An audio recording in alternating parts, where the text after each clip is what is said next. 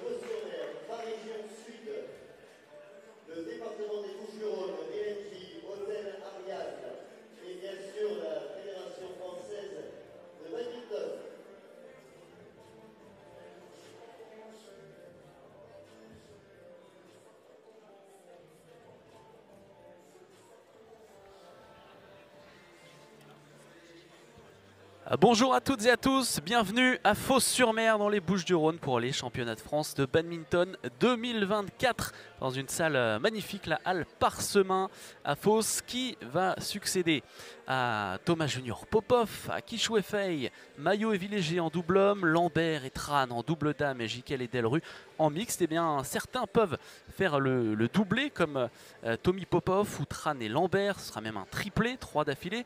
Euh, pour elle, il y aura forcément de, nouveaux champions dans d'autres catégories puisque tout le monde n'était pas forcément venu et certains ont perdu. On a vécu hier les quarts de finale hier matin et les demi-finales euh, hier soir. C'était une longue journée de badminton de 9h du matin jusqu'à 21h30. Mais euh, on a vécu pas mal euh, d'émotions, quelques petites surprises, des, jeunes qui se révèlent. On va en suivre quelques-uns dans quelques instants. On va commencer justement, voilà, puisque j'en parle, par ces jeunes, ces pépites. Tom Lalo Trescart et Elsa Jacob, tout jeunes, tout jeunes joueurs qui vont affronter euh, des joueurs, on va dire, pas bien vieux, mais un peu plus expérimentés, Eloi Adam et Sharon Bauer. Ensuite, ce sera le choc entre les deux frangins, les deux euh, enfants du pays, Tommy Popov et Christo Popov, donc qui vont s'affronter comme l'an dernier, comme l'année d'avant encore. Ensuite, on retrouvera Léonie Suette, ancienne euh, lauréate de ces championnats de France, contre Rosie Pancassari, qui euh, arrache tout sur son passage depuis quelques mois. Elle est très en forme. Elle a déjà été championne, mais en, double mixte. Ensuite, le double dame avec euh, les vedettes Lambert et Tran, 20e mondial tout de même, contre Elsa Jacob, qu'on retrouvera pour une deuxième finale avec Camille Pognante. Et puis, on terminera par le double homme avec les frères Popov contre euh, Labarre et Corvée. Voilà l'entrée des héros pour cette euh, première finale. Tom Lalo Trescart en tête. Elsa Jacob juste derrière. Et donc Éloi Adam et Sharon Bauer. Donc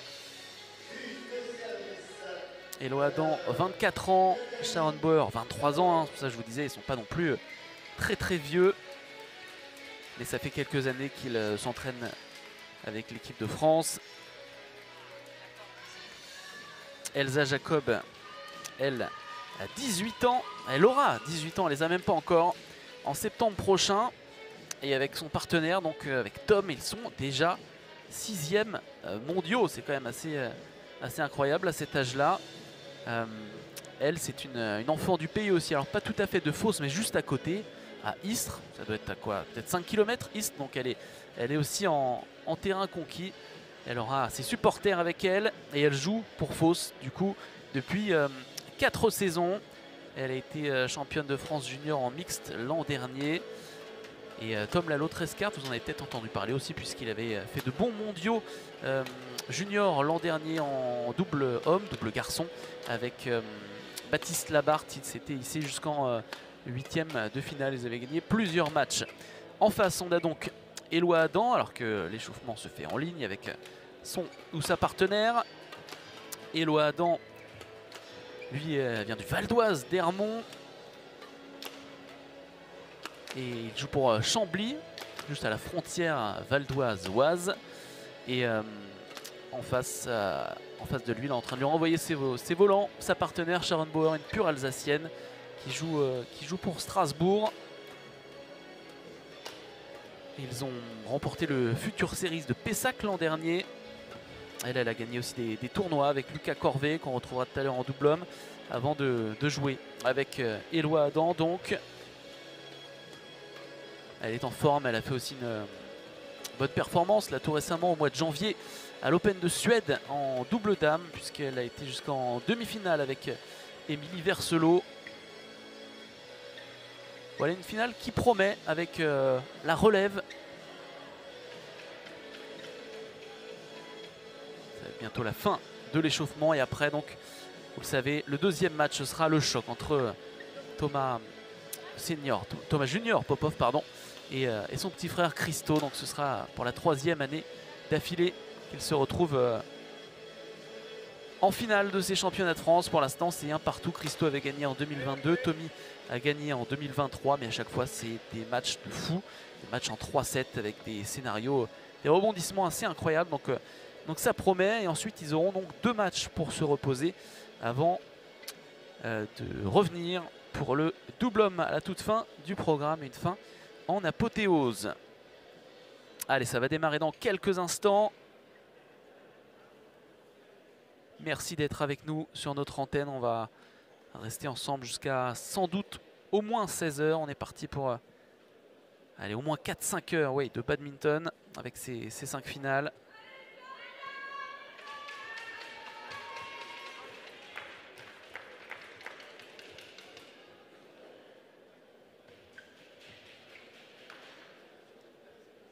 Effectivement un gaucher et une droitière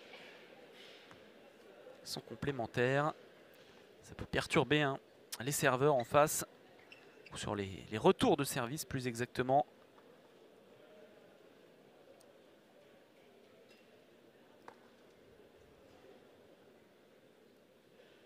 Mesdames et messieurs, à ma droite, Éloi Adam et Sharon Bauer sur la chaise de l'arbitre David Villéger.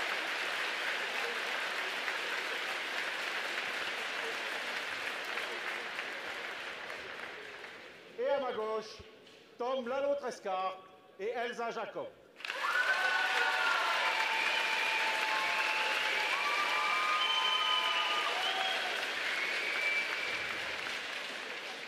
Sharon Bauer au service sur Tom Lalo-Trescar. Zéro égalité. À l'applaudimètre, petite victoire donc pour les Phocéens, forcément, qui jouent à, domicile. 4 finales sur 5 avec euh, des joueurs du club. On retrouve d'ailleurs Thomas Senior Popov sur la chaise des entraîneurs.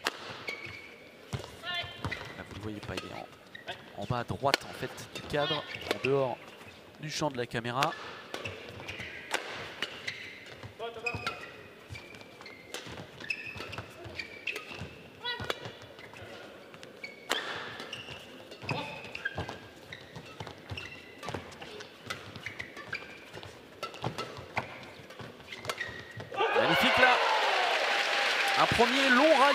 Ça donne le ton dans cette euh, finale du mixte.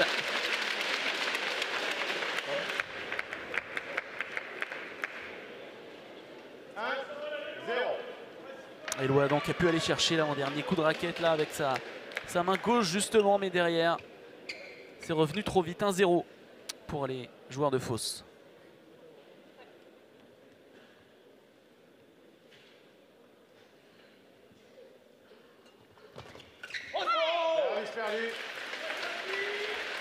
Comme la Escarpe qui a été adopté par les, les Phocéens, mais à la base il vient de, l'Essonne, du côté de, Corbeil-Essonne. Et donc ça fait quelques mois qu'il évolue pour Fausse qui se comporte très bien en, top 12 la première division des, des interclubs en France.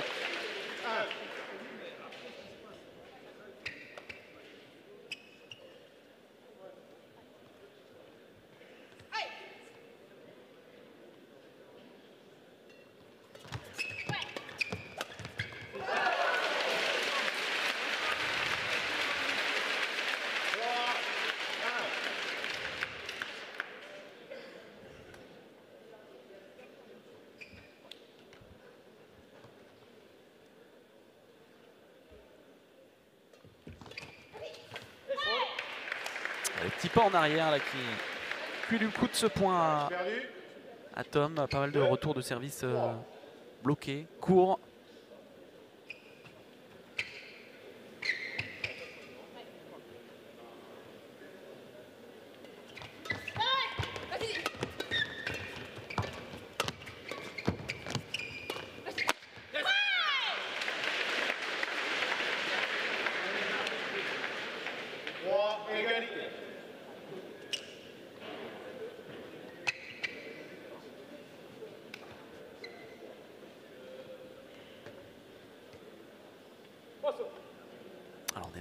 De l'équipe de, basket de Fos-sur-Mer, cette halle parsemin, euh, équipe euh, championne de France en Pro B, c'était en 2021.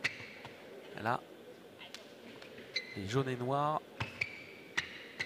sont venus pour euh, supporter les badistes aujourd'hui.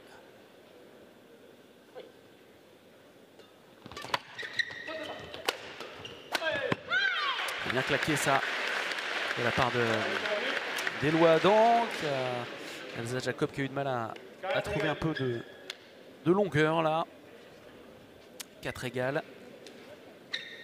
Je me perçois que je ne vous ai pas donné une info euh, cruciale, c'est que je vais être rejoint par des, des consultants de choc pour euh, la suite du programme, puisque euh, hier euh, Arnaud Merclé s'est incliné en demi-finale contre euh, Tommy Popov. Il me rejoindra tout à l'heure pour euh, commenter ces deux joueurs qu'il connaît euh, par cœur. Ensuite, on aura eh bien, tout simplement la meilleure joueuse française de tous les temps, Onvienne Pi, qui viendra. Euh, elle qui euh, habite euh, dans le coin du côté de Marseille. Elle viendra pour le, le simple dame entre Huette et Pancassari. Et puis euh, William Villéger aussi, régional de l'étape, qui vient de, Miramas, euh, qui sera ici pour le double homme à la fin du programme.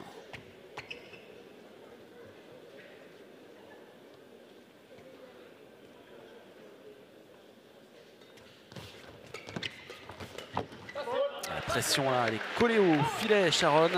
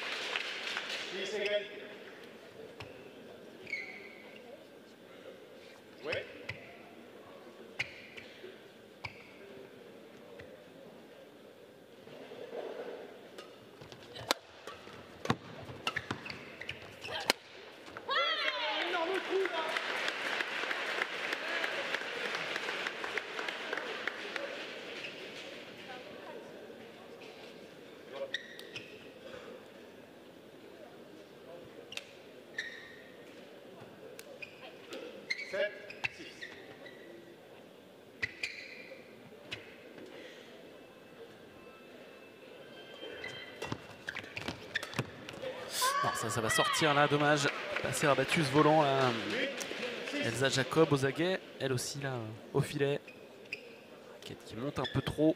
8-6 pour euh, Bauer et, Adam.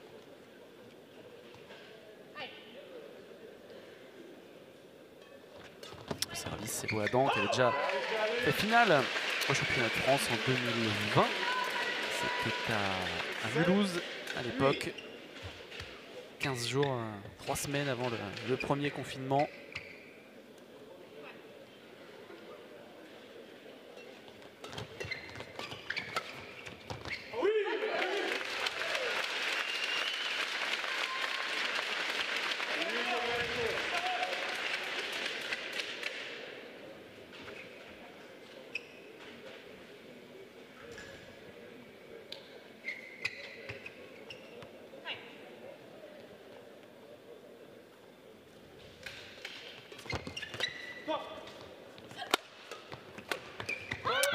Cadeau là pour un pour Edouard Adam là le, le smash de Bauer qui a fait un peu la, la différence, remis un peu 9, comme elle pouvait par, par Jacob.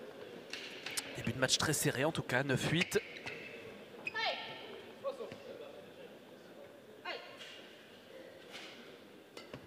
faute au service annoncé.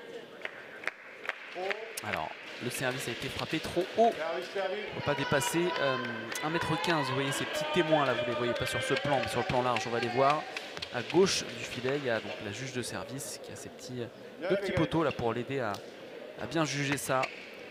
Donc là c'est point pour l'adversaire. Service récupéré par euh, Jacob et là l'autre escarte. Oh ce service, il était. Je pense qu'il était euh, pas dans le carré. hein.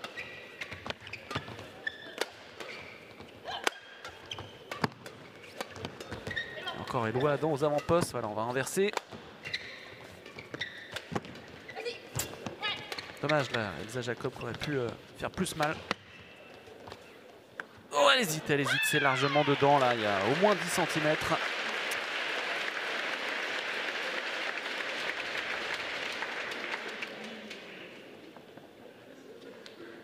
C'est normal hein, de ressentir de la, de la tension comme ça. Première finale de, d'un grand championnat.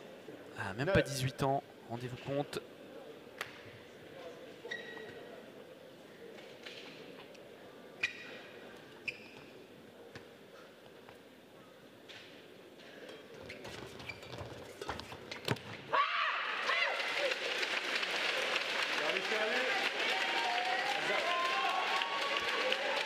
L'écart maximal pour l'instant dans ce début de match, c'est deux points. 10 égalité. Il n'y en aura qu'un là au moment de la pause, puisqu'on fait une petite pause, pause pardon, quand l'une des deux paires atteint les, les 11 points.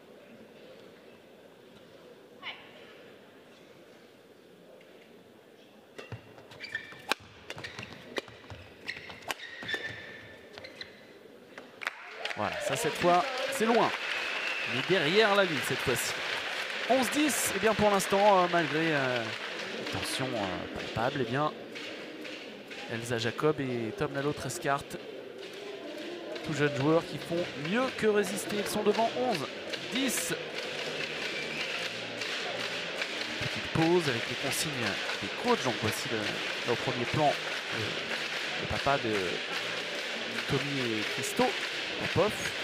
Voici un petit frère, encore un peu jeune pour l'instant pour faire les, les championnats de France, Boris. Mais on le verra très certainement d'ici 3-4 ans. 20 secondes. 20 secondes. Conseiller. Comme euh, justement ses frères Popov qui auront deux matchs pour se reposer après la finale du, simple. Elsa Jacob aura elle aussi deux matchs pour euh, 11. se refaire la cerise puisque donc il y aura le, les deux simples, match 2 et 3 et elle, reviendra au match 4. Allez ça va reprendre au service Tom Lalo Trescart de la gauche vers la gauche. Gauche de l'adversaire évidemment.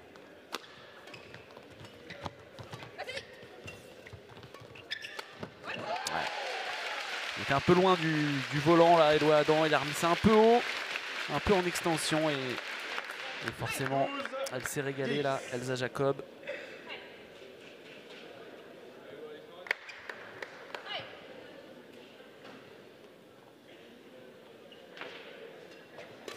Faute.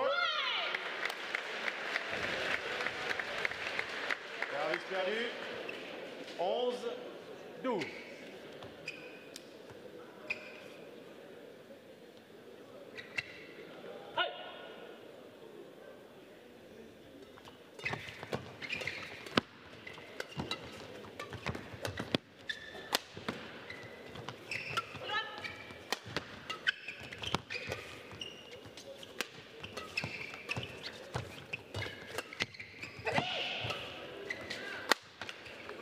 Euh, ce match entre les deux qui fait la, la différence. Tom qui avait dû s'arracher là pour aller chercher le volant précédent. 12 égalité. Bon, Eloi Adam a l'air remis de sa grosse déception hein, d'hier soir, puisque le, le dernier match c'était en demi-finale le, le double homme qu'il a joué avec euh, Léo Rossi contre Tommy et Christo. Et il menait dans le troisième set. Ils ont fait un match énorme avant de se faire doubler vraiment dans la, la dernière partie du, troisième set. Ils n'étaient pas loin de, de créer une petite surprise. 13, 12. Les revoilà devant 13-12.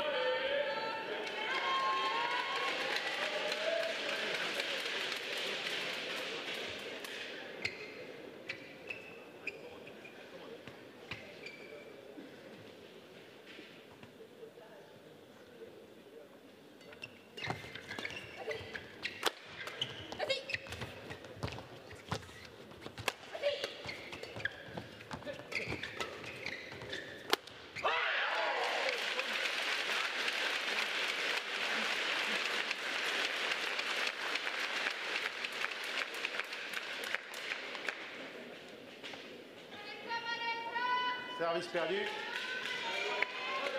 13, égalité.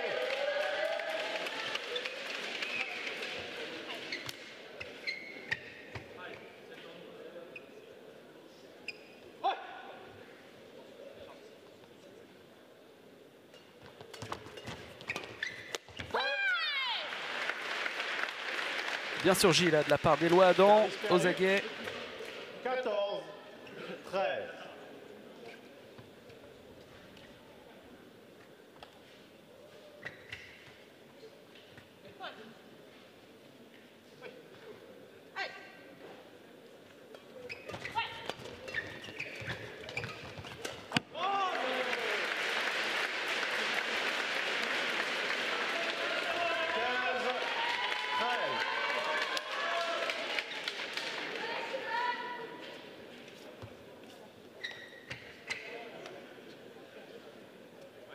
Quinze, treize.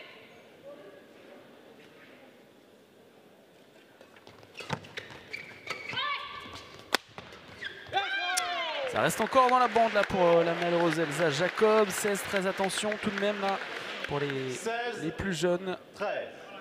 Mini break créé par euh, Adam et, et Bauer.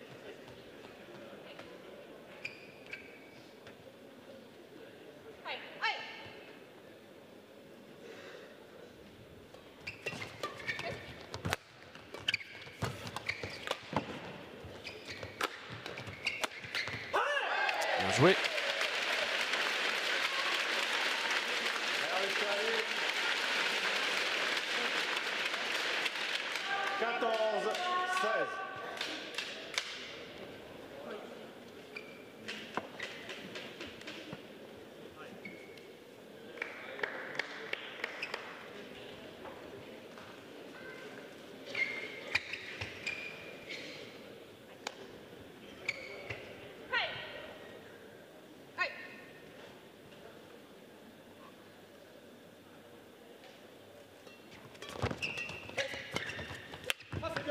Ouh, Service perdu.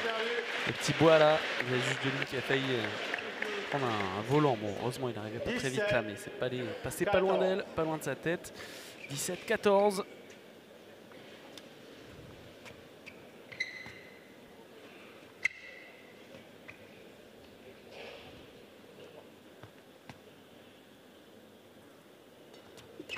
Service très court.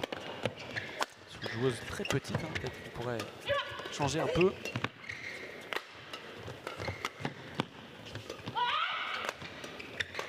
Et oui, il avance, il avance, conquérant et il a fait mal un peu plus à chaque coup avant de conclure. 18-14, ça commence à être intéressant pour euh, 18. Bauer et, et Adam. À 3 points de décrocher cette première manche désormais.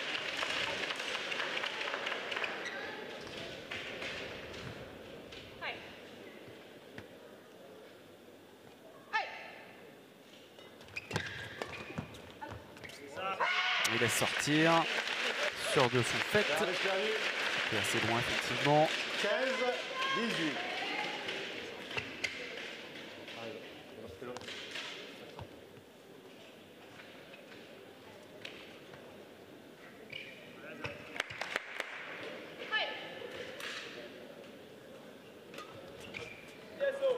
Out.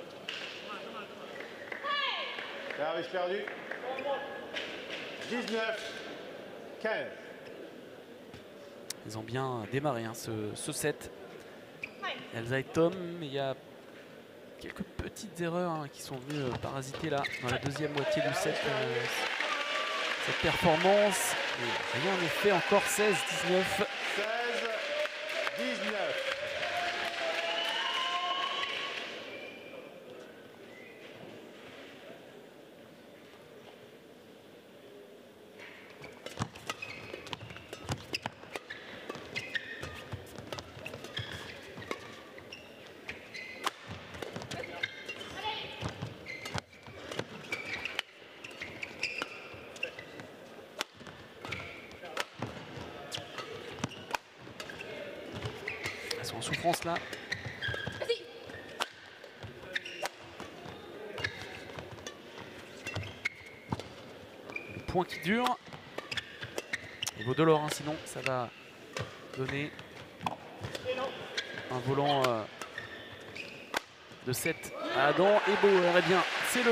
Finalement.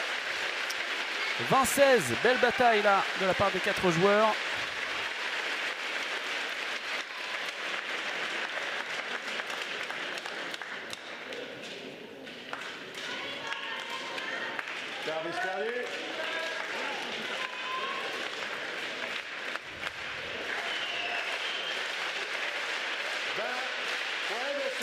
La pression là sur Elsa Jacob et Tom Lalo. 13 cartes.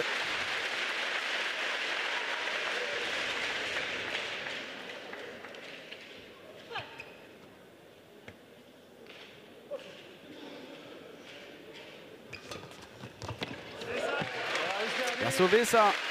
Le bon retour de service là. À plat dans un coin.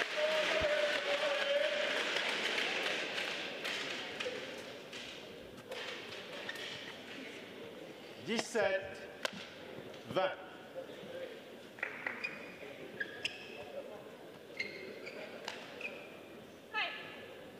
Nouvelle euh, opportunité de conclure pour euh, Bauer et Adam.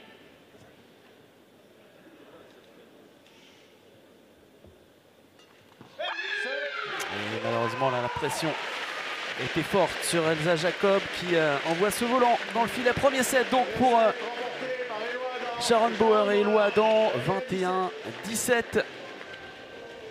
Première manche euh, disputée. Agréable à suivre. Quelques petites fautes. Bon, on va essayer de, de corriger ça dans la, dans la deuxième manche.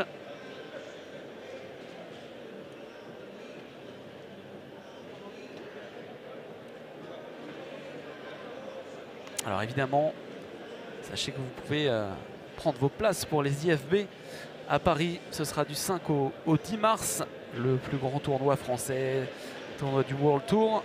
Euh, Super 750, le deuxième euh, plus gros tournoi au monde. Il y a 4 Super 1000 et ensuite, eh bien, il y a ce tournoi de, Paris, les internationaux de France, qui ont lieu un peu plus tôt que prévu cette année, puisque d'habitude c'est fin octobre, la dernière semaine d'octobre.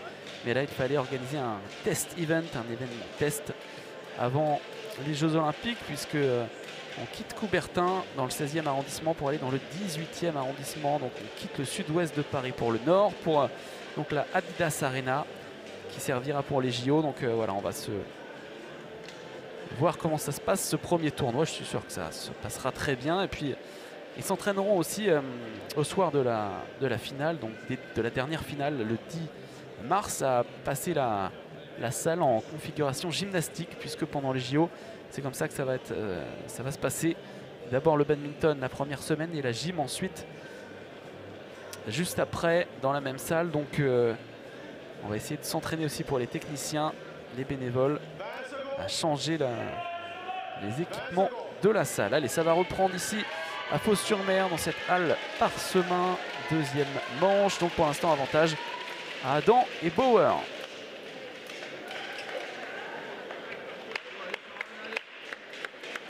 Second set. Zéro, égalité. Joué.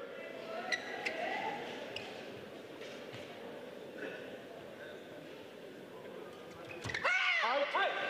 Service perdu.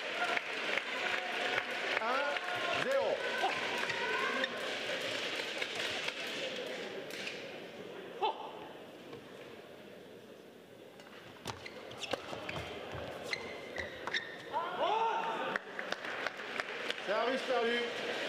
À égalité.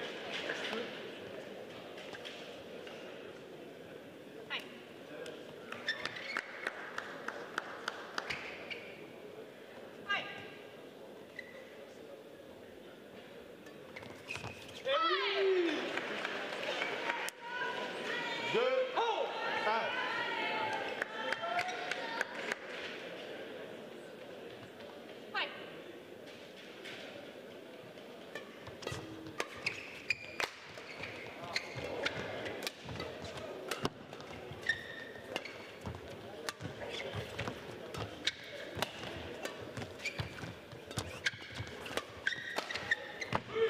Vitesse là, Eloi Adam sur ce coup-là. Il a joué plutôt technique la court devant lui et qui se fait euh, contrer de partout. Deux égalités.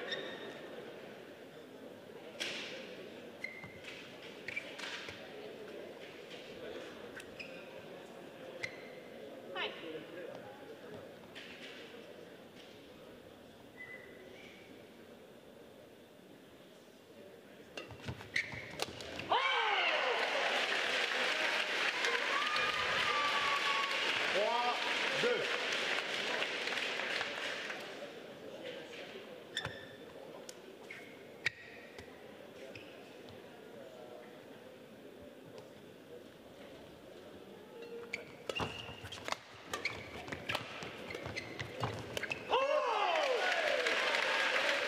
« 4-2.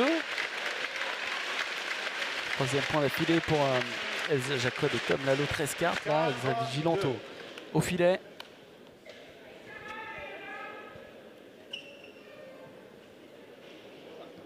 Il y a quand même quelques fans, hein. des entourages qui sont là aussi pour, euh, pour les joueurs viteurs, on va dire, puisque, on le disait, Jacob et Lalo sont euh, des joueurs de fosse. Il y a quelques supporters quand même pour euh, Eloi Adam et Sharon Bauer, même si loin, ils sont loin de, de leur base.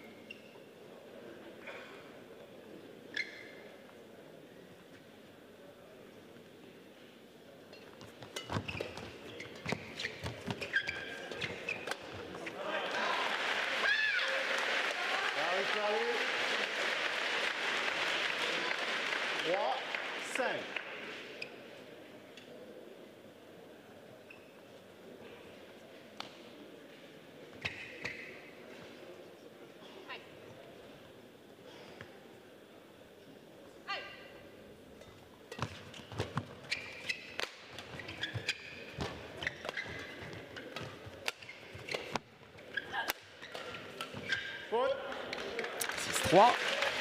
Bon début de, de deuxième set. hein. Ils ont bien su se remobiliser là, les petits jeunes. 6-3. 6, 3.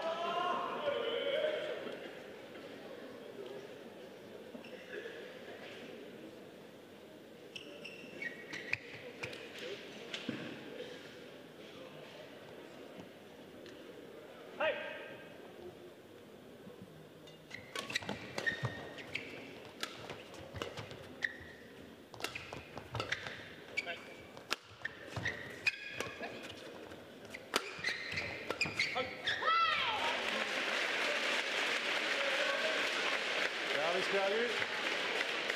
Ça sort de peu. 4, 6.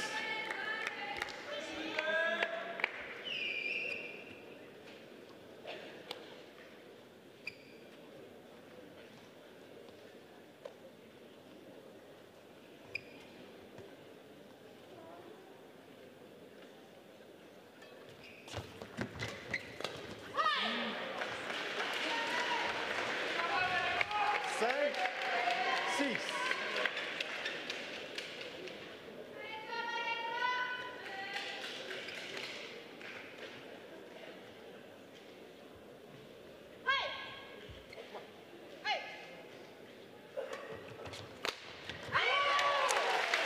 Peu risqué ce service là. Service perdu. Grosse baffe pour reprendre deux points. Avance 7-5. 7, 5.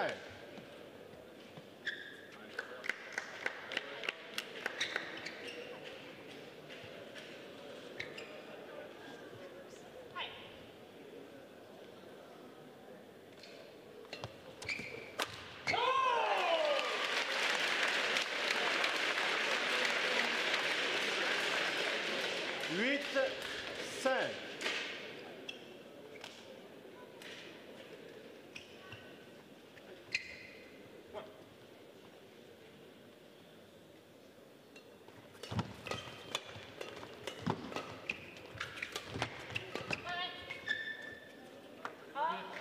Le bon coup d'œil d'Elo Adam.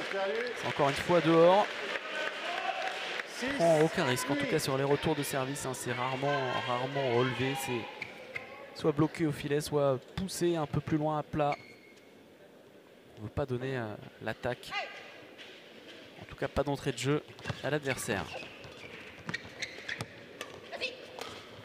Pas voulu arracher le filet là, Elsa sur le coup d'avant.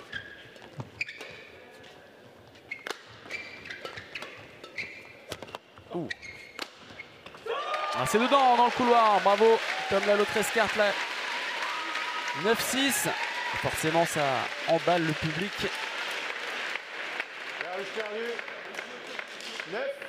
9-6.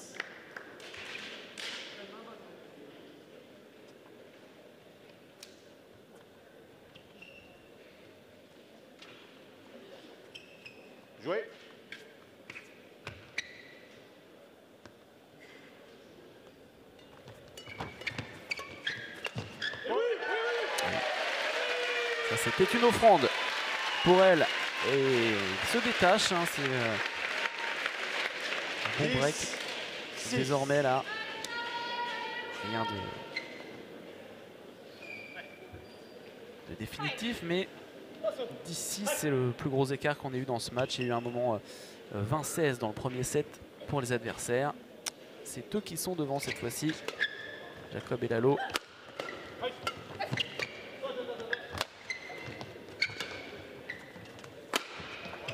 Oh, quasiment le même que tout à l'heure, là encore dans le couloir.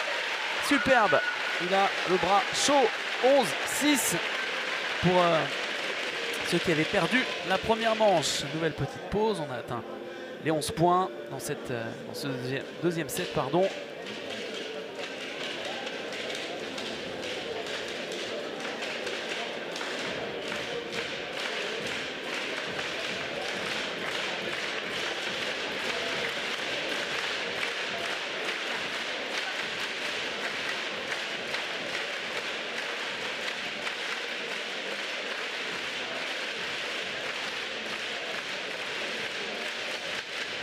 Alors, je vous parlais tout à l'heure du, du tournoi des IFB hein, qui aura lieu du 5 au 10 mars. Il y aura aussi dans la foulée euh, l'Orléans Masters.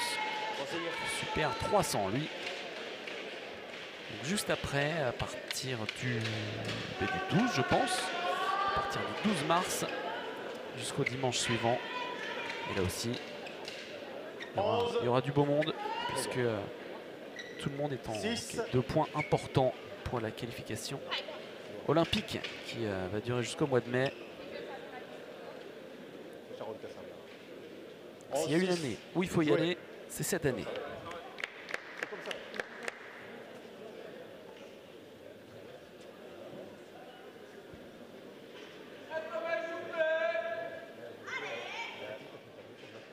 Joué.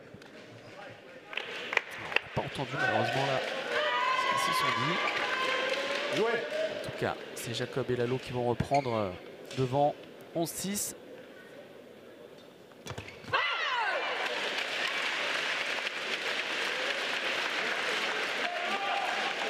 Douze, six.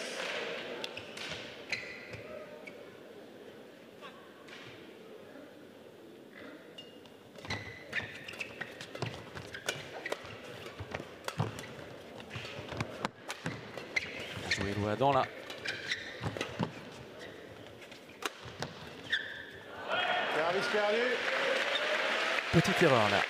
Jacob sur ce, ce match un peu neutre. hein, Il n'a pas tout mis.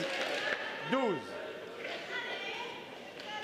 Et des fois, ça peut surprendre un peu justement ces coups, un peu de transition.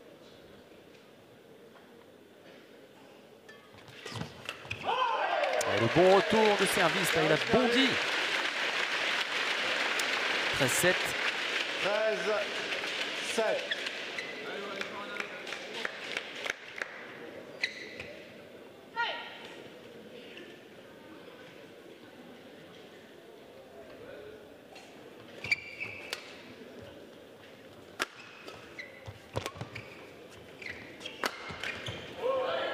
Ça ne passera pas. C'est très haut. Dans une salle assez haute. hein. Il y a eu un volant hier euh, dans le match, je crois, de, de Tommy Popov et Arnaud Merclé qui a touché l'une des, des poutres en métal là-haut. Mais on n'a pas trop eu euh, d'incident de ce genre. Sinon. Faute. Service perdu.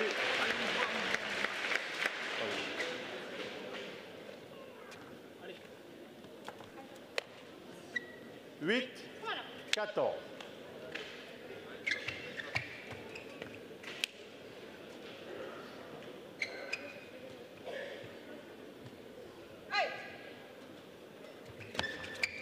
Service perdu.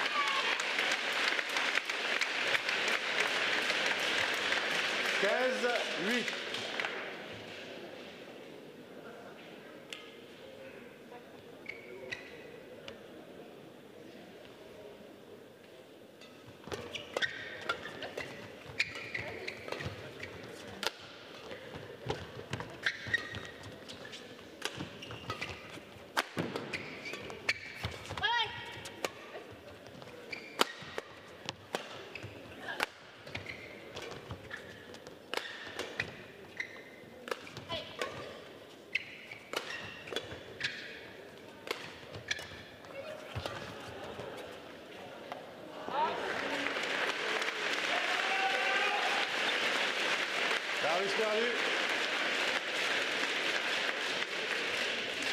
9, 15.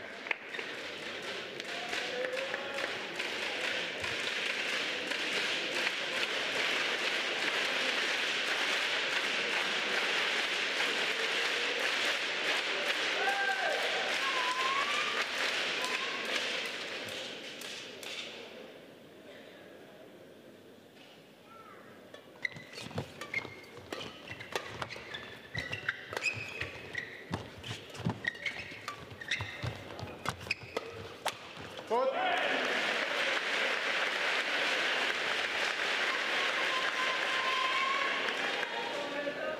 Dix, quinze.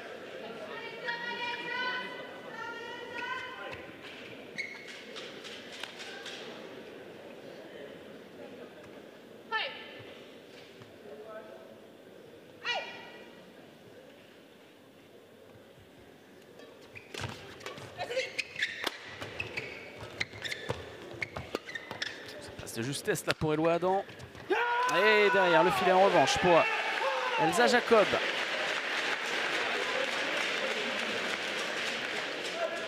Éloi, Éloi, Éloi.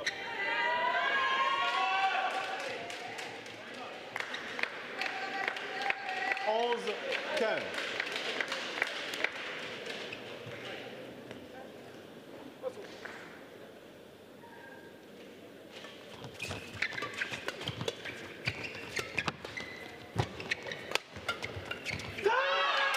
Encore malheureusement là pour euh, la, jeune Elsa Jacob. C'est bien fait hein, ce que- ce qu'avait fait Tom euh, Lalo juste avant. Bonne défense d'Eloi Adam.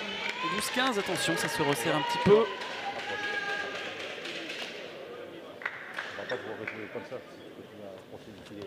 Point, à crier au filet. Ouais, je sais, je sais. Non, je sais. Tu vas au filet, tu vas trop peu du filet quand tu cries avec le point d'avant. S'il te plaît, s'il te plaît. 12, 15.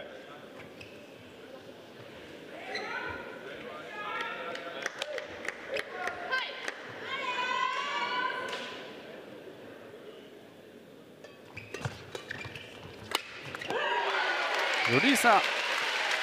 Praline, euh, bonne praline là, pas mis beaucoup hein, depuis euh, le début de ce match, mais là, a complètement lâché son smash. Superbe. Et ils reprennent leurs 4 longueurs d'avance. C'est le coup de la lot 13 cartes là qui a forcé à, remettre forcé Adam à remettre ça comme il a pu là un peu en réflexe, un peu en hauteur. Décidément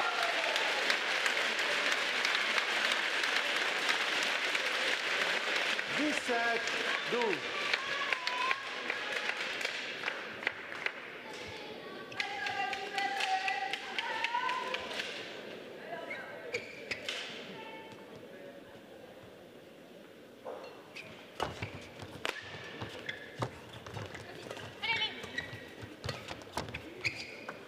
Ça va être juste dehors, j'ai l'impression. Bien jugé. C'était risqué là quand même. Mais euh, il a eu le bon coup d'œil là. Éloi 17, 13-17 plutôt. C'est pas loin quand même. Hein.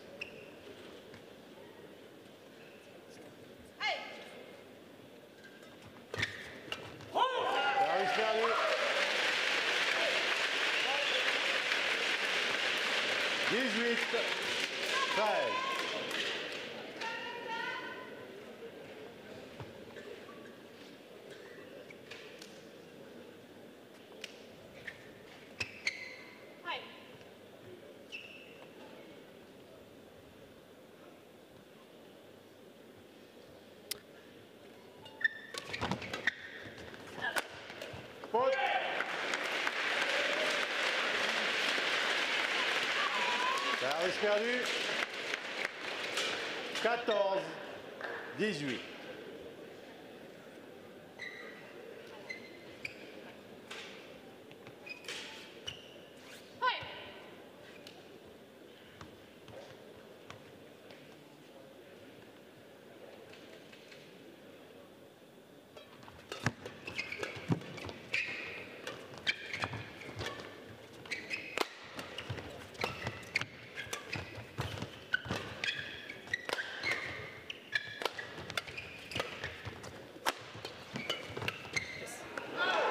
Tac là. Sharon Bauer. Ils n'ont pas dit leur dernier mot dans ce, dans ce deuxième set là, le Cambisien, la Strasbourgeoise.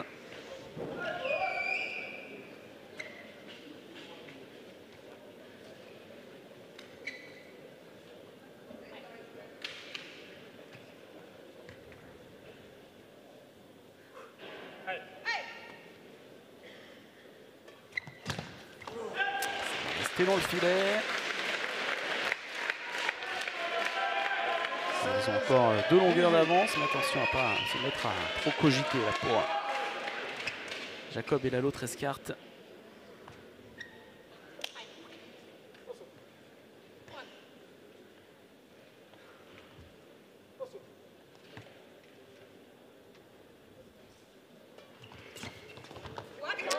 Un petit peu de réussite là un petit peu de avec euh, le Adam qui se reculait, euh, Sharon Bauer aussi qui avait anticipé.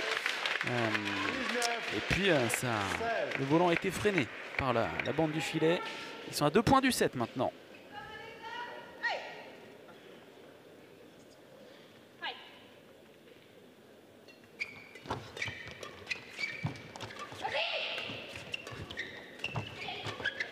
dire que ça se parle pas ça crie. Oh, ça semblait juste ce volant. Il a pris quand même. 17-19. On va avoir du suspense jusqu'au bout. «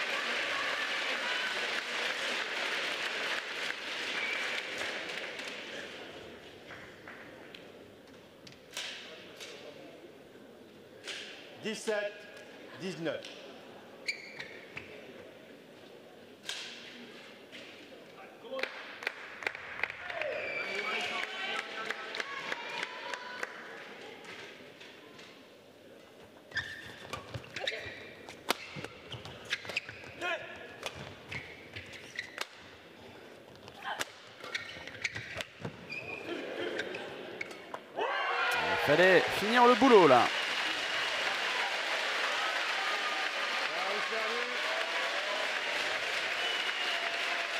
Trois volants de deuxième manche. Trois volants pour revenir à un set partout. Fais attention là, elle a pris assez haut. Pas risquer de toucher le, le filet. 17.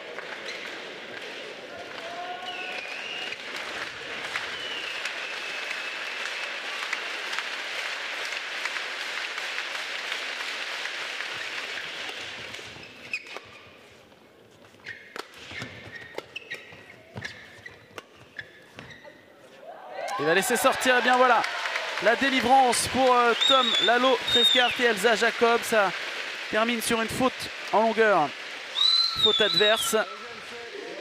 21-17, et eh bien je crois que c'était le score déjà dans la première manche, mais dans l'autre sens, on va avoir un, un decider, comme disent les Anglais, un troisième set décisif.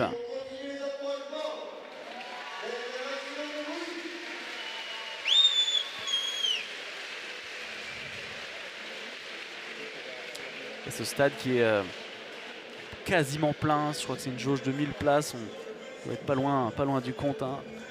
La tribune qui est en face de moi est quasiment pleine, on doit être euh, entre 800 et 900 euh, spectateurs je pense, au moins. C'est une belle fête en ce dimanche matin, on a pris l'antenne à 11h et ce n'est que le premier match, il y en a 5.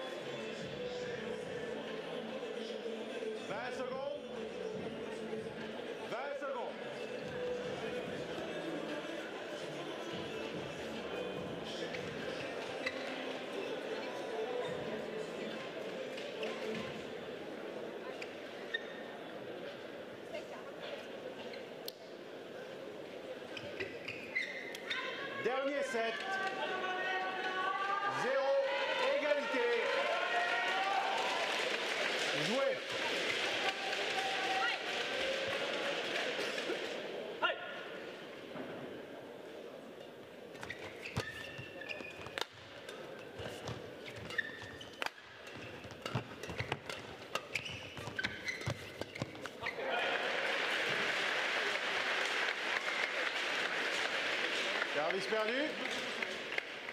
1-0.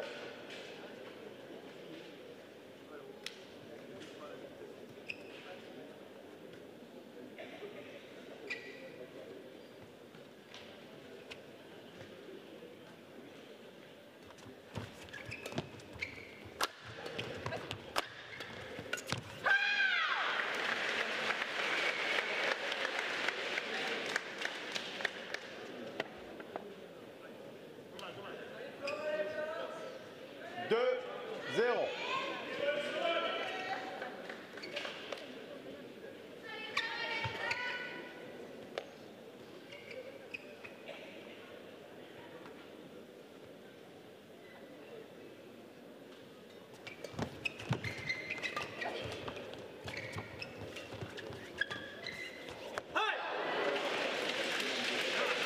Service perdu. Un, deux.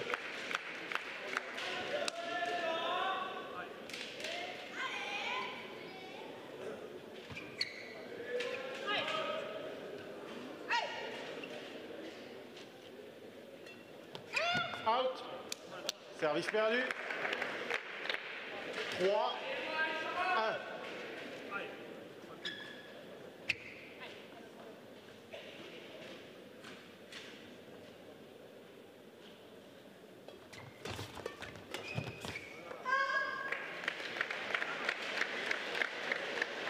Quatre, un.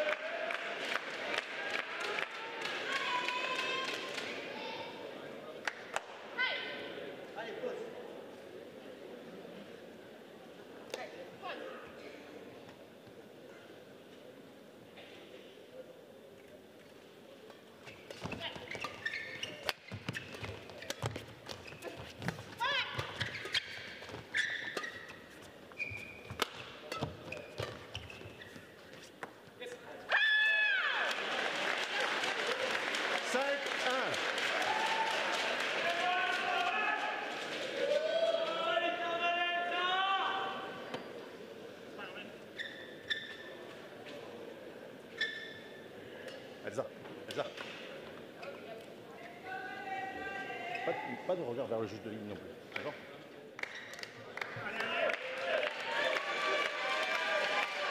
Le public, le public de l'Al Parsemin qui encourage forcément euh, ses chouchous. Début de troisième set, un peu compliqué là. 5-1. Allez, 2-5 maintenant. Un peu pris de vitesse là. Éloi Adam. 2, 5.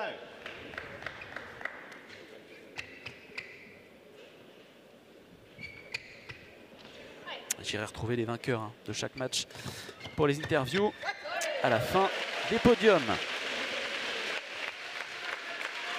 3, 5.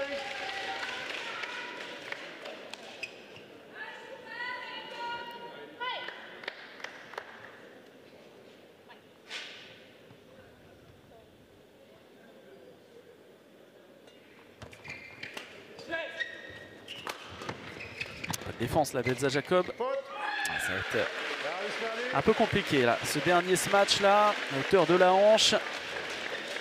6,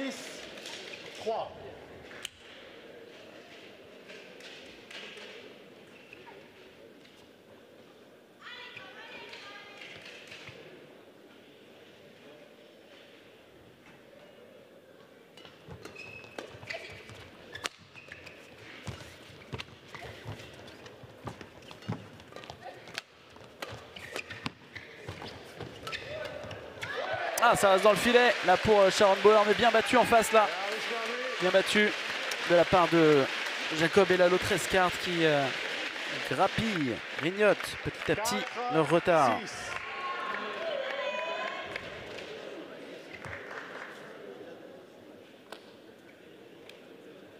Jouer.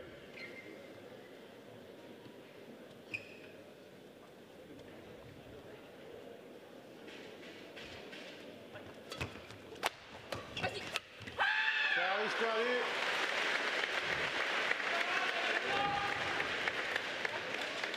Sept, quatre.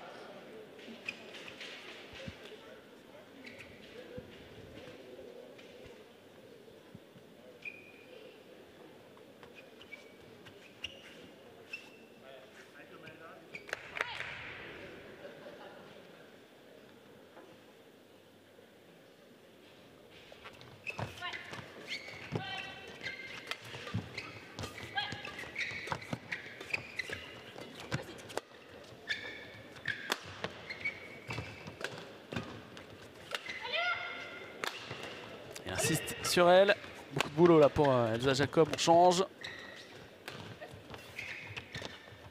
On va pousser au fond.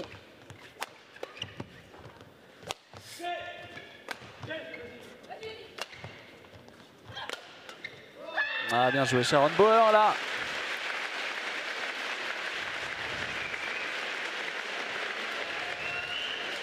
Huit, quatre. Elsa, Elsa, Elsa, Elsa.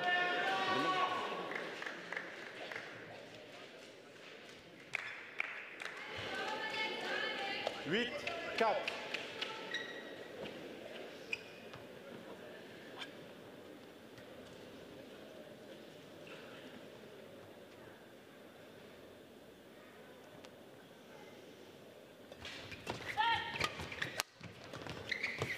Service perdu.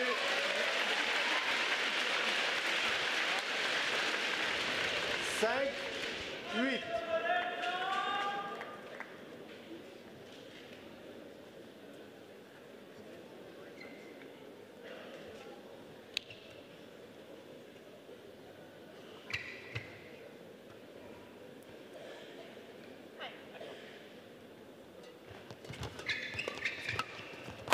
Faute. Oh là là, compliqué, compliqué là. La foudre s'est abattue sur la pauvre Elsa. Service perdu. 9, 5, Neuf. comme le département d'origine des lois Adam.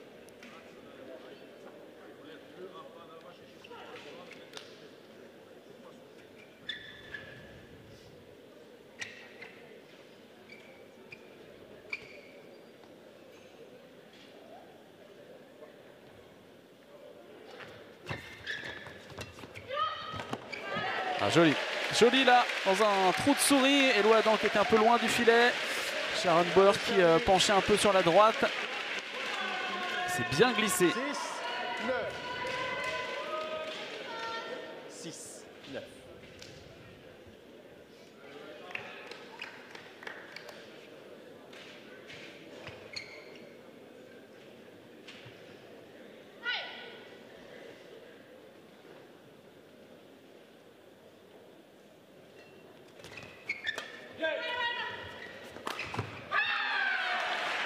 Vraiment euh, une invitation au ce match. Là, ce volant très court, très haut. 10, Ah, Ça aurait été une Six. faute professionnelle de manquer ça de la part d'Eloi Adam. 10-6, il ne l'a pas manqué.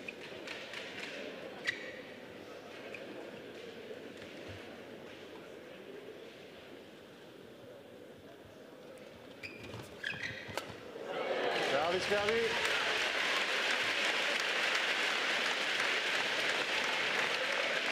Sept, dix.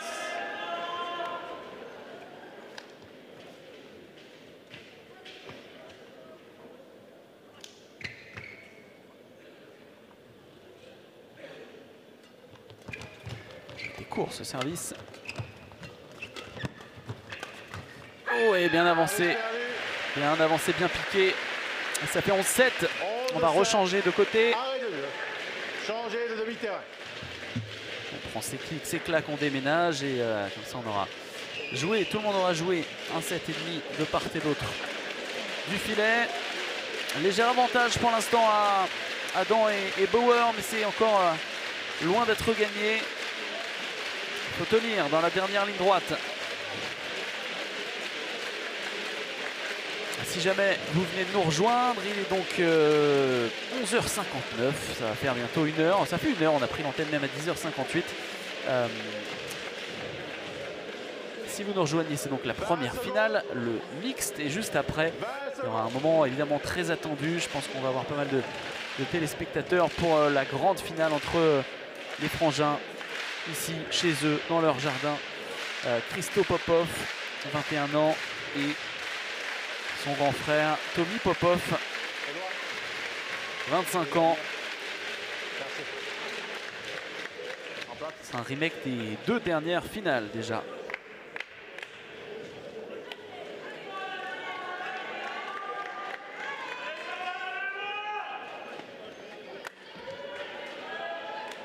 Onze, sept.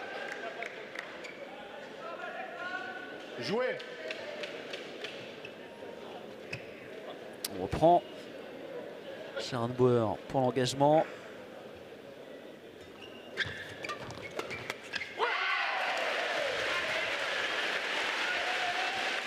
Service perdu. 8, 11.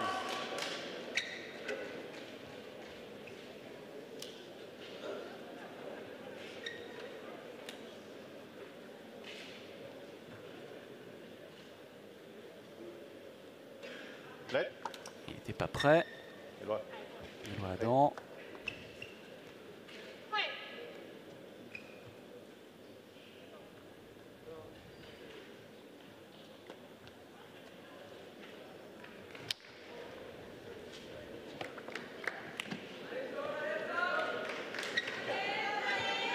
Les changements de volant, souvent on dit que c'est à l'avantage de, ceux qui,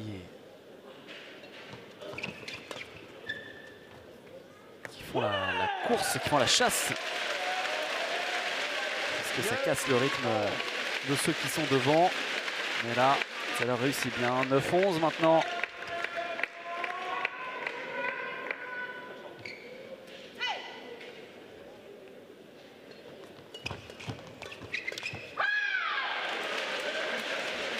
Service perdu. 12, 9.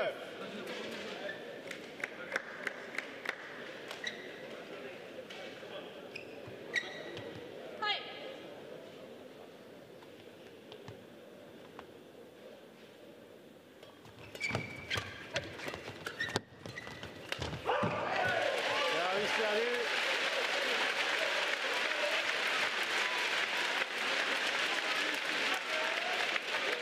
Dix, douze.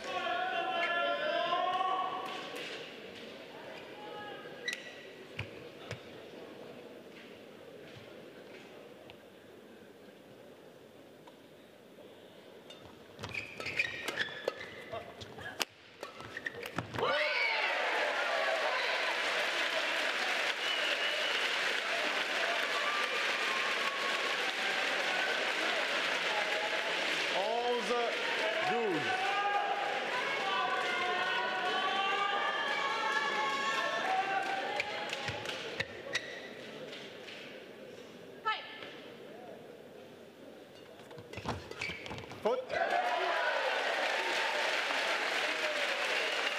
Les voilà revenus. Ils étaient distancés. Là, il y avait euh, 12, 11-7 égalité. il y a quelques secondes. Il y a deux minutes. Ça va vite, hein. ça va très vite dans le badminton.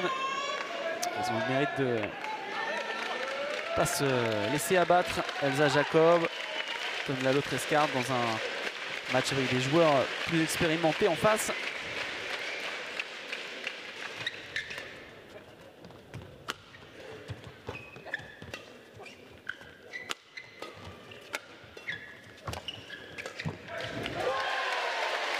Et Ils vont même commandes là. Ce que tout le public de faut s'espérer là, il y a encore 2-3 minutes. Petit euh, renversement de situation et là. Eloi qui essaye de maintenir à flot sa partenaire. Oui, faut pas, faut pas flancher à leur tour. À eux de connaître un moment un peu difficile.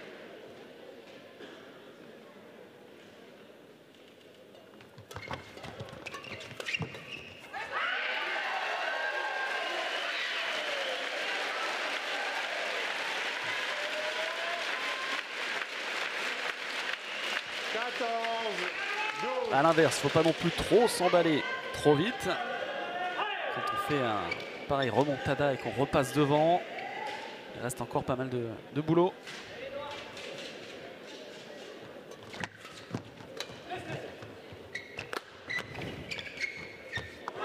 Oh, ça passe Ça passe la petite pichenette là. On a cru que ça allait s'arrêter dans le filet. Non, non, ça rebondit avec l'aide de la bande. Ça rebondit sur la bande. Ah, c'est un peu rageant pour euh, Adam et, et Bauer, forcément.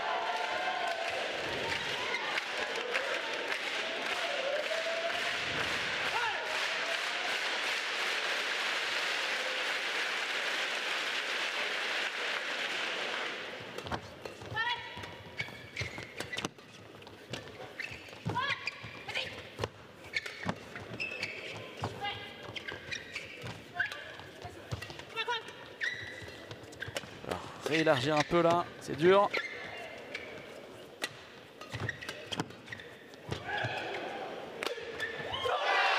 Ouais, bien fait.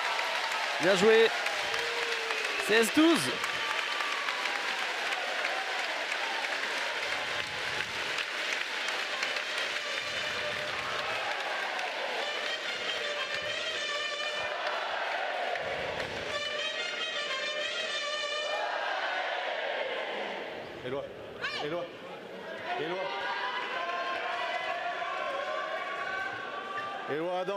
Avertissement pour mauvaise conduite.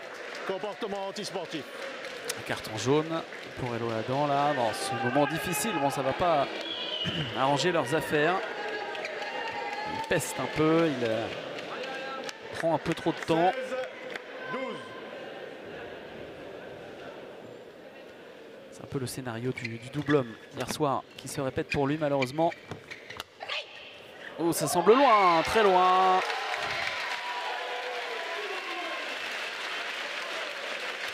Elsa Jacob qui hurle sur son partenaire. Vas-y Mais non, pas besoin, pas besoin. C'était euh, au moins une quinzaine de centimètres là de, de la ligne. À 4 points d'un premier titre de champion de France.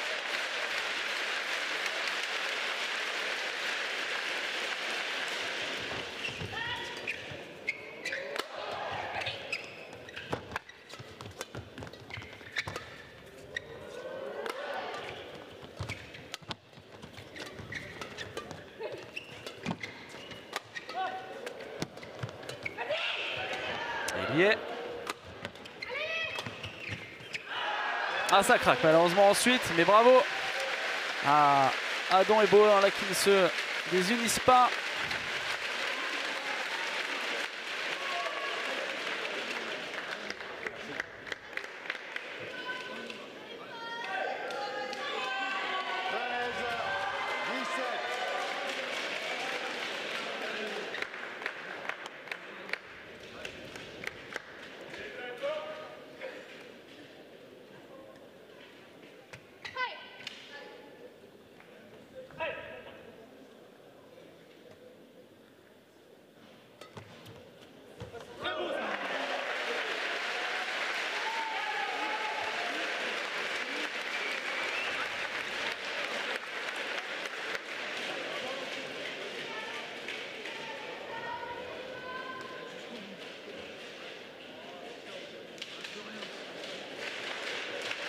Monde est un peu tendu là, forcément.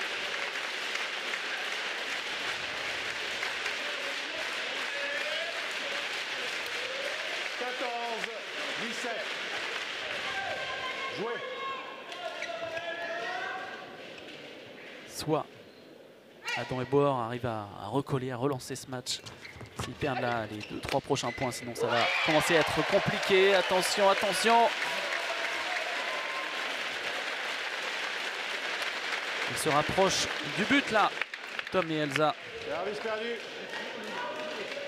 18. 14.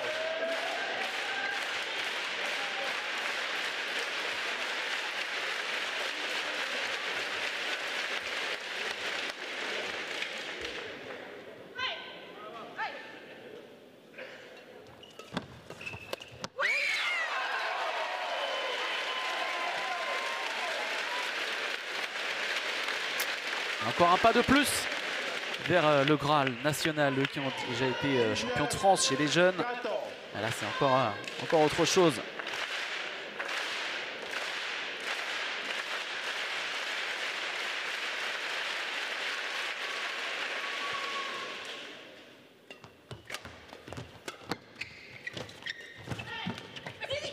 Oh, il la prend, ça semblait juste. Ah là là là là, la frustration là forcément. La défense héroïque là de, Tom Lalo Trescart euh, récompensée derrière Sharon Bauer. On va peut-être le revoir hein, sur un ralenti qui euh, essaye d'attraper ce volant et ça feinte un peu son partenaire malheureusement. Et il est surpris.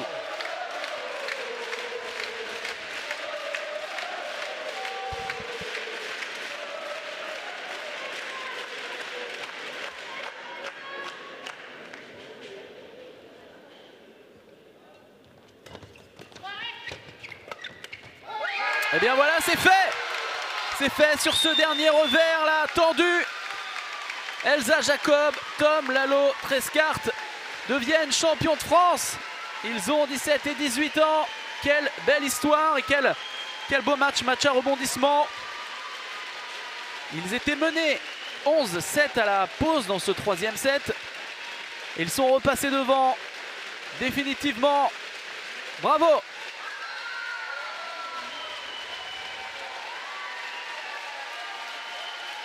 Et forcément, ça met le stade en fusion dès le premier match. Sharon Bauer et Loadan, encore maudit en finale. Elle avait fait une finale en double dame en 2022, lui en double homme en 2020. Ils doivent s'incliner malgré un, bon match. Il doit y avoir de la, de la frustration forcément là. Eloi Adam, tête basse, le pauvre.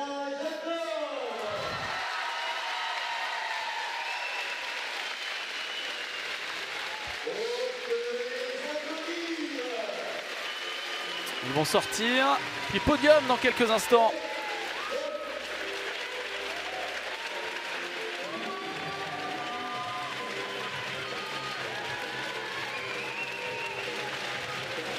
Bravo au nouveau héros du bat français. Donc euh, il succède à Jiquel et Delru. Tom Jiquel sacré chez lui à Rennes l'an dernier. Eh bien voilà, euh, les joueurs de Fos-sur-Mer qui gagnent à Fos-sur-Mer cette année aussi.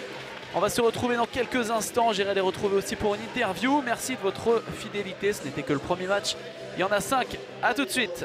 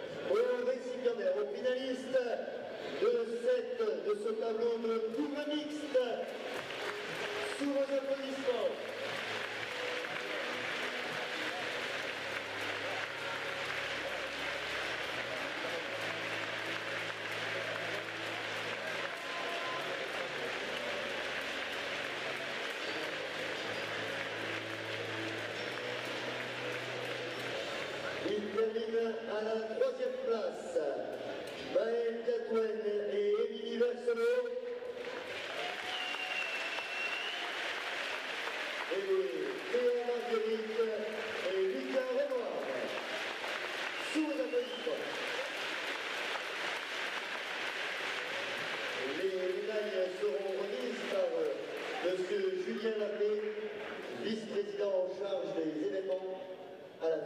française de 20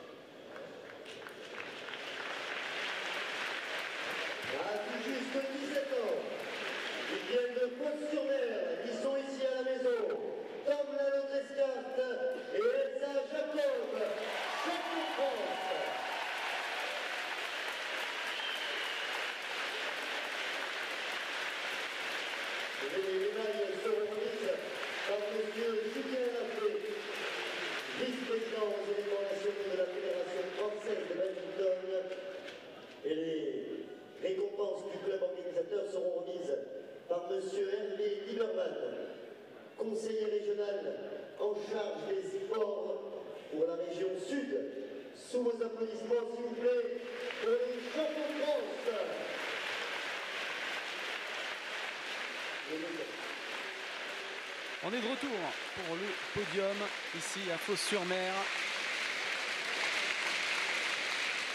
Avec euh, donc le sacre des jeunes Tom Lalo Trescarte, Elsa Jacob, 17 ans.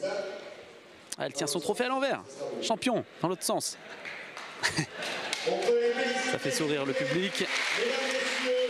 Et évidemment, les pauvres à côté d'eux sur la deuxième place du podium, euh, Eloi Adam et euh, Sharon Bauer qui font une tête d'enterrement. C'est vrai que le scénario de ce match les a laissés espérer longtemps.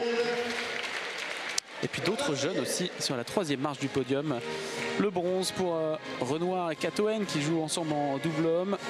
Là, ils étaient euh, séparés, l'un avec Émilie Verselot, l'autre avec Théa Marguerite, toute jeune aussi,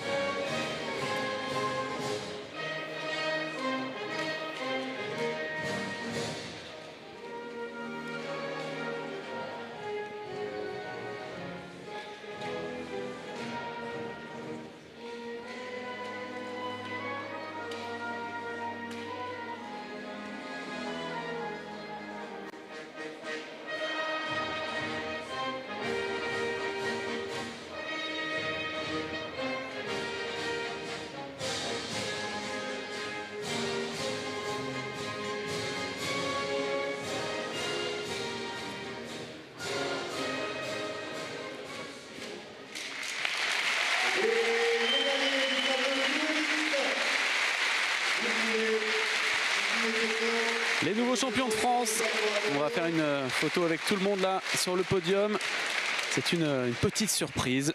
Tom Lalo, Trescart et Elsa Jacob qui ont tenu jusqu'au bout, qui vont venir me rejoindre en interview là au centre du terrain dans quelques instants. Et puis après, on aura le, le simple homme entre les frères Popov et je serai accompagné d'Arnaud Merclé, le champion de France 2021, euh, demi-finaliste hier, qui sera avec moi pour commenter ce match.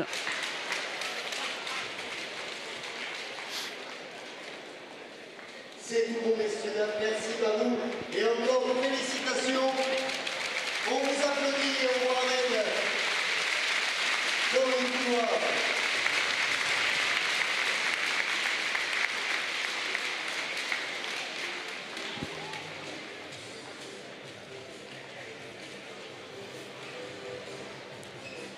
Voilà, il y a Pascal Bilstein et, et Ludwig Lata qui euh, disent de prendre quelques photos et après ils vont venir ici pour l'interview. Je pense que le son va être répercuté aussi euh, dans la salle, donc ce sera pour la télé et pour euh, le public présent ici aussi.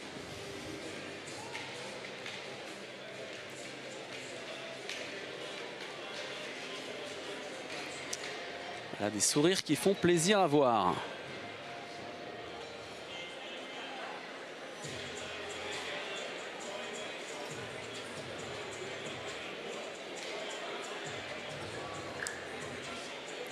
Qui arrive.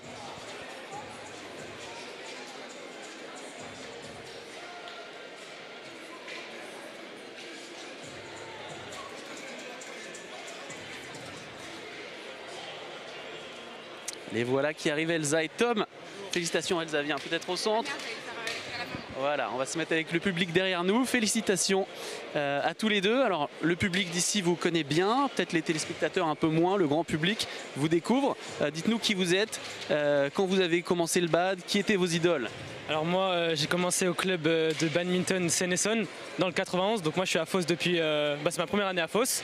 Donc j'ai commencé là-bas. euh, ensuite, euh, mes idoles, euh, moi, c'est Lindan. J'ai toujours aimé Roy Lindan et Zheng Siwei en mixte. Et vous? Et moi, j'ai commencé le bad à 4 ans à Fos-sur-Mer, du coup. Euh, du coup, euh, ça fait euh, bientôt euh, 10 ans au moins que je fais du bad à Fos. Euh, moi et mon idole, c'était euh, Carolina Marine. Et qu'est-ce que ça fait alors de gagner à la maison pour une Istréenne On est quasiment à domicile là, tu joues au club de Fosc. Ça fait quoi de gagner devant euh, la famille, les amis? Ah ben, je suis tellement fière, contente euh, de montrer à tout le monde que ben, j'en étais capable, euh, qui- toutes les personnes qui croyaient en moi. euh, je sais même pas quoi dire tellement je suis contente. Est-ce que vous commencez à réaliser un peu C'est un titre aussi jeune. C'est vrai que Eloi, Adam et Sharon Bauer se sont déjà cassés les dents en finale. Vous arrivez, vous gagnez tout de suite. Ça, il se passe quoi dans votre tête là tout de suite? Bah, euh, on montre que euh, c'est pas parce qu'on est plus petit, qu'on est plus jeune, qu'on a moins d'expérience, qu'on qu'on peut pas gagner. Là, on l'a prouvé, on perdait dans le troisième, on est bien revenu, le public nous a aidés et euh, on a montré notre niveau à 17 ans. Donc on est encore là pour un bon bout de temps. Un solide mental. Bravo à tous les deux et à très bientôt. Bravo encore, profitez bien. On va aller maintenant s'atteler au simple homme avec donc Arnaud Merclé comme consultant. Je vais retourner au poste de commentateur.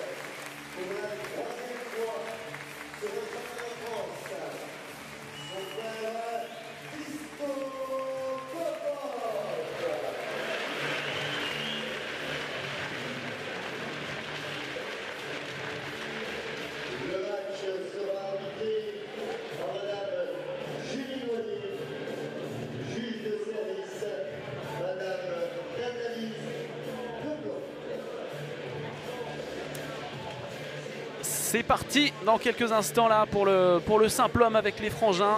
Euh, Christo Popov, Tommy Popov qui vont en découdre pour la troisième année euh, d'affilée. En finale, c'est toujours des matchs euh, à rallonge avec beaucoup de rebondissements. Et je suis accompagné d'un témoin privilégié, Arnaud Merclé. Bonjour. Pour euh, cette finale, Arnaud champion en 2021, finaliste en 2020 à Mulhouse, à la maison. Et puis euh, encore demi-finaliste hier avec un, un bon match contre Tommy Popov, mais euh, il a réussi à, à dérouler notamment dans le deuxième set. Quel était le plan de jeu justement euh, Tommy est peut-être un peu plus agressif que toi d'habitude? Et là, tu es rentré dans le match tambour battant. Est-ce que tu t'es un peu bousculé tes habitudes? Exactement, ouais, je savais que Tommy était très agressif. Je remonte un tout petit peu le micro, hop, pour qu'on t'entende bien. Super. Parfait. Ouais, je savais que Tommy était un joueur très agressif. La clé du match était dans la zone avant, où j'ai essayé d'énormément le challenger euh, dans ses points forts. Euh, effectivement, c'est pas ma zone de confort habituelle, mais j'y travaille. Euh, je pense que j'étais très bon, mais malheureusement, j'ai commis un peu, un peu plus d'erreurs que lui, euh, où lui a été beaucoup plus stable, plus dans le contrôle. Et les volants sont un petit peu rapides, donc c'était pas simple de défendre. Donc j'ai peut-être pas été à la hauteur dans la zone avant, ce que, ce que je regrette, mais j'ai mis le plan de jeu en place. Donc assez content sur ça et je pense que ça va me, ça va me servir pour la suite. En tout cas, nous, on s'est régalé. hein. C'est vrai qu'avec les deux demi-finales, franchement, à, vivre, à commenter, c'était quand même du, grand spectacle. Euh, c'était euh, Alex Lanier, euh, la victime de Christo Popov dans l'autre demi-finale, 28-26. Un score qu'on voit quand même rarement. Donc ça, c'était dans le deuxième set. Il a eu un volant d'égalisation contre lui. Christo, il a fini quand même par trouver les ressources pour aller gagner. Et donc, forcément, c'est quelque chose de particulier pour eux là d'être dans leur jardin. En plus, tous les deux face à face en finale à Fos. Toi, tu as déjà vécu ça à Mulhouse. C'est un moment forcément euh, spécial. Ouais, on a, on a beaucoup de chance de vivre ce genre de moment. C'est, ça nous tient à cœur, nous les joueurs qui jouons beaucoup à l'international, euh, de venir euh, jouer sur nos terres. Moi, quand j'avais pu jouer à Mulhouse en finale avec euh, Christo, j'en garde un très bon moment. Malheureusement, j'ai pas eu le titre, mais il a très très bien joué. J'avais 3-7 battu. Tommy, j'avais battu Tommy en demi-finale, donc c'était un très bon, un très bon tournoi. Et ces derniers temps, on a tous beaucoup progressé et c'est un très bon entraînement pour nous de pouvoir se jouer dans des conditions officielles, parce qu'évidemment, on s'affronte à l'entraînement assez souvent. Donc là, je pense pour eux, c'est génial euh, de pouvoir jouer devant leur famille, leurs amis, leurs proches. Et euh, c'est super pour développer le bad en France. C'est super, c'est clair. Ça fait toujours des, belles rencontres. Et on est parti pour longtemps avec vous, puisque vous êtes tous jeunes. hein. Le plus vieux, il a 25 dans ses quatre euh, mousquetaires. Euh, 18 pour Alex Lanier. Es un peu au, milieu avec, Christo. Et on n'oublie pas aussi Yanis Godin, hein, qui a fait un bon match hier. Donc euh, le simple homme se porte très très bien. Ça va démarrer dans quelques instants. Donc Christo, euh, pour ceux qui débarqueraient, c'est le, plus petit des deux, le plus jeune des deux, maillot bleu en bas de votre écran. Et Tommy, c'est le grand maillot euh, blanc avec une grosse force de frappe. C'est vrai qu'il y avait les deux grands qui s'affrontaient les deux petits qui s'affrontaient hier. Mais ça nous a donné des matchs ultra spectaculaires. Allez, on va les laisser entamer cette rencontre. Mesdames et messieurs, à ma droite, Thomas Junior Popov.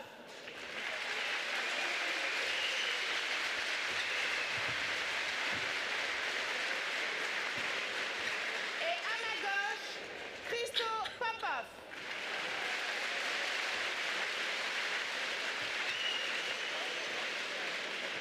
Christo Popov au service. Zéro égalité.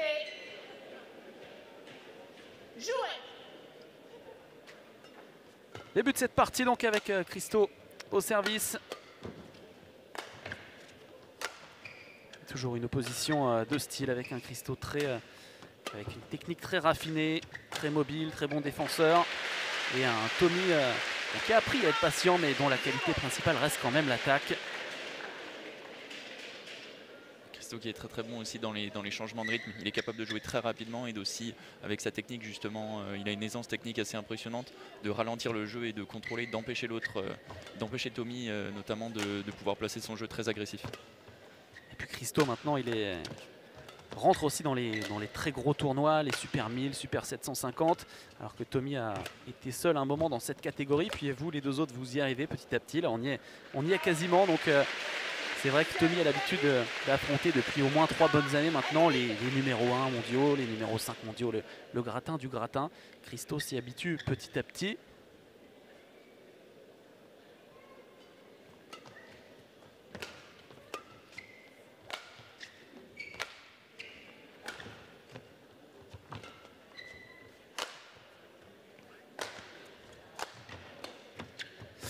Oh, ça semblait juste, juste, juste. Ils hésitent. Ah non, ça c'est loin par contre. Moi, Christo, là, il essaye d'agrandir vachement le, le terrain pour Tommy. Il n'hésite pas à passer par le fond et c'est une bonne tactique. Si Tommy passe pas en attaque, euh, ça peut être compliqué. Déjà, toi, tu les connais bien, mais eux, ils se connaissent littéralement par cœur. Ils peuvent presque se jouer les yeux fermés, donc c'est encore un autre niveau. Ils passent leur temps à s'entraîner ensemble. On Ça doit rappelle- pas être facile à gérer de, de s'affronter là en finale avec le papa et la maman dans les tribunes euh, Service Eh oui, il y a toute la famille. et la qualif olympique aussi euh, entre eux. Égalité. On va en reparler de cette qualif olympique justement. C'est très serré là aussi entre ces joueurs français. Ouh Très très bien joué de la part de Tommy. Très très bon dans la zone avant. Je pense qu'il a depuis qu'il est sur World Tour, comme tu disais, depuis trois ans, euh, il a énormément progressé dans la zone avant. Et ces petites feintes justement qui permettent de pas anticiper le filet, pas anticiper le fond, doit être prêt à tout, à couvrir tout le terrain à chaque instant. Et puis surtout, je pense que ce qu'il a appris, euh, il bouillonnait vite avant et euh, il a pris aussi du plomb dans la tête. Et euh, hier, dans le match contre toi, il a paru serein tout le long.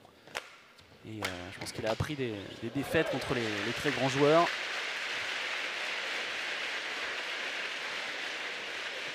Christo qui a joué un nombre de fois, je crois au moins six fois, Axel Sen. Forcément, c'est des, des matchs où on apprend. Merci. C'est important de se confronter aux meilleurs. C'est pour ça que c'est aussi top pour nous de, de jouer les championnats de France, de s'affronter entre nous.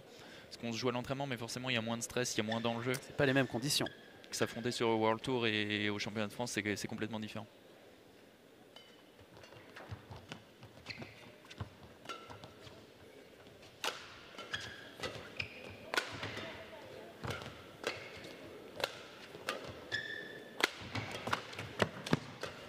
Bon, le contre. Défense de Christo.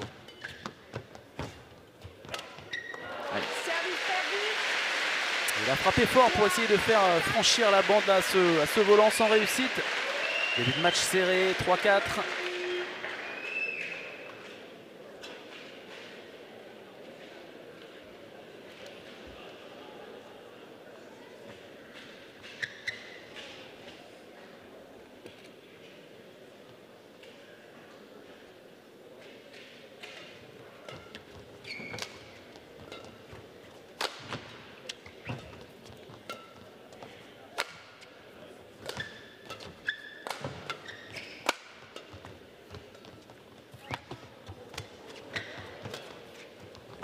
Oh, qui est pas loin de remettre ça encore. Très très bien joué de la part de Tommy. Il- il- en général, après ses attaques, quand il suit au filet, il est très agressif. Et là, avoir fait un petit lob euh, fixé, ça a mis Christo euh, en retard et il a maintenu ce- cet avantage euh, tout au long du.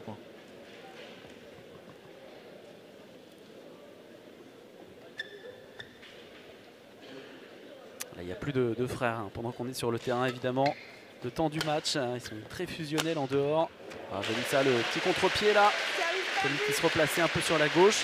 Et c'est vrai que la première fois que je les ai rencontrés, euh, c'est surprenant cette relation en fait, parce que euh, ça se, ça se chamaille et en même temps ça s'adore.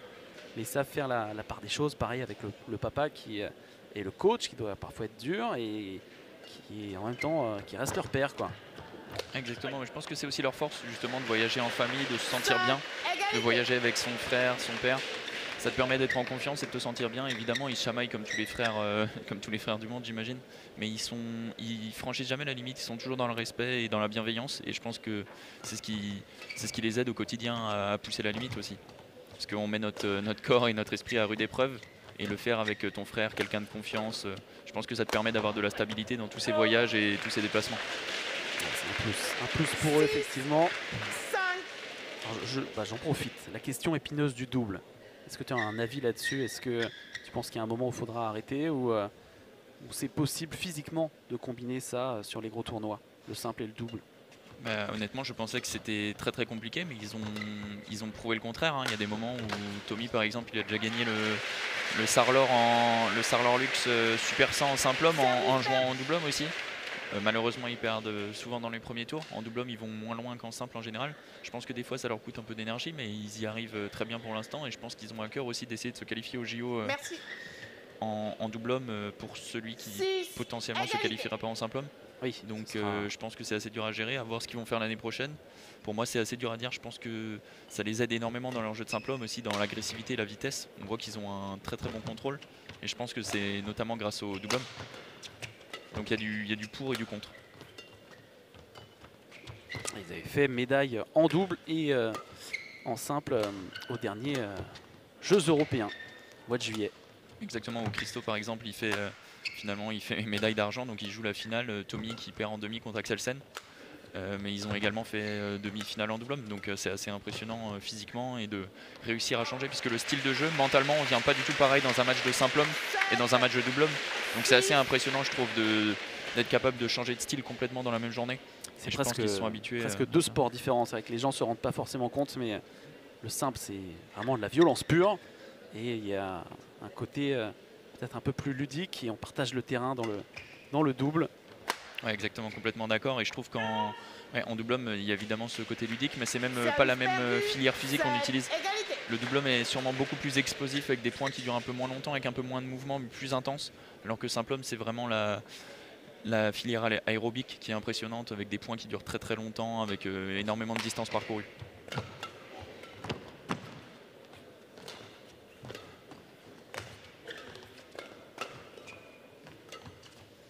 Christo qui empêche un peu Tommy de placer son jeu très agressif parce qu'il a une, une très bonne fixation dans la zone avant. Donc c'est très compliqué pour Tommy, je pense, de lire où le volant va, va aller pour pouvoir euh, avoir une petite seconde d'avance pour placer un jeu très agressif et suivre rapidement au filet. Rapidement. Et là, on commence à tous se dire qu'on est parti pour une heure et demie, comme, comme l'année dernière, comme l'année d'avant. Ils se neutralisent quasiment jusqu'au bout. Coup de serpillère là, sur le terrain pour euh, enlever la, la sueur.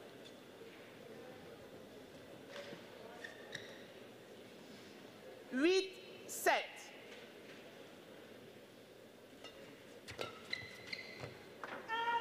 C'est loin.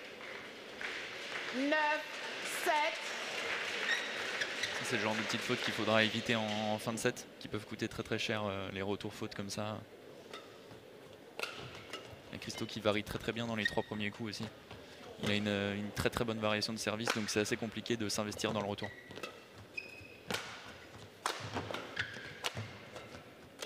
Ah, bien avancé. Oh là là là là. Incroyable ce point. Incroyable. Christo qui s'est bien rattrapé. Un peu de réussite à la fin. Christo avec un peu de réussite et Tommy qui a raté le volant et qui décentre un petit peu, donc qui casse son cordage. Hier, tu as fait pareil. tu as trucidé ton cordage avec le ciseau tout de suite après. Ouais, c'est important quand on casse euh, pas au centre, ça peut, ça peut déformer la raquette, enfin ça peut casser la raquette même si on la laisse euh, trop longtemps comme ça. Ça fait 17. 10, Un mini break 7. pris euh, par le petit frère.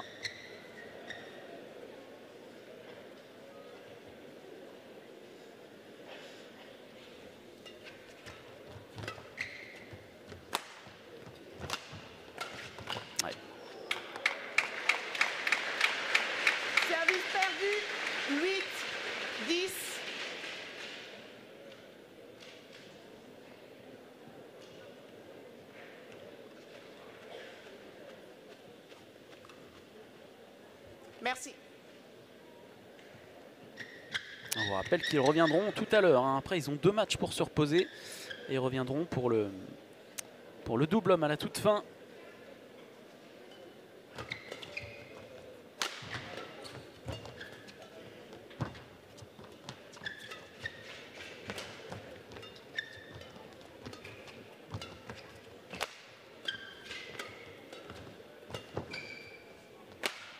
Ah, il attend, il attend, il a hésité, ça lui coûte finalement là ce point, il n'a pas réussi à remettre assez de, longueur. Christo s'en régale, 11-8, ça tient ses promesses ce match pour l'instant.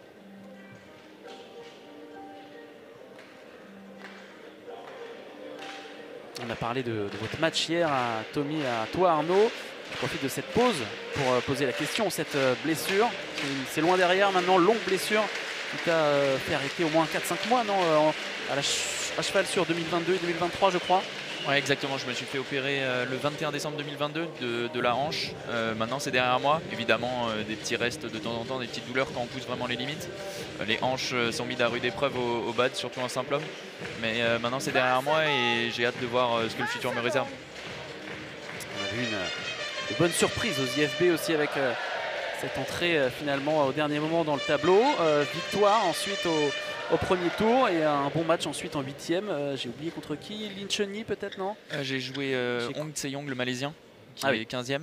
Euh, C'était une très très bonne expérience. Ouais. J'ai un petit, peu, un petit peu craqué au deuxième set parce que le rythme était euh, très très élevé. Mais ouais, c'était une super expérience, mes premières IFB. Maintenant, il n'y a plus qu'à se battre pour rentrer dans le top 32 et, et prendre plus, euh, plus d'expérience. On y est presque, on y est presque.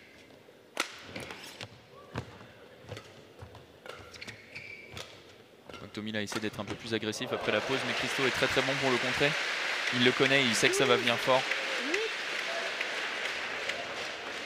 Christo qui reste très très très calme en défense, très posé. Il attend vraiment la, la bonne occasion pour essayer de marquer le point et changer de rythme.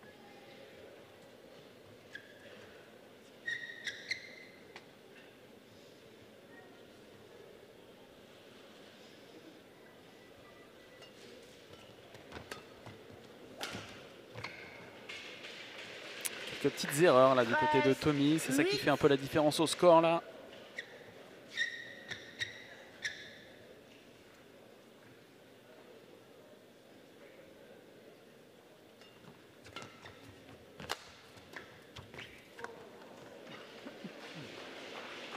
Quatorze, huit.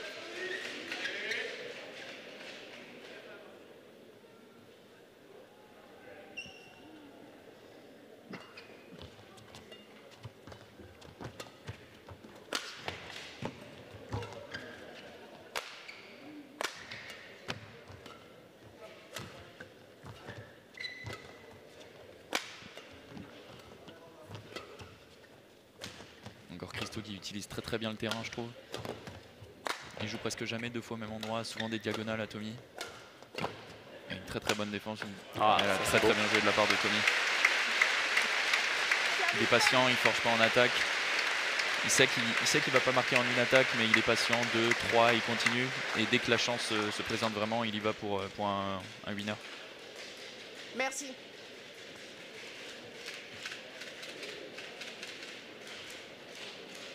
Tommy ta bou- ta bouteille.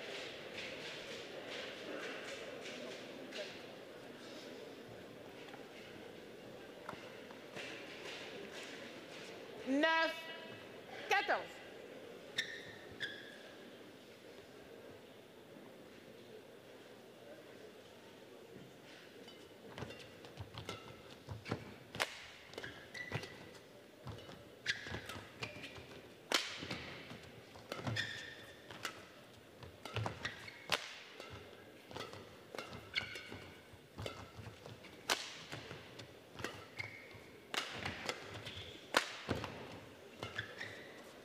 Encore une très bonne défense de Christo qui accepte le rallye. Petite erreur sur le côté, mais c'est plutôt bien joué. Je pense que tactiquement, euh, c'est- c'est comme ça qu'il joue le mieux.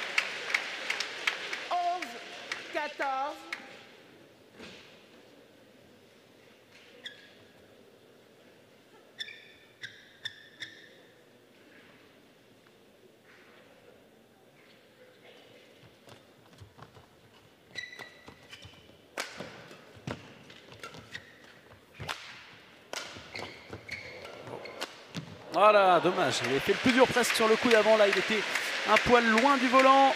Et Tommy qui grignote son retard petit à petit. Avec Christo qui s'impatiente un petit peu. Il défend très très bien, mais là, la chance était peut-être un peu compliquée à prendre.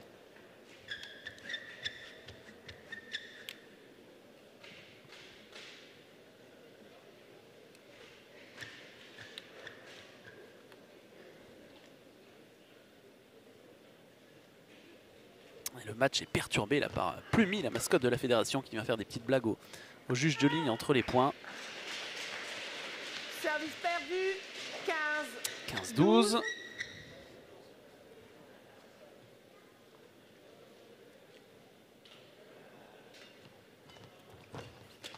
Oh Ah, ça lui reste dans la raquette, c'est dommage. C'est dommage. C'était pas forcément le, le coup le plus dur. Il a voulu faire un contre-amorti de contre-amorti. C'est bien joué de la part de Tommy aussi qui a mis beaucoup de pression sur la zone avant. Ça nous fait un petit peu hésiter ensuite euh, quand tu veux rejouer dans la zone avant et que tu sais que le joueur est prêt à aller killer au filet. Ça te, ça te fait un petit peu douter donc c'est plutôt euh, bien joué de la part de Tommy euh, ce qu'il a fait juste avant. Et puis grosse présence quoi évidemment. Un épervier d'un mètre 96, grosse envergure. Il y est grâce à ses grands bras justement là. Deux fois, joli. Bon sauvetage de la part de Tommy. Touche encore la bande je crois là. Ouais, très Ah bonne là. variation avec le slice en première attaque. Superbe, superbe échange et les débats qui s'équilibrent.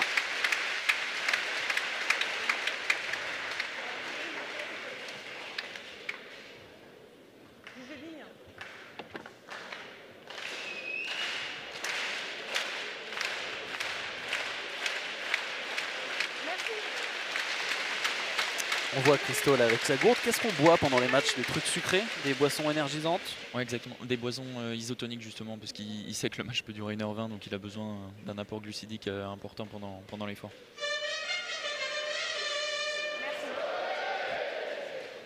Et il sait aussi justement qu'il va jouer une finale de double aussi euh, plus tard dans la journée donc c'est super important.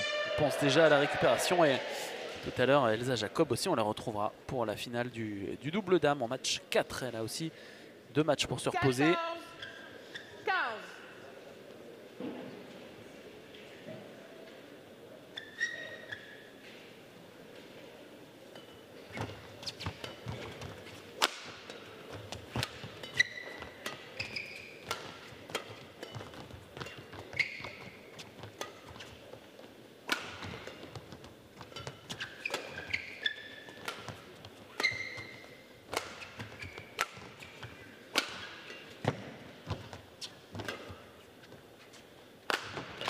oh là là là là Très là. très bien joué de la part de Tommy. Il en attaque, on voit que ses premières attaques maintenant ce sont des slices.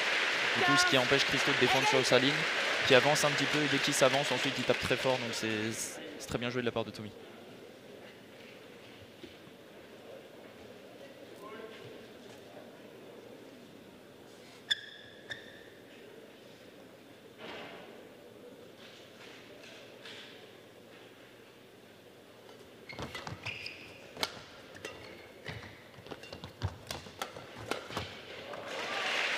Passé devant. Il y avait quoi 5 points d'écart il y a quelques, quelques instants. 3-4 minutes 16-15 maintenant.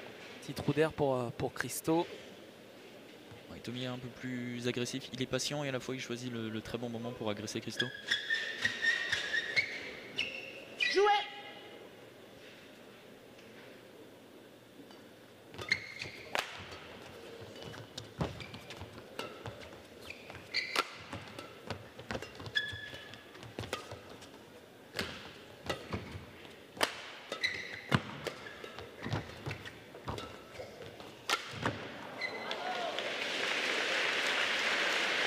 Dix-sept.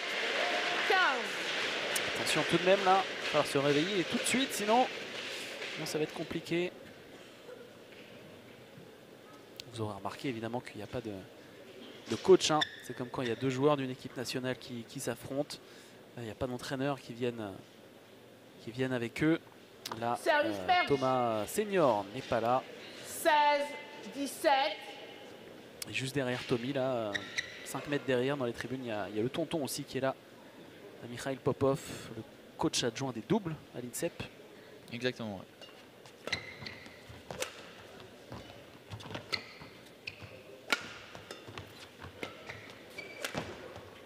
Très bien varié de la part de Christo, là, la mortie.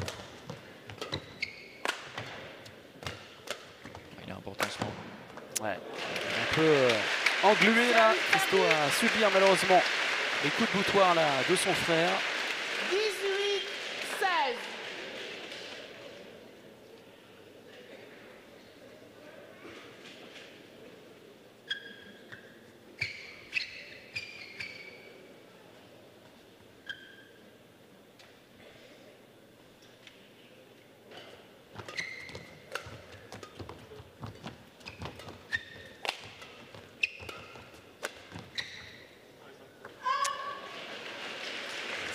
s'il y a des petites fautes, là, ça va se compliquer. 19-16.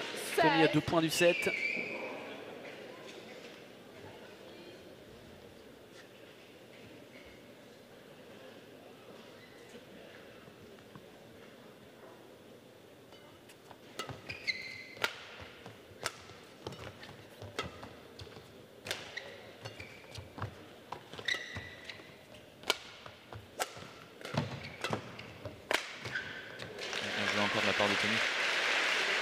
Lâché sa tactique, il y croit. Il y a un moment, il a eu un petit après 11, euh, quelques petites fautes. 20, Mais il n'a pas lâché, il continue, euh, il continue son jeu très agressif et à la fin ça finit par payer. Évidemment Christo au début défendait très très bien, là peut-être qu'il commence un petit peu à fatiguer. Le public qui les encourage là, il y a 4 volants en deux premiers sets maintenant.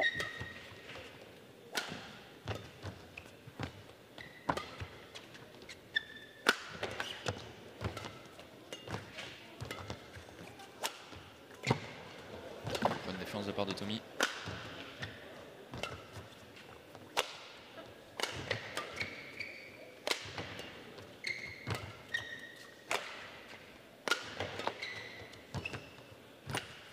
Ah c'est dur, c'est dur pour Christo là. Et Tommy qui empoche la première manche, 21-16. Il avait euh, démarré en mode un peu diesel. C'est plutôt Christo qui dictait l'échange et à la fin là, euh, Tommy a réussi à, neutraliser le frère avec notamment euh, sa puissance et c'est plus lui justement qui, dictait l'échange il gagne le premier set. Petite erreur sur le scoring qui s'affiche sur votre écran. Ce n'est que, que la fin du premier set. Moitié du travail est, effectuée, mais c'est la deuxième moitié qui reste la plus dure. Tommy, tu avais battu en finale des championnats d'Europe junior. Ouais, exactement à Mulhouse. 18. Ouais, en 2018 et euh, en 2019, c'était en 2017 même. 2017, quand et toi tu gagnes en finale. 2018. Et moi je gagne en 2018 effectivement contre Christo en On finale. mélange, on mélange un peu les années. Après, Christo gagne, je crois, en 2020. 2020, Exactement. en 2022. Il gagne contre euh, Yanis Godin. Et oui, en finale, Donc finale euh, trois finales franco-françaises ouais, euh, d'affilée. Et, Et l'année d'après c'est encore Alex Lanier qui a gagné. Ça s'arrête plus. Ça ne s'arrête plus. Ouais, Quatre champions, Très content. quatre champions d'Europe d'affilée. C'est vrai que vous connaissez depuis, depuis longtemps et j'ai l'impression qu'il y a une solidarité comme c'est un sport qui n'est pas encore ultra ultra connu en France, on, on y travaille tous, mais euh, vous êtes rivaux et en même temps il y a une solidarité parce que vous tirez tous dans le même sens quoi. Ouais, et vous avez des bonnes relations. On, se connaît depuis qu'on a 12 ans, donc euh, forcément ça, ça crée des liens. Ça fait déjà plus d'une dizaine d'années qu'on se connaît. On voyage euh, souvent, on est sans nos familles, sans nos amis, on voyage loin, parfois pendant longtemps, donc forcément euh, on se fait des amis sur place. Et euh, c'est super important et je trouve que c'est aussi ce qui nous permet de, de vraiment pousser nos limites et, et chercher le meilleur au quotidien. Le fait qu'on s'entende bien, qu'il y ait une bonne humeur, euh, forcément ça, ça fait que tout le, monde, euh, tout le monde se sent bien et on a encore plus envie de, de pousser nos limites et, et aider le badminton français à se développer. Je me rappelle d'une publication sur euh, Facebook où Christo tweetait le sang, Arnaud Merclé, le sang, c'est la famille. Ouais, on s'entend très bien, même le, le- le badminton qui est un sport individuel, mais là par exemple, la semaine prochaine, on va, on va rester à Fos-sur-Mer se préparer euh, pour les championnats d'Europe euh, par équipe euh, masculine. Et au final, on, on joue ensemble pour, pour l'équipe de France pendant Oui. certains tournois par équipe. Donc c'est aussi important cet esprit d'équipe. Et c'est ce qui va nous permettre de chercher des titres européens et mondiaux plus tard. C'était pas mal là, ce plan large pour apprécier ce, ce point là, premier point du deuxième set avec Tommy qui reculait sur les talons, qui n'a pas pu réavancer là pour aller chercher l'amorti. Très bonne fixation de, la part de Christo qui a fait semblant de jouer au fond. Tommy a voulu reculer et au final, au dernier moment, il a arrêté son geste et, il a fait un contre-amorti.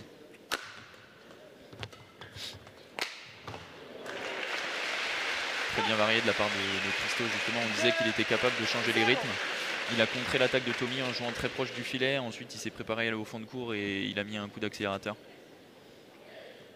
En tout cas, c'était très agréable de, de t'avoir avec nous aujourd'hui, Arnaud. L'œil, euh, évidemment, très précis d'un joueur dans le, dans le grand bain qui a joué encore hier. D'ailleurs, à la fin, euh, juste au moment de lancer la pub, tu fileras sur le podium récupérer la, la médaille de bronze aussi, évidemment. Évidemment. 3-0. 3-0 pour, euh, pour Christo. Qui est évidemment dos au mur maintenant. Il lui faut réagir. Service perdu. Pas Un. l'air pas l'air trois. de beaucoup.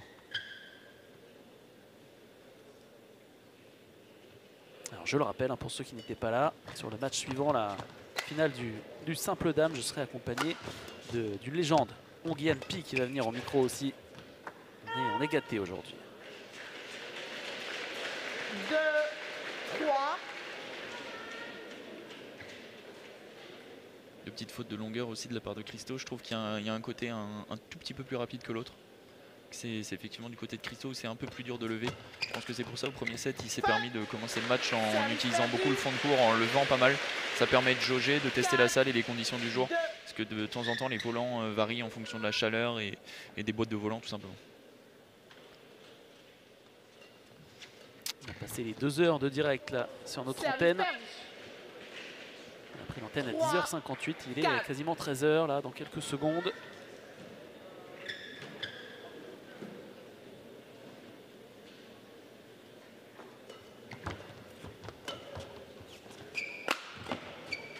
Service perdu. Bien On voit qu'ils utilisent aussi, euh, que Christo utilise beaucoup le centre en retour. Ça permet de neutraliser le jeu et de laisser un petit peu l'autre euh, créer, créer quelque chose et ensuite euh, le contrer. Donc euh, je pense que c'est parce qu'ils se connaissent tous les deux très bien. To- Tommy et Christo doivent connaître les retours de l'un et de l'autre. Donc euh, utiliser le centre, ça permet un petit peu de plutôt laisser l'autre euh, créer le jeu et de le contrer sur ça. Il y a des coups parfois un peu neutres, un peu de transition. Euh, J'ai en mémoire là, par exemple le match de Tommy l'année dernière à Air sur la liste au championnat d'Europe par équipe mixte 6. Contre euh, Fabian Roth, je crois, où justement euh, il voyait que l'adversaire au filet euh, contrôlait mal le volant. Du coup, il mettait des coups un peu mous qui passaient juste euh, et, et souvent il récu- récupérait le point. Donc euh, c'est important aussi ces coups de un peu neutres, non Coups de transition, c'est ça fait partie de la palette du badiste. Exactement, ouais. ça permet de, de déstabiliser l'adversaire et de le laisser lui créer le jeu pour ensuite le contrer justement. Parce qu'on sait qu'en général il va utiliser les coups qu'on va analyser la vidéo et qu'il utilise beaucoup. Nous on est prêt à ça et on essaye de, de contrer euh, sur, sur ces coups-là. Et puis s'il y a de la vitesse, on peut s'appuyer aussi pour retourner, euh, s'appuyer sur la vitesse qu'a mis l'adversaire. Ça, Par ça exemple va là rester- justement, euh, exactement ce que c'est Christo vient de faire, c'est plutôt, c'est plutôt bien joué. 4.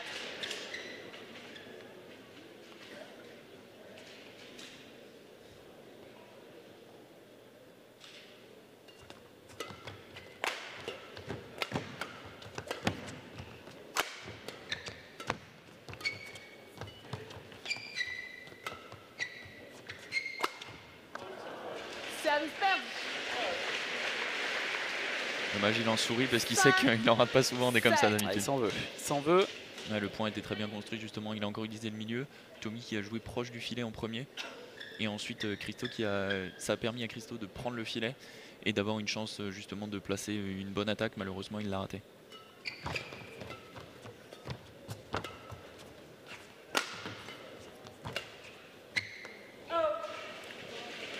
Dommage. 6, 7. Tommy qui est très stable en défense, qui évite de jouer proche du filet, qui joue loin justement pour que Christo, je trouve, euh, enga- engage le jeu à plat. Et là où il est très bon justement, est très bon pour contrer.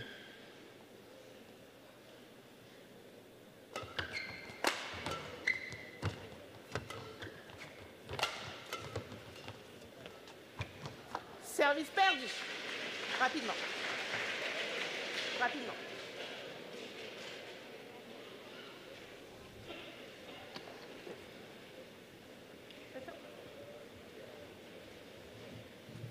Huit, six.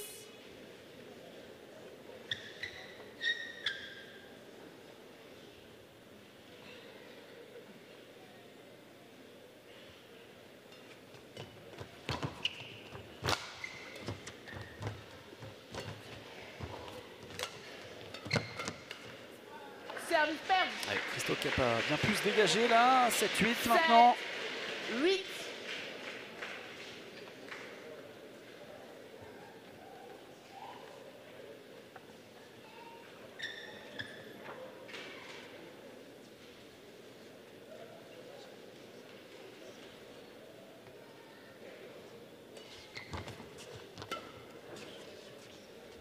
Bon coup d'œil là de Christo, les bras écartés perdu. De la juge de ligne. 7.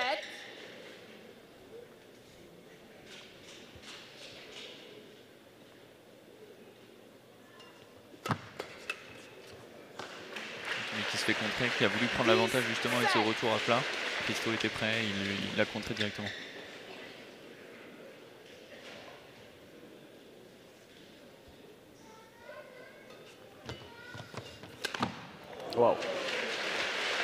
Rocher au filet là pour euh, Service perdu. 8. venir rabattre ce volant. euh, toujours un peu risqué. Euh, parfait, parfait. Le petit coup sec là. Il choisit le bon moment pour le faire. Ça va être dur pour Christo de, de revenir au filet. Il sait justement que Tommy est, est présent. Il lui a montré et c'est plutôt bien joué. Bonne défense de Tommy. Très très bien joué.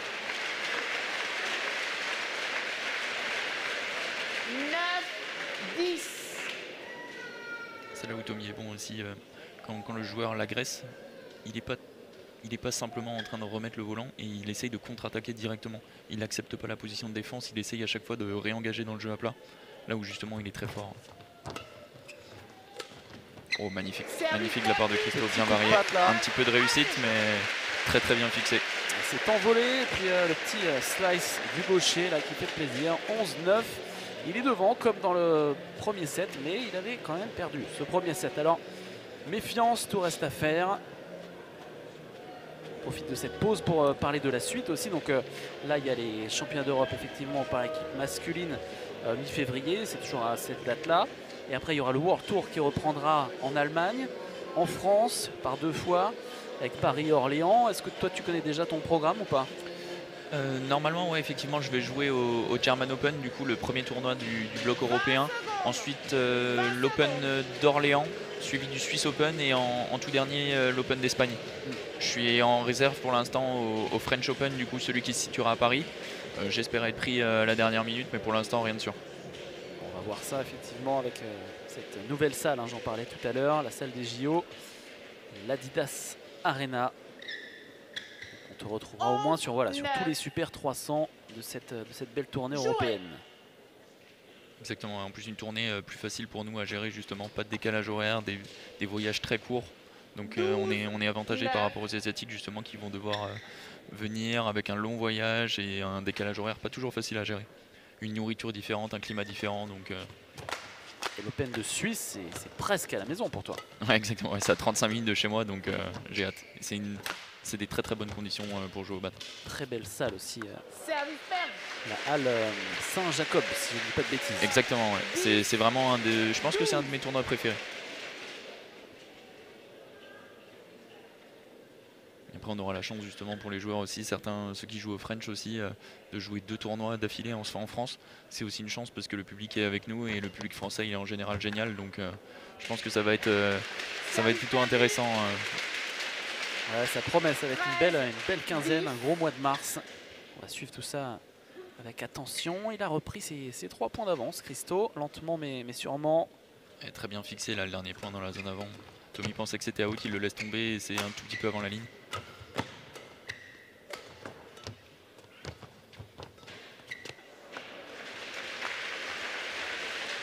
Quatorze. Dix.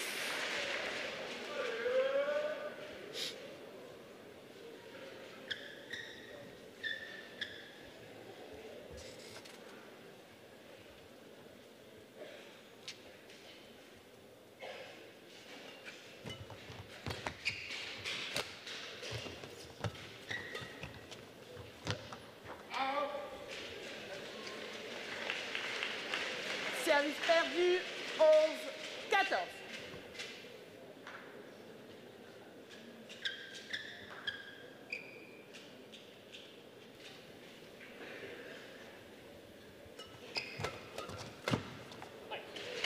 Service service un peu haut de la part de Tommy. Christo directement très agressif. 15, 11. C'est les petits points faciles qui font, plaisir en simple homme. D'habitude, on est obligé de travailler longtemps pour marquer le point. Les, points marqués en trois coups de raquette, ils font, ils font vraiment plaisir.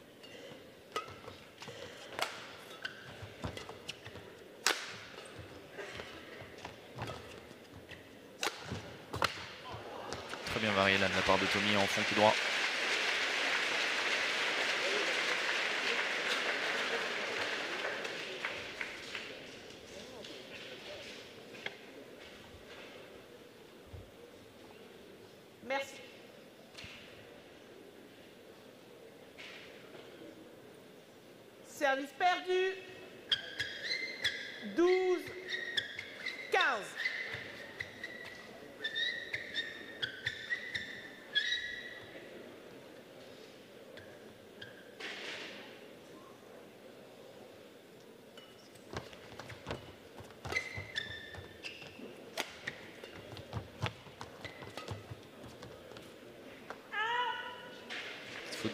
De Christo.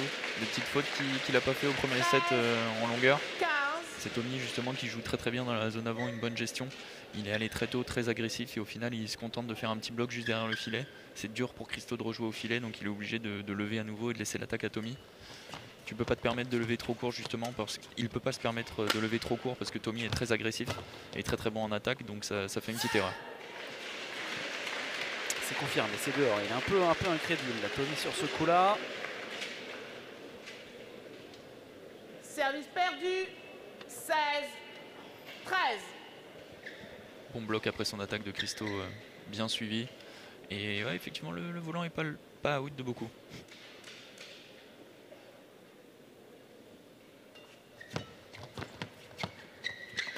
On voit que là ça joue beaucoup dans la zone avant justement, ça se rapproche de la fin du set. C'est important pour eux d'avoir l'attaque et ils, 14. ils forcent un petit peu la zone avant. Très très bien joué là le, le contre-spin de la part de Tommy. On voit que le volant tournait beaucoup. C'est dur, euh, Christo l'a laissé un petit peu descendre pour essayer de le lever, mais c'était un très bon coup de la part de Tommy.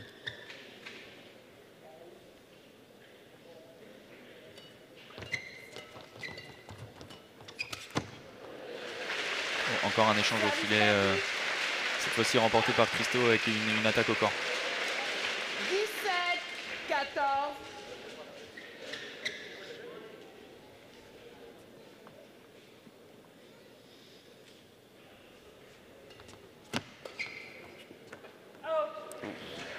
Service Pareil, perdu. C'est pas très loin là. hein. Out. 15, 17.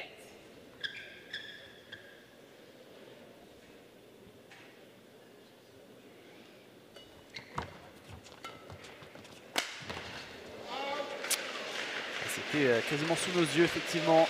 C'est dehors de peut-être un ou deux centimètres. 16, 17. Christo qui est peut-être un peu en train de forcer le jeu alors que Tommy est plutôt calme, euh, encore comme on, comme on l'a dit hier, plutôt serein. Et Christo qui veut gagner les points rapidement, qui essaie de placer un jeu d'attaque, mais effectivement on peut, on peut commettre des petites fautes et ça devient vite compliqué. Oh, Tommy, Service faute de service de Tommy. Ça, c'est 18, pas au meilleur 16. moment là pour le coup. Il était dans une belle, une belle remontée. Ouais, et Christo qui fait deux petites fautes où il est première, la première pas d'accord avec l'arbitre et la deuxième où il force un peu le jeu. Là le, Tommy le remet un petit peu dedans avec cette faute, euh, un petit point donné quoi. En fin de deuxième set, on va commencer à avoir aussi des petites fautes, fautes euh, dues à la fatigue, forcément. Il y a eu des, des gros matchs hier parce que 18. ça a été facile euh, pour personne hier. euh, Même si vous êtes les quatre têtes d'affiche, les quarts de finale, euh, Tommy contre Eno Garoua, tout ça, ça a été difficile. Même Christo contre Simon Baron. il y a eu quand même fort à faire au cours de ce week-end. Ouais, la jeune génération, elle pousse aussi derrière. Enfin, je dis jeune, on n'est pas forcément plus âgé, mais ils veulent faire leurs preuves et ils progressent, ils progressent bien. Beaucoup de ces jeunes qui s'entraînent au Pôle France de Bordeaux, ils ont un, ils ont un bon groupe, donc euh, j'espère vraiment qu'ils vont aussi progresser et qu'on sera, qu'on se retrouvera tous dans le top 100 mondial et encore au-dessus. Très très bien joué là de la part de Tommy, bon sauvetage. Souvent euh, dans le Money Time euh, en fin des sets, justement à la fin des sets qu'on voit les meilleurs échanges. Ça, ça va lui faire du bien là. Un moment opportun là, euh, cette attaque tranchante là, assez, assez rectiligne pour mener 19-17 maintenant.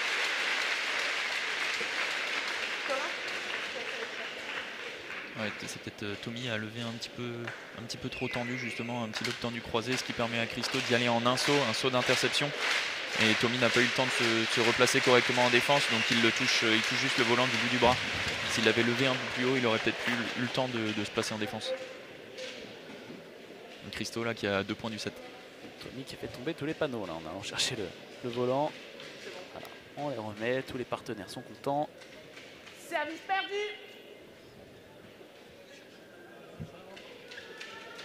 Christophe, tu veux changer le volant? Ok, non. 19. 17.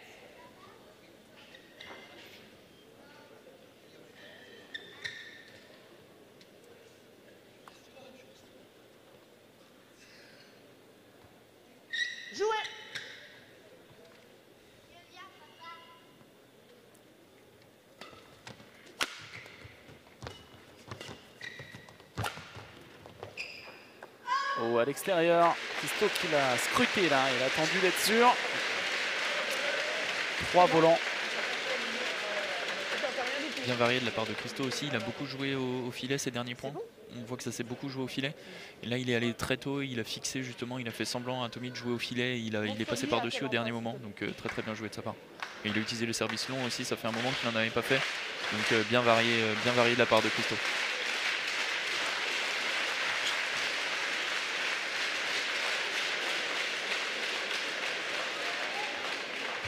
Merci. Tommy qui est un peu râlé là pour euh, tenir ce coup de serviette, 20. coup de serpillière. Point de 7. 17.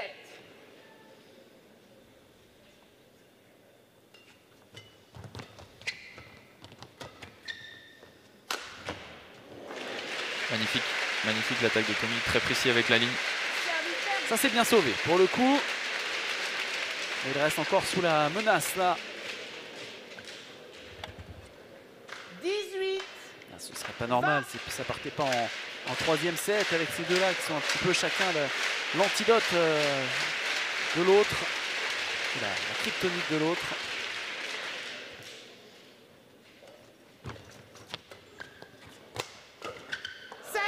Eh bien, ça se termine avec cette nouvelle faute de Tommy. Christo qui a finalement réussi à faire la course en tête tout au long de cette manche à l'inverse de la première. On va la voir notre troisième set. Un 7. Égalité. Euh, Le petit gap à la fin, c'est les trois points, c'est les trois points que Tommy perd très rapidement au, début du deuxième. Je pense que tout le monde se, réjouit ici de voir euh, ce spectacle se poursuivre. Là, on est avec euh, deux joueurs euh, vraiment de niveau euh, top 20 mondial. Donc, euh, tant mieux, tant mieux pour le spectacle. C'est un peu le même scénario pour l'instant que 2022 et 2023.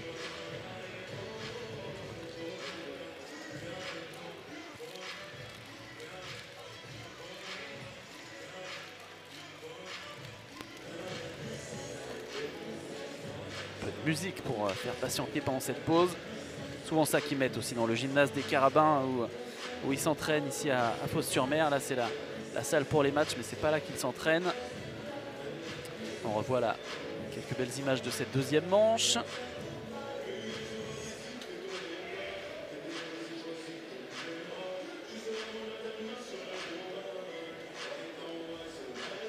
Un petit mot des, des interclubs aussi avec euh, Mulhouse, euh, euh, Fos, euh, Chambly, un peu les trois grosses armadas. Bon, Strasbourg et puis Saint-Maur aussi qui crée la surprise cette année. Comment tu vois, comment tu vois la suite? Comment, ça, se- comment on le sent du côté de Mulhouse?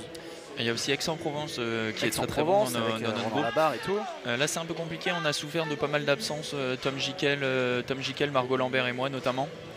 Donc on a on mise sur les Français et malheureusement quand, quand Tom, euh, Tom, Margot et moi nous ne sommes pas là, euh, c'est plutôt compliqué pour le club. euh, En plus en pleine qualif olympique où on a, on a beaucoup voyagé, c'est pas facile. Malheureusement le banc n'est pas, pas à la hauteur pour l'instant. Donc c'est un peu compliqué, mais on, peut encore se sauver. Donc on va, on va tout faire pour avec le prochain interclub samedi prochain notamment. On va jouer contre R sur la lisse. Et ensuite il nous restera euh, Fos-sur-Mer et Aix-en-Provence à affronter. Donc je pense les meilleures équipes du groupe. Donc on, a, hâte et on va essayer de. On va, tout faire en tout cas pour aller au playoff tant que c'est encore possible. On est multitask hein, quand on est euh, badiste. C'est vrai qu'il y a plusieurs objectifs à la fois. La qualif pour les JO, le World Tour, les, championnats avec les équipes nationales, les interclubs. Difficile parfois de tout combiner euh, en même temps. On suivra la suite euh, de, ce top 12. On rappelle que Talent c'est forfait pour, toute la saison. L'équipe de, Lucas Clairbout hein, contre qui tu as joué hier, ça a été un marathon. Euh, c'est souvent comme ça contre lui. Ouais, effectivement, points souvent, souvent comme ça contre Lucas. En Et le score, pardon, le score a été euh, paraît sévère alors que le match était très accroché. Ouais, effectivement, ouais, le, le score est sévère, mais c'est vrai que le match n'était pas facile. C'est un, c'est un très bon joueur avec beaucoup d'expérience. Euh, il essaye euh, justement de, de faire durer le rallye. J'ai j'ai été bon, j'ai essayé d'écourter et, prendre mes- et de prendre mes chances euh, quand j'ai pu. Et je l'ai plutôt bien fait, donc euh, je savais aussi que j'avais un match à jouer le soir, donc c'était important de, de bien me mettre en jambe et de prendre le, prendre le premier match euh, très très sérieusement, ce que j'ai réussi à faire. Vous y étiez euh, déjà rejoué depuis le, depuis le drame, depuis l'Inde. Ah, depuis le drame. Vous effectivement. aviez déjà On- rejoué on s'était- ensemble On s'était rejoué euh, bah, tr- trois semaines après l'Inde, justement, en, en interclub. Et je l'ai joué euh, également en, en début novembre, il me semble, en top 12, justement, le dernier interclub, euh, le dernier interclub Avant Talence, participé par Talence, avant qu'il déclare forfait, malheureusement. Donc j'avais joué contre Lucas pour la dernière, on va dire. L'autre ancien champion de France, Lucas Clairbout en 2018, je crois. Effectivement, il a battu Tommy en finale euh, à Voiron, à Voiron 22-20 au deuxième set. Euh, C'était très très chaud comme finale. Et vous étiez tout jeune encore à, cette époque-là. J'avais perdu contre euh, Tommy en quart de finale, si je dis pas de bêtises. Ça commence à remonter et ça fait 3-1 pour Christo hein, pendant ce temps-là, dans ce début de, de troisième set. Deux premiers Oh. échanges au filet, ensuite une petite faute de Tommy au.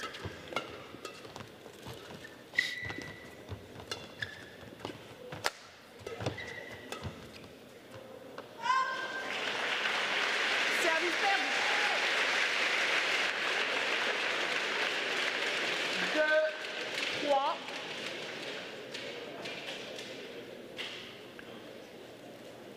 On voit qu'ils se privent un d'attaque tous les deux, euh, Tommy et, Tommy Christo. Ils jouent pas proche du filet, donc ça empêche les deux joueurs de, de prendre nettement le filet pour avoir une attaque, euh, pour essayer de, de placer un coup gagnant. Et euh, justement, il n'y a pas de lob haut ou bien des lobes de très bonne qualité, donc c'est dur de- d'envoyer une attaque. Sauf là, très bien, très bien défendu par Christo. Et une petite faute dans le mi-cours de la part de Tommy. Quatre, Tommy qui avait mis Christo, euh, Christo dans le retard, il s'est dit euh, je vais avancer pour essayer de prendre l'initiative. Mais quand les joueurs sont très très bons, il y a énormément de variations même dans le retard. Là, un, revers tendu à plat très précis avec la bande, donc dur pour Tommy de prendre l'avantage, mais tactiquement c'était la bonne décision.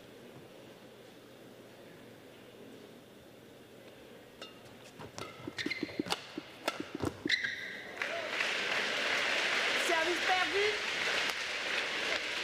Trois, quatre. Et Justement là, ce coup dans le retard, Tommy qui l'a bien mis dans le retard, et là on voit que de la part de Christo, euh, c'était pas la bonne décision. Un, un dégagement tendu sur un, un géant d'un mètre 96, euh, on s'en sort euh, très très rarement ensuite. C'est risqué. Aïe aïe aïe. Petite faute de stress, je pense, parce que ça ressemble pas vraiment à Tommy de, de mettre autant de, Oui. service dans le filet. J'ai coutume de dire en double oui, en simple non, pas ça. 2 en 5 points, c'est c'est dur. Ça fait 3-3 si jamais il, il évite ses petites fautes. Qui arrive à se créer une bonne occasion d'attaque. Très bien défendu de la part de Tommy, très bien joué au filet.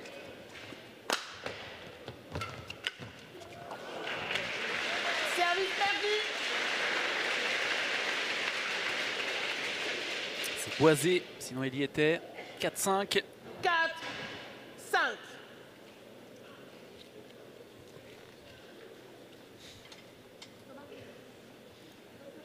On sait que c'est pas facile de retourner au, retourner au service quand on a fait deux fautes déjà en, en trois services. On y pense, justement ça nous hante un petit peu et c'est important de, de laisser aller et de se dire que ça va le faire.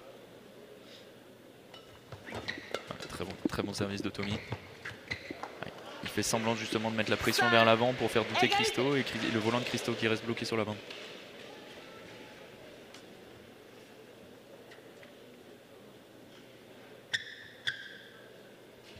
Et puis il faut vite, euh, vite passer à autre chose, effectivement, quand il y a des erreurs. C'est un peu comme quand on est en voiture, on- qu'on est proche d'avoir un accident. Il ne faut pas y repenser euh, pendant 5 minutes, sinon on est plus concentré sur la suite.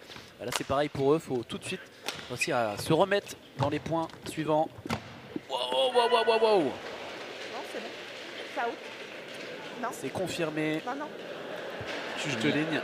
Tommy qui Il pensait que ça avait, Tommy qui pensait que ça avait touché le. La tête de Christo, mais je, pense pas. Effectivement, le volant a suivi une trajectoire euh, totalement normale, donc euh, je pense que il a juste, euh, juste fait une erreur et ça a pas, ça a pas l'air d'avoir touché Christo.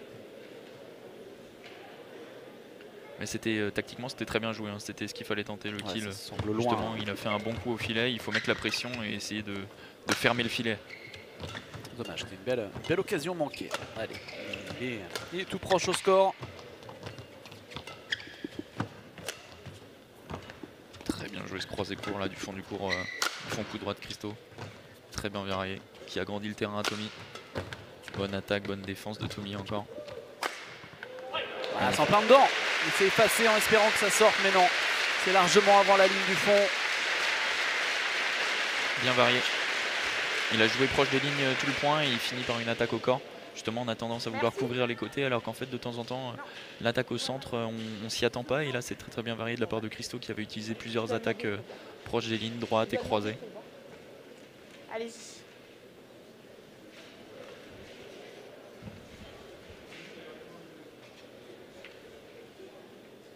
Sept, cinq.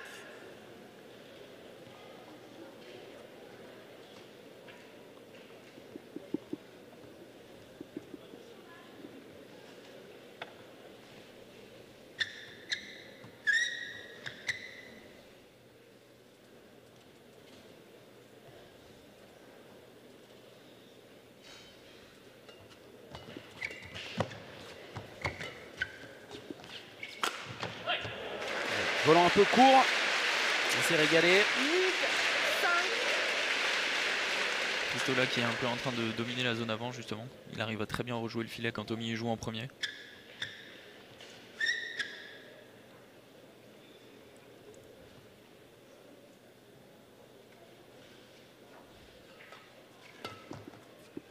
Non, non, non, non. Neuf, cinq.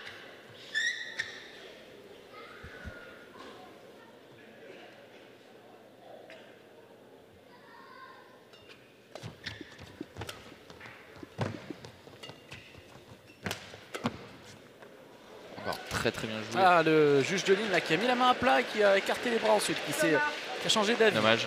un petit coup de pression de la part de Tommy. La pauvre, la pauvre qui s'est trompée, mais c'était encore une fois très très bien joué justement. Christo qui met Tommy dans le retard. Il voit que Tommy va prendre le volant au niveau de la bande justement. Il sait que Tommy va pas pouvoir attaquer correctement et là il, met un- il fait un pas en avant justement. Il prend l'option vers le filet. Et il avait pris la bonne option.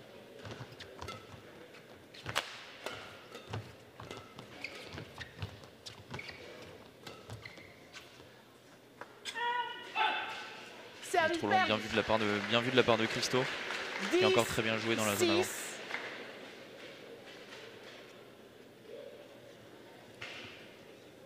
Juge de ligne. Christophe, si tu veux. Autant profiter de cette euh, petit coup de petit coup de serpillière là sur le terrain. On arrive bientôt à mi troisième set.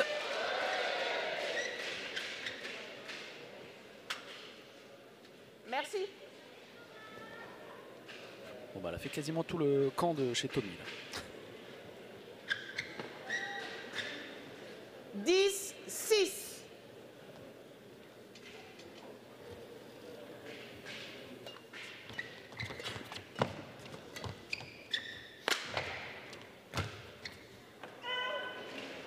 Onze, six, arrêt de jeu, changer de Bonne, demi la- bonne défense euh, de la part de Christo justement qui empêche Tommy de, de bien rentrer dans le jeu à plat. Il est obligé de faire monter un peu le volant, il le tape un peu trop fort et, ça sort. C'est donc la pause 11-6. euh, un bon petit matelas d'avance pour Christo, rien de définitif. Puis euh, on va se rappeler de la finale précédente, le double mix avec euh, Adam et, et Bauer qui étaient très bien partis dans le troisième set et qui se sont fait remonter. Ça expliquait la tête euh, de 36 pieds de long qu'ils faisaient sur le podium. Ils y ont cru les pauvres. Malheureusement, c'est encore pas pour, euh, pour cette année. Donc, euh, ce sont les joueurs de Fos-sur-Mer qui ont gagné 20 secondes. à la maison. 20 Ouais, secondes. dommage, ouais, mais Tom et, Tom et Elsa ont été très solides. Ils, n'ont pas douté même quand ils ont été menés. Et Eloa et Sharon, malheureusement, qui ont été un peu passifs euh, à partir de 12, qui ont arrêté de créer le jeu. Et justement, euh, les joueurs de Fausse qui ont été très agressifs, ils ont continué à croire euh, 100% en leur chance. Et, ça a payé, justement. Ils ont été plus agressifs et euh, plus dominants sur le terrain, je trouve, euh, après 12 au troisième set. On a évoqué tout à l'heure la, la qualification olympique. Merci. Ça peut vite changer parce que là, le, on a le truc sous les yeux. Vous êtes euh, 24e, 26e, 38e à la, à la qualif olympique. Alex Lanier un, un, peu, un peu derrière. Euh, admettons que tu rentres, je ne sais pas moi, sur euh, le- les IFB et que tu fasses un quart de finale. Ça peut vite tout changer en fait. Euh, tout peut changer très vite, ouais, mais il faudrait même euh, faire encore mieux que quart de finale, je pense. euh.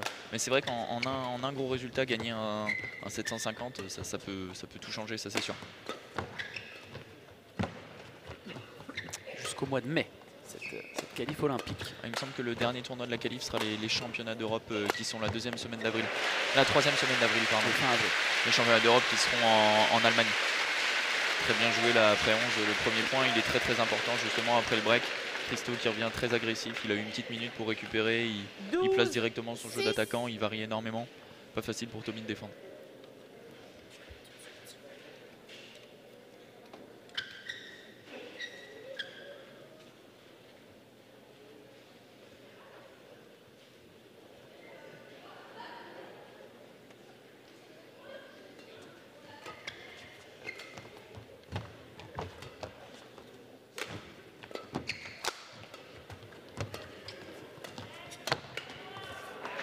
Service perdu 7 Bien avancé au filet de la part de Tommy.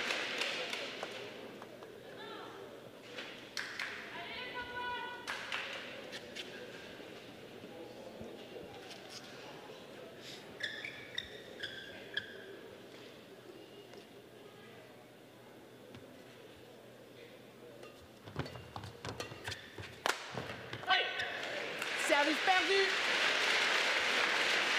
13 7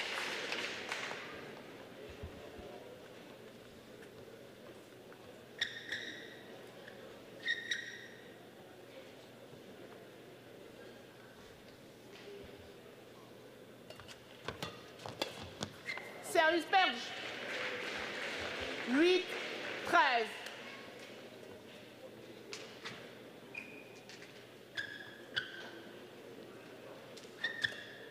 Let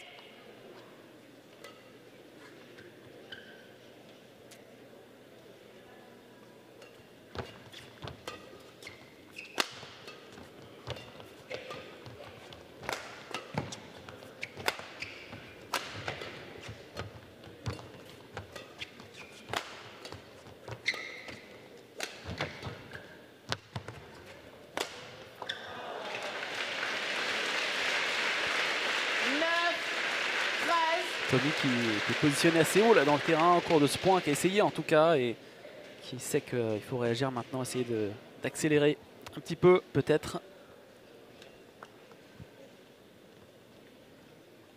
On sait que Tommy va, va jamais abandonner justement. Là, il était derrière, mais il, est- il reste très solide. Non, Tommy.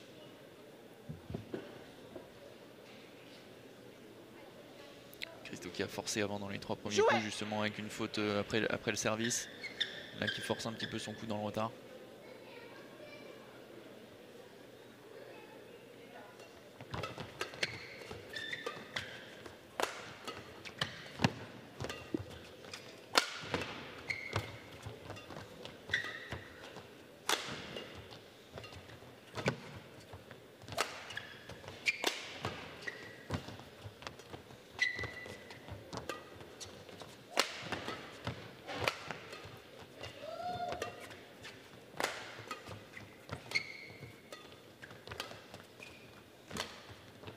Tommy qui force pas, qui attend la bonne occasion pour placer une attaque forte, bien variée au centre.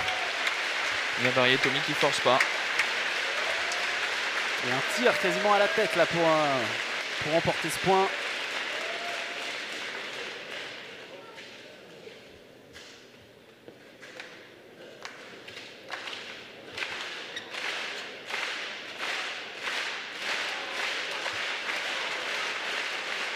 Merci.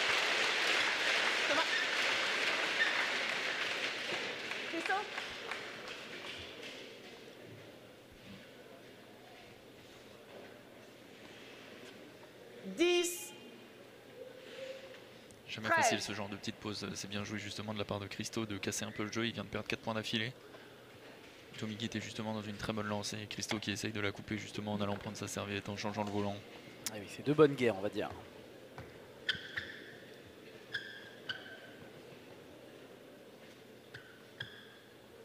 Jouez.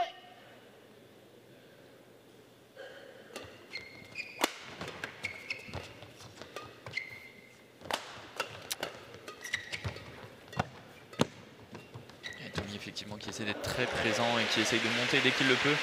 Juste par sa présence, ça fait, ça fait que Christo lui veut forcer un petit peu le filet, tente le coup parfait parce qu'il sait que Tommy est juste derrière le filet. Et là, Et malheureusement, peut-être un ça peu s'arrête trop joueur là sur le dernier coup, euh, Christo. Un peu trop joueur, ce qu'on lui reproche parfois.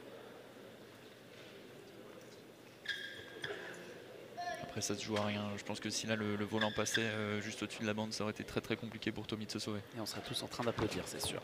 C'est vrai. Qu'il essaye un peu de ralentir le jeu justement puisqu'il a perdu 2-3 points. Il a perdu 2-3 points dans le jeu à plat et dans, dans le filet en forçant un petit peu l'attaque peut-être. Donc là il a essayé de plutôt agrandir le terrain, il a joué un peu plus mou proche du filet, un lob pour faire reculer Tommy. Tommy qui a 5-6 points d'affilée là je crois bien.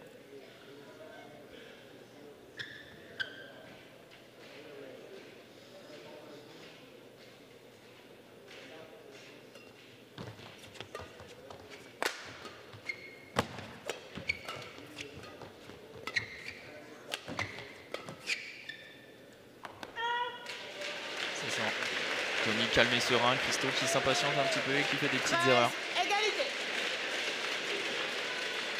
Rapidement. Thomas. Thomas. Oh, tu dois aller chercher. Réagir rapidement. Oui, mais plus vite, plaît. Plus, plus vite. Tu peux aller plus vite. Merci.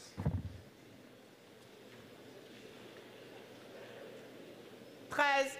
Égalité. Est-ce qu'on apprend à râler? Parce qu'on le voit, on le voit beaucoup au tennis. Tous les, tous les grands joueurs, même les, ceux qui sont très policiers, par exemple Nadal, quand il faut râler, c'est râler. Est-ce que ça s'apprend aussi? Non, je trouve que c'est plutôt du, moment présent. Là, c'est assez embêtant, justement. Tommy, il est sur une série de 6-7 points. Euh, pour moi, honnêtement, il n'a rien fait de mal. Il est au bout du terrain. Il y a un lob qui est out euh, à l'opposé du, à l'opposé de l'endroit où il y a son sac. Il y va en marchant. Il n'a pas pris son temps. Il n'a rien, rien fait de mal. Il prend sa serviette. Ça fait une heure, une heure qu'il est en train de faire du sport à haute intensité. Et l'arbitre euh, lui râle dessus. Je ne sais pas vraiment pourquoi. Donc euh, le, pauvre, ça le sort de sa dynamique, justement, comme on disait. Il a, il a marqué 6-7 points d'affilée.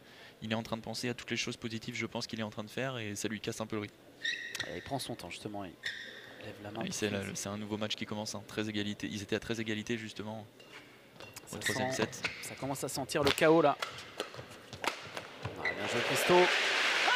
Collé à la ligne de service.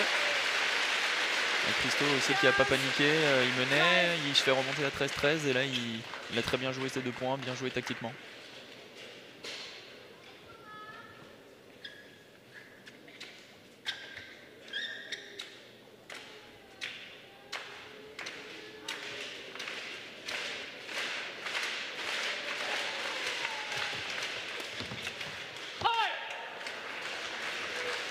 Ah, et malheureusement, elle a depuis, euh, depuis le coup de la serviette, Tommy qui perd 3, 3 points 3 d'affilée. points très ouais. rapidement et, et sans que Christo ait beaucoup à s'employer malheureusement.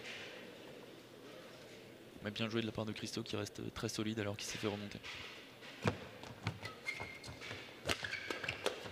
Christo encore qui met la pression dans la zone avant. Voilà, tout se passe dans la paye. zone avant. Ça paye. Dès que c'est serré, justement, on le, on le remarque souvent dans le très haut niveau également. Que beaucoup, beaucoup du jeu se passe dans la zone avant. Là, Christo encore qui fixe Tommy au fond du cours. Il voit Tommy qui va, il voit Tommy qui va prendre le revers. Il fait encore un pas dans la zone avant. Il l'agresse directement. Tommy qui n'a pas le temps de se, pas le temps de se replacer et qui subit directement un jeu à plat, une agression au corps. Et il, a- il joue le volant dans le filet.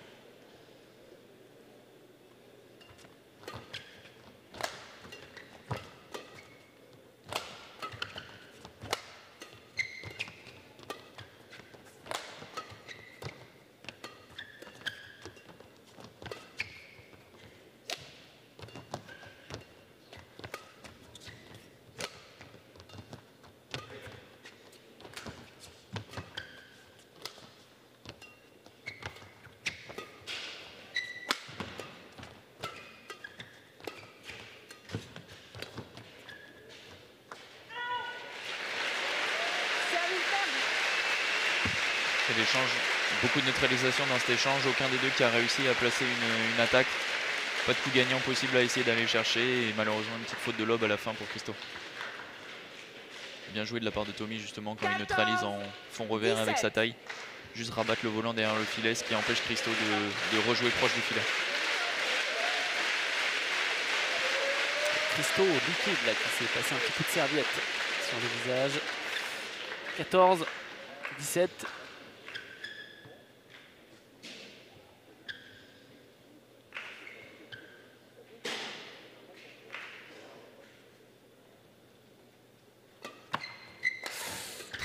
Ça y est, service. surpris. Soufflage de Christo. Oh là là là là, il a bien renversé la situation. À Tommy qui se voyait aller euh, rusher au coup d'avant, mais il a tellement rasé le filet qu'il a, il a plus que le relever derrière Christo. Boum.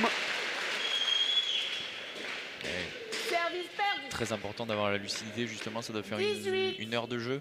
Et il a la 14. lucidité d'aller jouer euh, cette dernières attaques très très proche de la ligne. Et Tommy est impuissant euh, face à la qualité de l'attaque. Un petit peu coupé justement pour qu'elle s'arrête euh, très très proche de la ligne.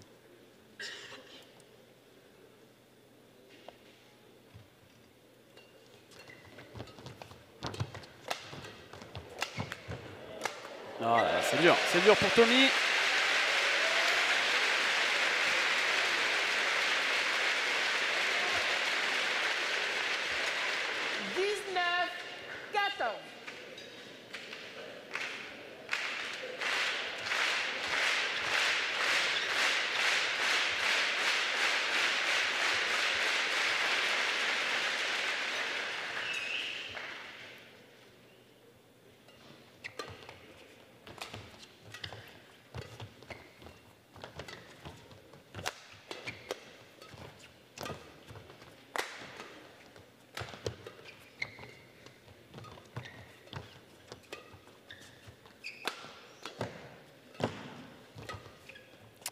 Il va peut-être nous s'offrir. Non, finalement non, pas de volant de 7 en tout cas, de match, pas, tout de suite.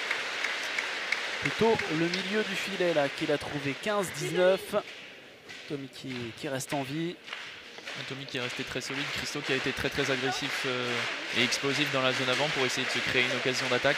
La dernière elle est peut-être un petit peu forcée mais il était euh, plutôt lui en il était plutôt en train de dominer le rallye donc euh, très très bien tenu de la part de Tommy et. Christo qui a peut-être forcé euh, un coup euh, un coup trop tôt. Dommage mais l'initiative euh, l'initiative était pour Christo dans le rallye donc c'était plutôt plutôt bien joué.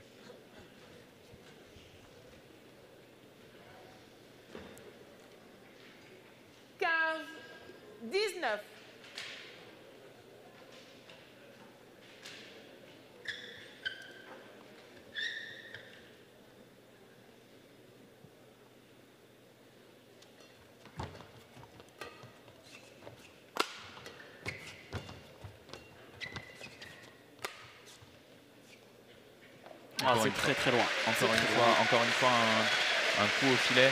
Tommy qui joue le premier proche du filet, mais qui va pas couvrir, qui va pas bloquer le filet. Et ça permet à Christo de contre-spinner. Et on sait que c'est une des plus grandes qualités de Christo. Et là, on voyait le volant qui tournait énormément. Très très dur à contrôler pour Tommy. euh. Et malheureusement, ouais, un, un lob out et 5 volants de match pour Christo. 5 volants de match pour Christo effectivement.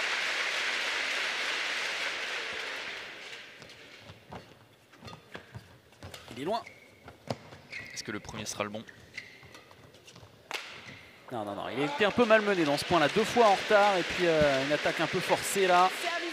Le premier est sauvé. 16-20. 20. Et c'est pas fini, hein, on sait que Tommy est capable de tout. Et là, Christo ouais, qui, qui attaque et on voit, il est un petit peu, il est déstabilisé par une fixation de Tommy. Il pensait que Tommy allait jouer devant, il se retrouve à jouer derrière, il est dans une mauvaise position. Il est sur le dos, il attaque un petit peu trop fort et justement il attaque dans le couloir. Un très bon service de Tommy. Et Christo qui veut vraiment aller chercher le dernier point. Il se contente pas d'être passif. Oh. C'est vraiment là, à couteau tiré, ça se joue à pas grand chose. Tommy euh, soulagé de voir ce volant sortir là, il fallait avoir le, le bon coup d'œil quand même. 17-20. Et le public là qui encourage les deux, ces deux joueurs, ces deux chouchous.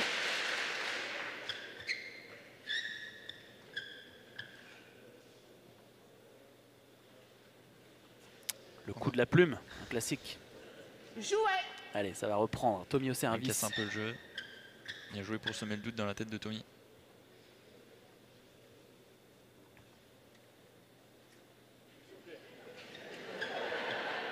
Jouer. Ah, ils peuvent pas rigoler, pas à ce moment-là. Le public en sourit, mais Thomas. c'est fou. Et ils vont jouer ensemble tout à l'heure à la finale du double homme.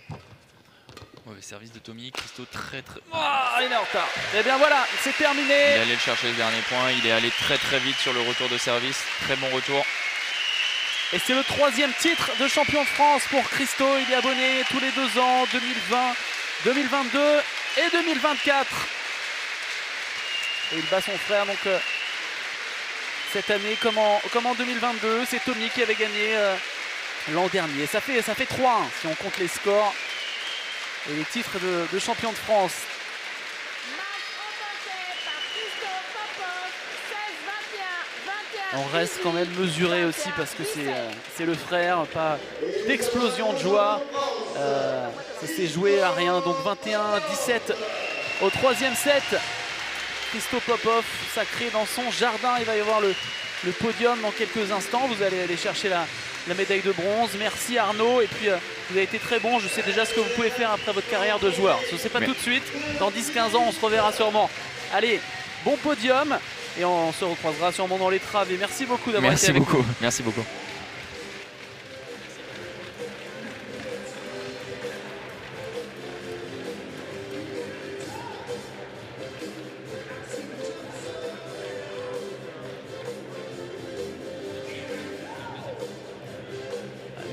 Se, quitter quelques, quelques minutes, quelques dizaines de secondes, le temps que le podium se mette en route et on revient juste après. J'irai retrouver Christo pour l'interview. A tout de suite, merci de votre fidélité tout au long de ce dimanche sur notre antenne.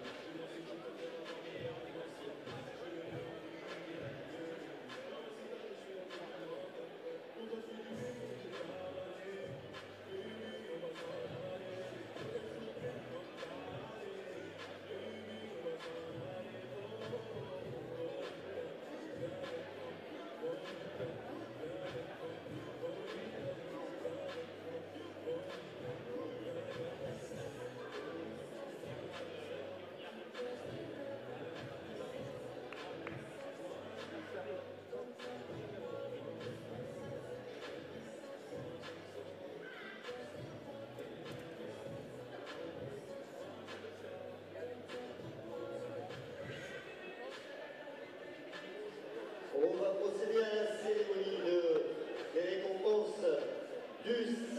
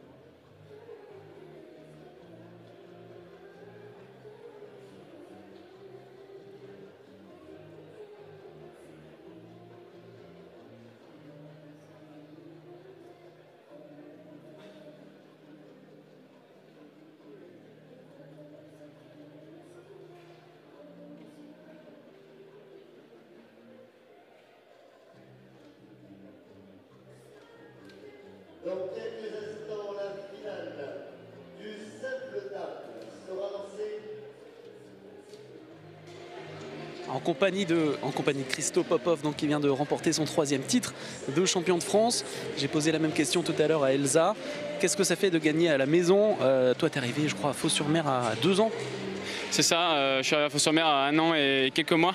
Euh, je suis, je dans la peau depuis toujours et c'est vraiment une, une grande fierté de pouvoir gagner euh, à la maison et euh, de reprendre mon titre parce que je l'ai perdu l'année dernière face à mon frère. Donc maintenant c'est euh, c'est moi qui le récupère. J'espère qu'on aura encore plein de finales comme ça avec mon frère parce que c'est vraiment euh, que du plaisir et surtout à la maison c'est une première pour le badminton et une première surtout pour, pour nous de jouer une compétition à la maison de telle, telle, telle grandeur. Donc on est très fiers de nous. C'est vrai que le club il a beaucoup grandi dans les années 2000, d'abord avec le papa et le tonton, Thomas Senior et, et Michael. Avec vous maintenant dans les années 2010. À la fin du match, il n'y a pas eu euh, d'explosion de joie parce que c'était ton frère justement, j'imagine. Oui, c'est ça. Il y a bien sûr la joie de ramener le titre de champion de France. Euh, mais pour nous, euh, le fait qu'on soit tous les deux en finale, c'est déjà une victoire. Donc là, c'était vraiment juste, on va dire, le sacre de l'un de nous deux. Euh, bien sûr, je suis très content d'avoir gagné le titre. En même temps, enlever le titre à mon frère, euh, ça fait, bah, ça fait mal au cœur. Mais, euh, mais bon, le, titre revient à la famille et c'est ça qui est le plus important. Et je pense qu'on est, euh, on est, très fiers tous les deux. Et maintenant, on va se remobiliser pour essayer de chercher le titre aussi en double. Je crois que tu as, dit la phrase qui résume un peu votre, votre état d'esprit, la famille, c'est ça le plus important, c'est vrai, c'est ça qu'on sent quand, on discute avec vous. Donc 3-1 là maintenant au, titre, au niveau des titres de, de champion de France. Vous vous en vous chambrez un petit peu à propos de ça quand même? Euh, non, ça va. Euh, Jusqu'à maintenant, euh, enfin au tout début, oui, peut-être quand j'en avais un et qu'il n'en avait pas. Mais maintenant, vu qu'on est tous les deux champions de France au moins une fois, voilà, c'est maintenant, c'est plus que rajouter des titres et c'est plus avoir le titre. Donc là, ça nous tenait beaucoup à cœur parce que c'est à Fos-sur-Mer. Donc c'est vraiment très important aux yeux, aux yeux de notre ville. Donc on est très content de l'avoir produit. Comment on fait là pour récupérer On a deux matchs pour récupérer pour le double. Qu'est-ce que tu, qu'est-ce que tu vas faire tout de suite là? Là, je vais rejoindre notre staff médical qui, qui sont très présents pour nous. Euh, et je vais aller euh, voilà, me, faire masser, me faire manipuler. Euh, on va beaucoup voilà, se reposer, les boissons de, récupération, un peu de vélo. Donc voilà, tout ce qu'il faut pour, pour pouvoir être en forme là dans, dans quelques heures.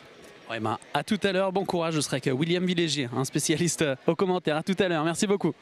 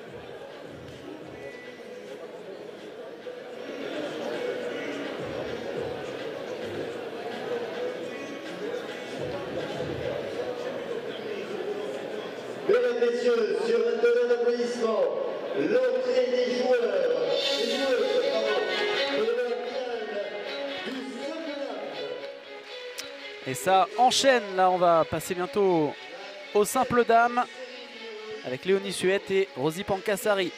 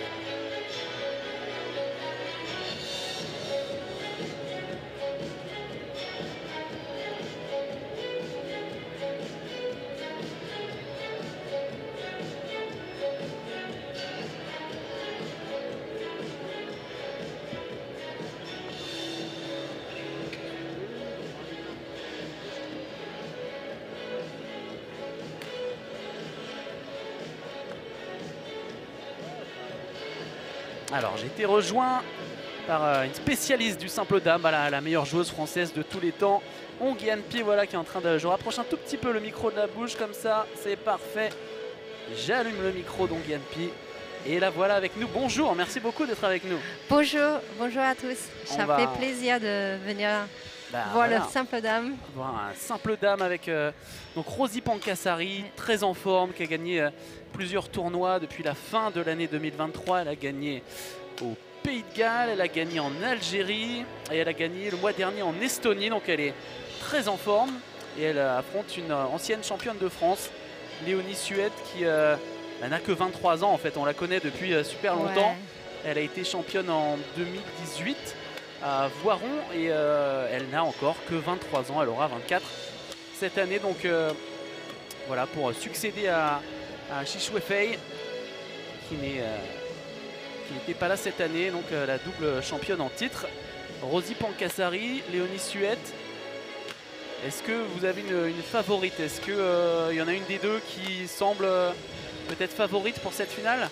Ah, J'ai regardé un peu leur match hier. Euh, Rosie, elle a l'air un peu plus en forme, en tout cas en termes de consistance sur le jeu et tout ça. Alors, il y a euh, Léonie, euh, elle a eu un gros challenge par le jeune.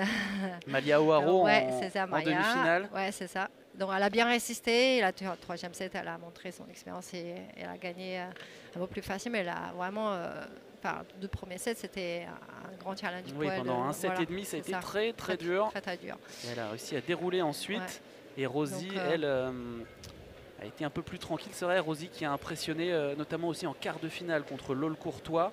Euh, elle, est, elle est petite, hein, 1m56, Mais, mais ouais, elle arrive à mettre des gifles au volant. euh, Elle est puissante quand même. elle a une très bonne raquette et puis elle est un très bon déplacement. Elle est enfin, solide en défense. Donc, elle fait pas, elle- en général, elle fait pas beaucoup d'erreurs directes. Donc, on va voir comment. Mesdames et pour moi messieurs, aussi, elle est légèrement droite, euh, en termes de forme. Léonie Sur la par forme du rapport- moment, ouais. ouais, par rapport à hier. Et on va voir comment euh, est-ce qu'elle a bien ré- récupéré de son match d'hier Est-ce qu'ils ont. Voilà. quand- Et à quelle ma est leur, gauche, leur forme Rosie d'aujourd'hui. Ça va démarrer dans quelques secondes. Donc Léonie Suette en haut de votre écran.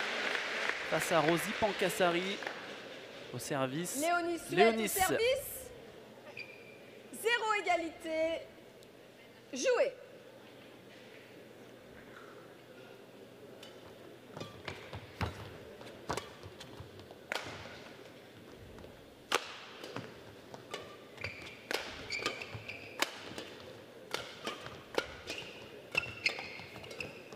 Commence fort, hein. déjà de l'intensité.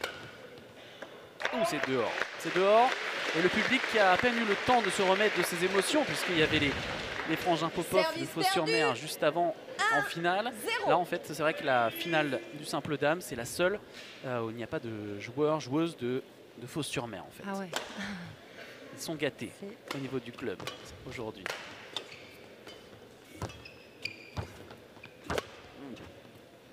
Obligé de frapper fort pour relever ça.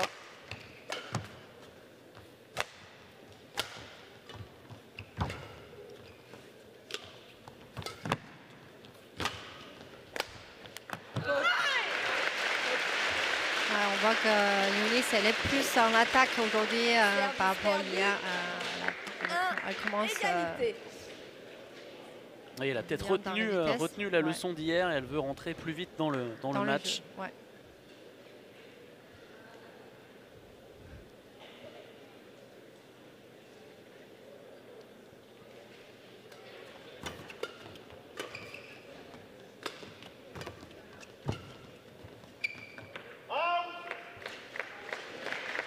Service perdu. 2, 1.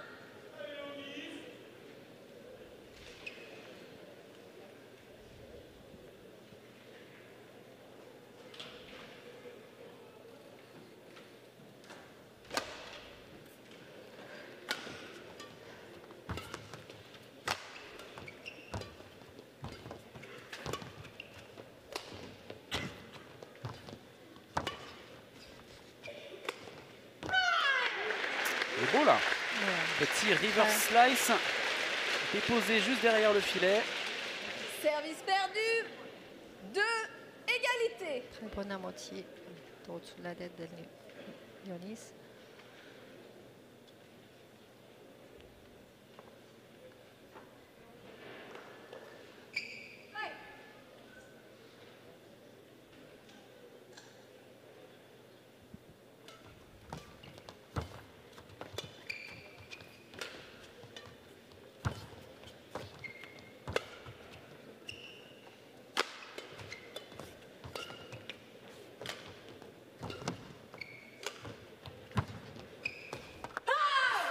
juste dehors là.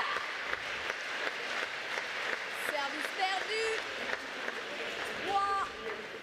Deux. Rosie. Alors j'en parlais hier pendant les quarts de finale et les demi-finales, mais tout le monde n'était peut-être pas là. C'est vrai que Rosie, elle a eu des gros soucis de santé au pied. Elle a été opérée trois fois du même pied. C'est pour ça que pendant un moment, elle était redescendue à la 719e place mondiale. Mais là, depuis euh, un an et demi, deux ans, tout va, tout va beaucoup mieux pour elle. Et elle est euh, quasiment dans la course pour, euh, les JO. Il reste encore un petit peu de temps.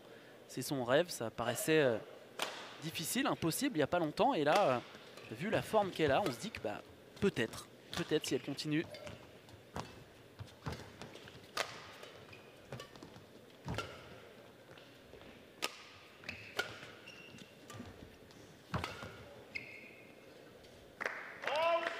Là, elle essaie de faire des très très grands terrains pour, que- pour stabiliser. euh, Quatre. Léonis. Deux. Go, Go aussi, euh, son tactique, c'est souvent euh, voilà, utiliser le maximum de terrain, faire bouger. Elle patiente. Oui, parce qu'elle est- elle a un centre de gravité bas, elle, elle défend bien, elle court, elle court bien. C'est vrai qu'elle a, elle a un petit peu tout pour elle. C'est un petit peu court et un peu plat sur les croisés. Du coup, euh, Léonis, elle a profité. Service perdu. Trois. Mais c'est vrai qu'il y en a hein, des joueuses comme ça qui sont toutes petites et qui, euh, qui sont très fortes. Ben, euh, Yamaguchi, Okuhara font moins d'un mètre euh, 60 et sont championnes du monde. Ouais, aujourd'hui, grâce à leur déplacement et euh, technique de jeu, et, euh, ils arrivent à rivaliser contre les plus grands. Euh. Aujourd'hui, ce qui est bien dans le simple down, on a beaucoup de styles différents.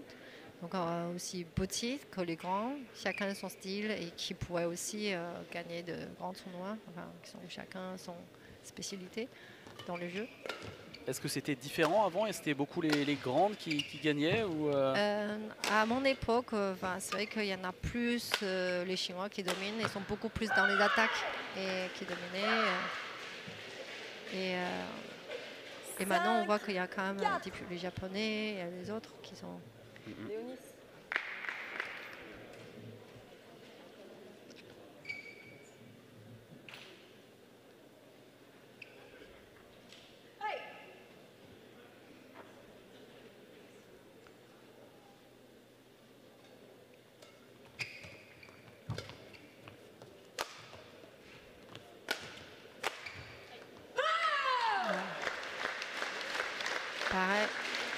Eunice, elle a fait un croisé un peu court. Coup, égalité. c'est dès que le route saut des volants est- qui est un peu court et un peu plat sur le croisé, souvent c'est c'est l'occasion pour l'autre de- d'anticiper sur les. Voilà, elle a pris un, un petit risque, mais ça va. C'est juste, juste avant la ligne. 5 égales. Début de match tendu. Les deux joueuses euh, plutôt offensives, volontaires.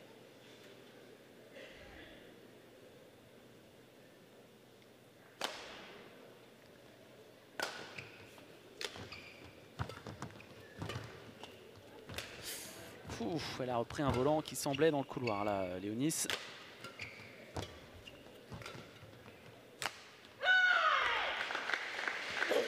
Service perdu. 6, 5. Elle a un problème. Elle s'est. Ah, ah, ah, ah, ah. Petite interruption, effectivement, parce Ouais. que ça, c'est Elle s'est mis de nez. C'est embêtant. C'est vrai que quand il y a un joueur qui a un, qui a un bobo, par exemple, qui, qui se brûle un peu en se jetant sur les genoux, euh, on ne reprend pas le match parce que euh, il risque toujours de mettre des gouttes de sang. Oui, ça a l'air d'être ça, là. Saigne du nez. C'est l'effort. euh, l'effort. Là, c'est vrai qu'il fait, il fait bon dans cette salle, il fait chaud. Ouais, il fait chaud. Pour ouais. un mois de début février, il fait assez chaud. Avec un, beaucoup de public qui est présent aujourd'hui. C'est vrai, on en parlait tout à l'heure. Ouais, on doit être euh, au moins, au moins 800, 900, je pense, là, dans cette halle parsemin. Et les soigneurs qui viennent voir, du coup, euh, Léonis. Bon, c'est dommage, ça partait bien cette finale là, la ouais, il y a une très bonne intensité de jeu, tous les deux. hein, Bon, là, elle, elle n'y peut rien, hein, euh, Léonis. euh, Ah oui, ça a l'air de, de bien saigner quand même. Je sais pas ce qu'on peut faire pour euh, arrêter ça là, immédiatement, mais ça fait une petite pause et juste devant nous, Rosie qui vient discuter avec euh, les membres du club de Strasbourg, bien William. Voilà, on, les, on les a vus à l'écran.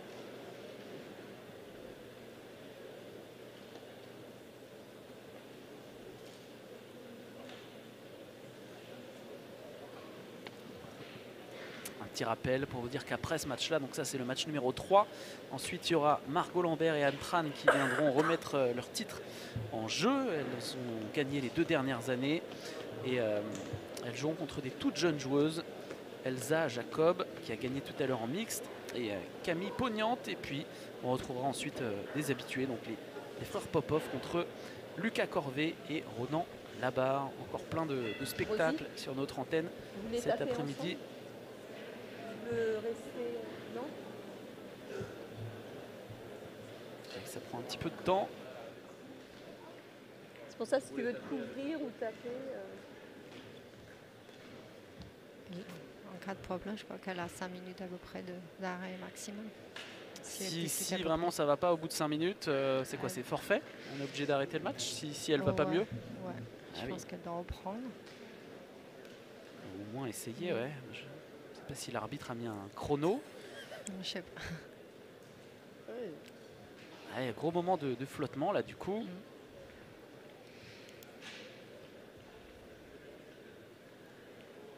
Bon, en tout cas, je vous le disais tout à l'heure, hein, avant de prendre l'antenne, merci beaucoup d'être avec nous, Onguiane. C'est euh, un plaisir. Voilà, je suis un petit peu en mode fa- fanboy euh, parce que voilà, on vous a tous regardé beaucoup dans les années 2000, euh, une médaille au championnat du monde, euh, voilà, la- classement euh, numéro 2 au mieux, je crois, numéro Oui. 2 mondial. C'est euh, vraiment euh, quelque chose d'assez extraordinaire. Et vous habitez pas loin du côté de Marseille maintenant, c'est ça? Oui, j'habite à Marseille. Avec des stages de badminton notamment. Oui, j'organise pendant les vacances scolaires des stages avec les jeunes de la région. Et parfois, il y a d'autres jeunes de d'autres régions qui viennent nous rejoindre aussi.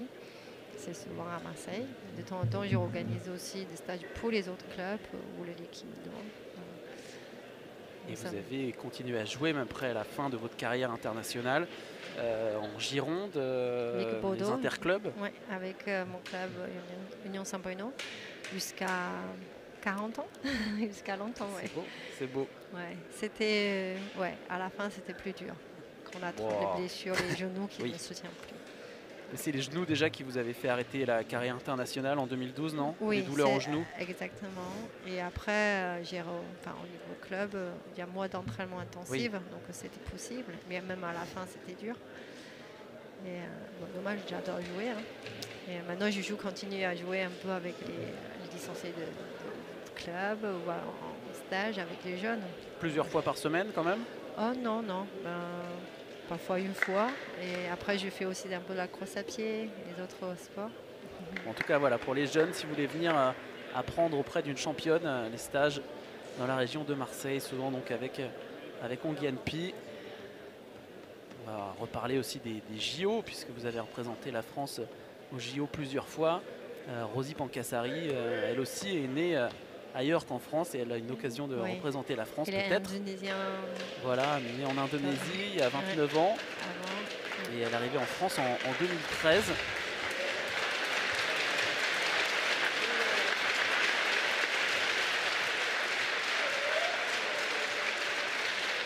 Allez, ça va pouvoir reprendre, ça a l'air d'aller mieux. On espère qu'il n'y aura pas de rechute Ouais. pour euh, Léonis là. Qu'elle puisse euh, reprendre la même, même intensité que tout à l'heure. 6-5. elle était bien rentrée dans ce match, donc. Jouer Allez, elle est devant en plus. 6-5, ça reprend.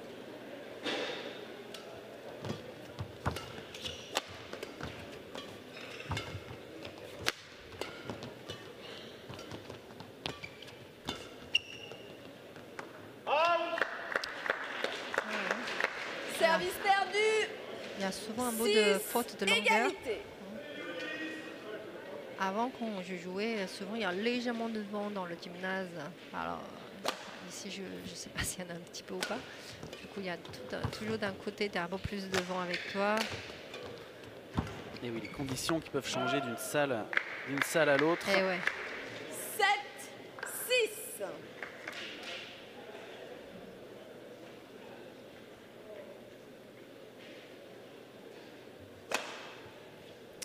Très hauts. On n'en a pas vu beaucoup évidemment dans le match masculin avant. Mais là, il y en a, il y en a plus. Ouais, notamment les filles qui font euh, comme le jeu comme euh, Rosie, elle est plus euh, défensive et Ali. Et du coup, elle démarrait souvent avec un, un service haut pour, pour déjà après, elle est prête à défendre de toute manière. Alors que les, les garçons, elles sont plus euh, tendance à, service court parce que oui, ils veulent apprendre à l'attaque et ils veulent pas déjà subir directement euh, après les services.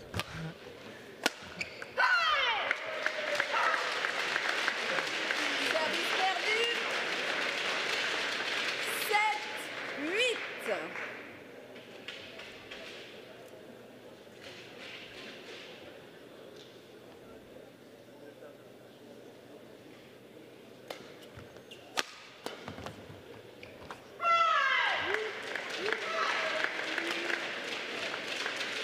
Huit, égalité.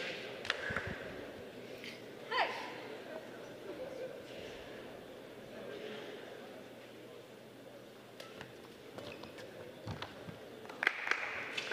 Neuf, huit.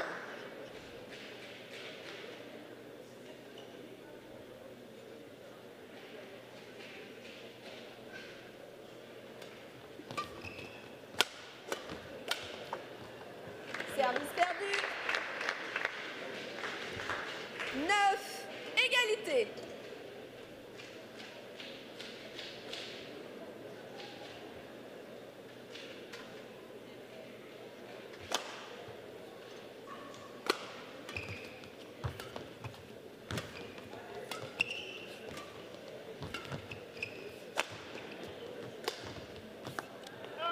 Reverse slice là qui va sortir. 10, 9.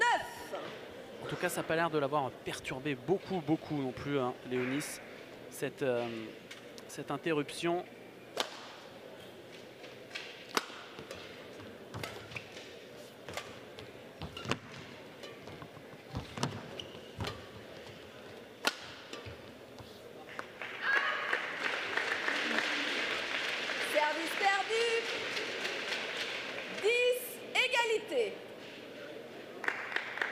Les deux, ils sautaient un petit peu le, le volant de, de gauche là.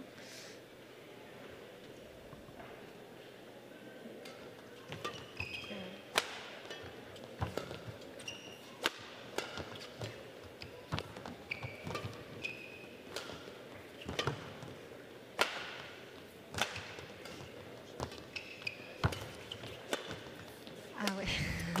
Je montre à photo, hein, une photo de, de nous en 2009 à Anguianpi. Léonis Euh, a mené 11-10 sur le premier manche, mais euh, elles sont très très serrées. hein. Jeu- C'est très serré effectivement pour l'instant, comme ça l'a été d'ailleurs dans le, dans le match précédent entre les, les frères Popov. Et là du côté de, de Léonis, c'est euh, Kestoutis Navikas qui est Ouais. avec elle, euh, le coach euh, de, de l'équipe de France à l'INSEP. Euh, Rosie, elle ne s'entraîne pas à l'INSEP. Ouais, il est au- avec le Strasbourg, donc c'est Julien qui, qui est le coach. 20 secondes. 20 secondes.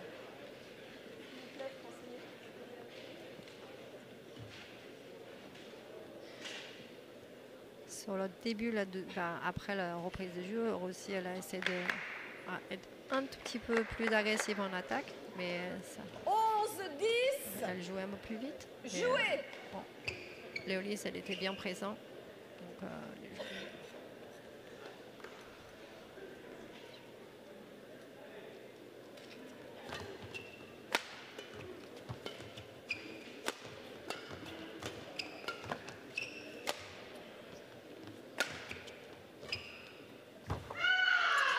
Sortir. chacune euh, voilà, qui commet quelques, quelques petites erreurs. 11 partout, égalité. Euh, 12, 10 pardonnez-moi. Une bêtise, 12-10 pour, euh, pour Léonis. Léonis, elle essaie de, de maintenir Rosie un peu plus au fond court. Essaie de. Voilà, pour qu'elle ne vienne pas très très facilement vers l'avant. Elle prend l'avantage. Voilà, elle laisse en avant quand elle est très en avance. La tactique euh, a bien fonctionné dans ce temps comme ça. 13, 10.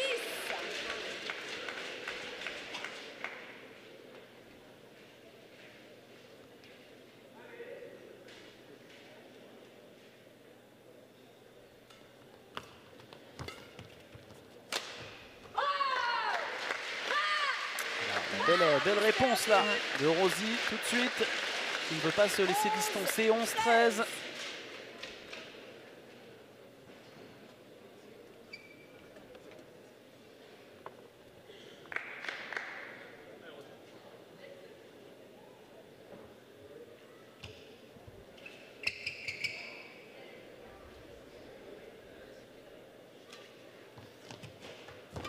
Bien feinté là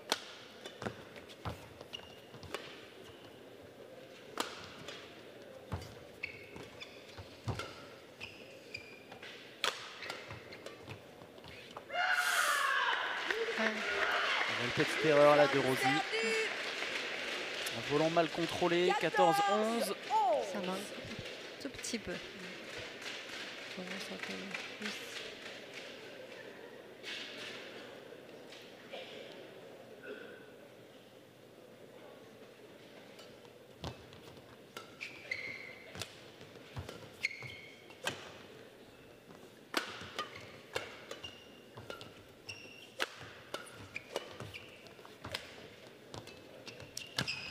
Ah oui, C'était haut et court, elle en a profité là. Rocher, Rocher au filet pour venir euh, rabattre ce volant. 15-11, c'est le plus gros écart pour l'instant dans ce match. 4 points. L'instant, Rosie, elle s'est fait quand même euh, beaucoup contrôler par le fond court. Il fallait qu'elle soit peut-être euh, arrêtée d'avancer trop vite quand l'autre qui contrôle, quand Léonis qui contrôle le filet. Comme ça, pour anticiper un peu en arrière du terrain.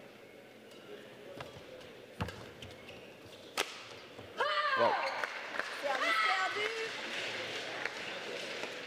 12, 15.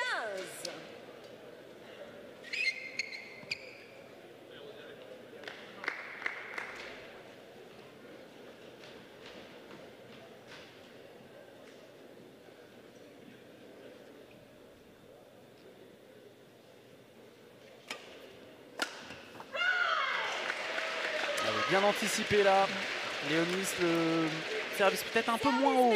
D'habitude, il monte vraiment quasiment euh, jusqu'aux poutres là-haut. Là. Elle a fait Là, un service tendu, un peu mais plus un peu tendu, court. ouais. Un court, et du coup, bah, Léonis dès, en a dès que c'est court et tendu, souvent, on se fait voilà, profiter. Et que ça revient vite, généralement, Ouais, c'est ça. revient très vite. Euh, anticipe. Service perdu. 13, 16.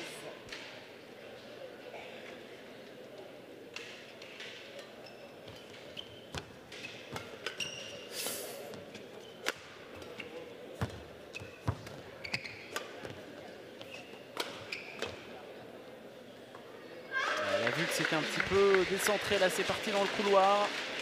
Service perdu. Et Léonis qui avance petit à petit. L'écart qui se maintient, mais on avance dans ce set. Donc euh, elle est plus très loin du but maintenant. La barre des 21 points, 17-13.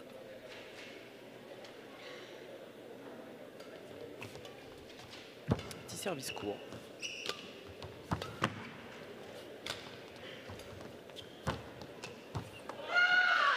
Euh, elle maintient son tactique euh, jusqu'au bout. hein, ça, donc ça fonctionne dans ce temps. Elle profite. Elle faisait pas toutes ces erreurs euh, hier, Rosie, en, en quart et en, en demi.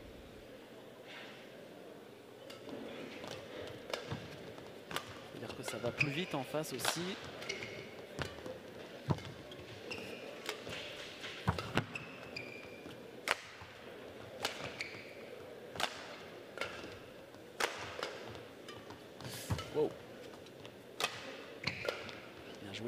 là en retard. Ça joue toujours.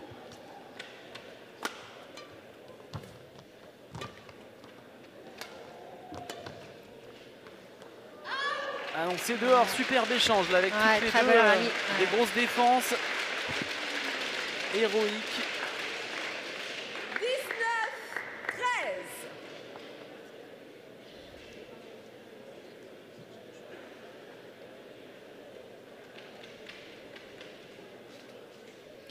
que elle prend beaucoup plus d'initiatives aujourd'hui par rapport aux jeux de hier. Donc elle a bien démarré les matchs aujourd'hui.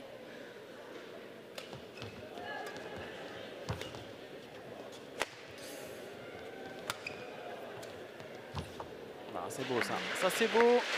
Léonie c'était un petit peu sur les, sur les talons, hein, encore un peu au fond. Service perdu 4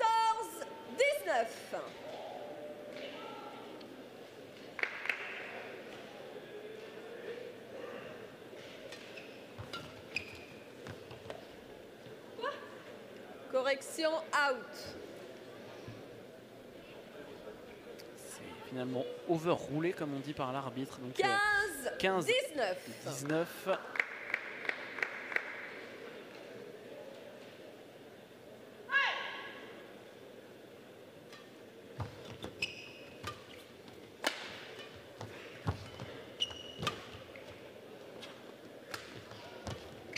Du coup de la raquette.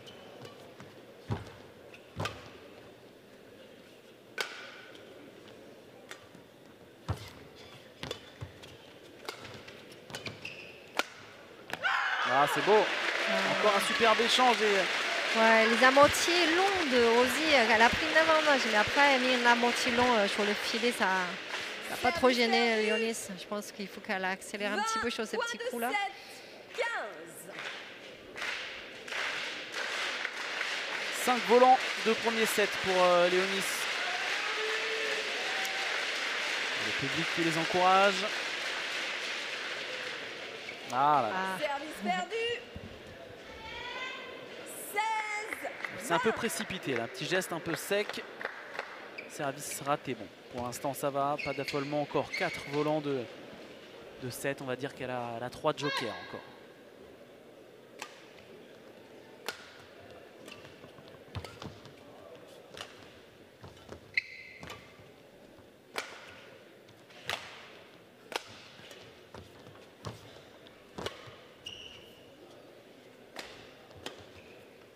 Ouf.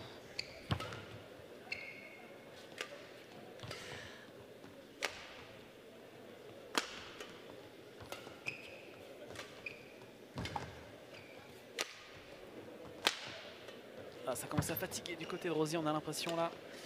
Ah oui. euh, les deux côtés sont fatigués sur ces rallyes, mais euh, je disais c'est que Rosie elle a continué sur les amortis longs et euh, ça ça l'empêche pas beaucoup euh, Léonis.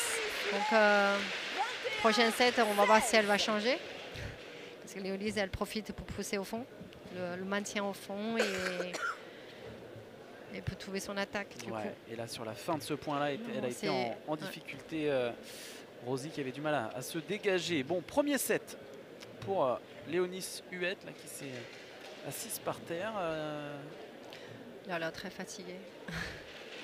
alors peut-être que ça doit c'est la... un très très euh, long rallye hein, pour tous les deux. euh. J'espère que son souci au nez là, ça l'empêche pas de respirer correctement aussi parce que dans un match comme ça là. euh, Bon, en tout cas, on voit clairement que oui. Ça leur pour- pas embêté plus que ça. On comprend pourquoi c'est une finale. C'est vrai que euh, Rosie avait une marge, on sentait hier contre Lol Oui. Courtois, contre euh, Anna Tatranova, elle était au-dessus. Là, c'est beaucoup plus équilibré et on assiste à un, à un bon match, un très bon match de joueuses proches au classement mondial. hein. Léonie s'est un petit peu retombée. C'est vrai qu'elle a eu aussi son lot de, de blessures, hein, toute jeune. Léonie Suette. Elle a gagné le premier championnat de France. Ça fait partie de la, la- la fille la plus jeune qui gagnait le championnat de France. Oui, c'est peut-être euh, un avait- record. Où je, ouais, c'est un je- Je record. n'ai pas la stat sous les yeux, mais oui.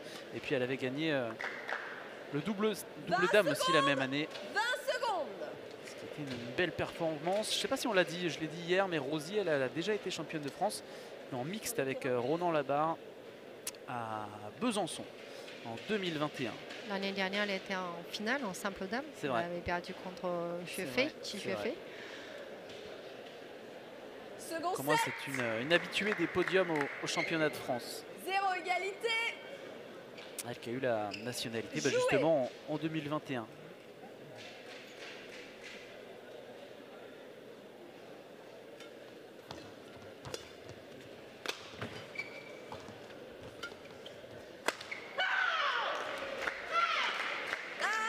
Zéro.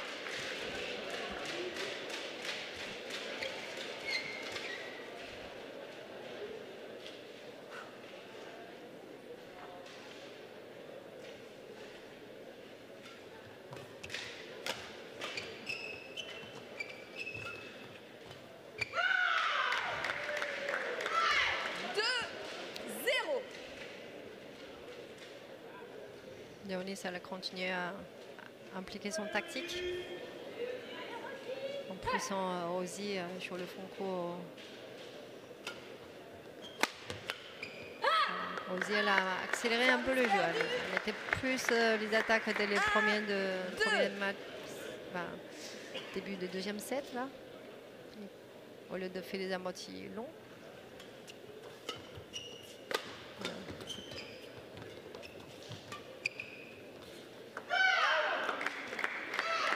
2-0. Service Euh, perdu. 3-1, pardonnez-moi. 3. 3-1.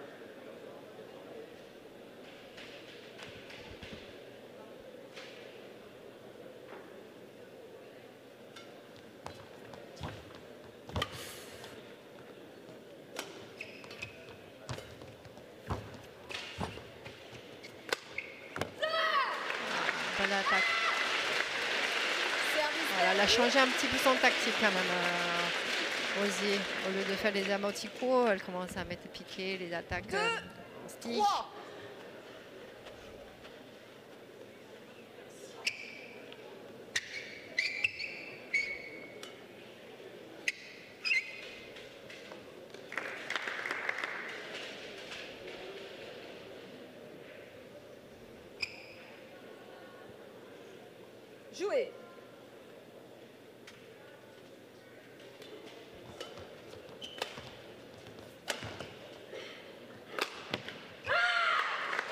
ça. Ouais.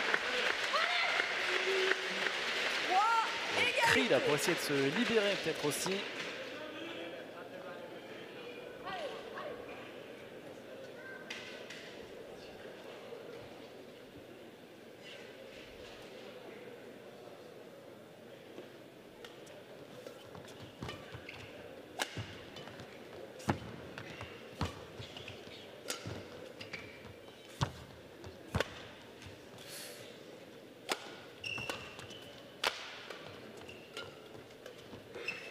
Service perdu. 4. 3.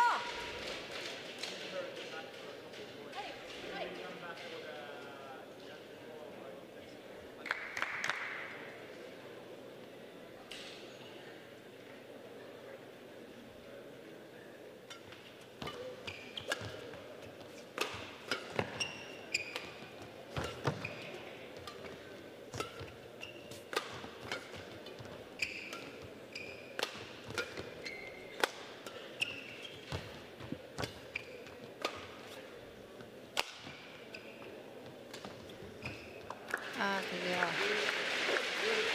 5. 3.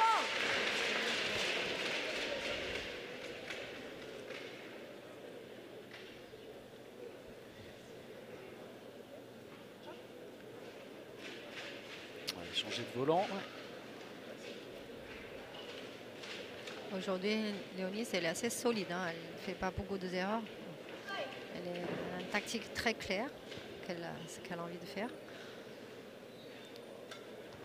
Ouais, plus le temps passe, plus on a l'impression qu'elle a la main, euh, la main sur ce match, même si là, elle se fait bien contrer. euh, son coup, elle, est limite, limite. Elle a bien, bien anticipé, la Rosie Pancassari.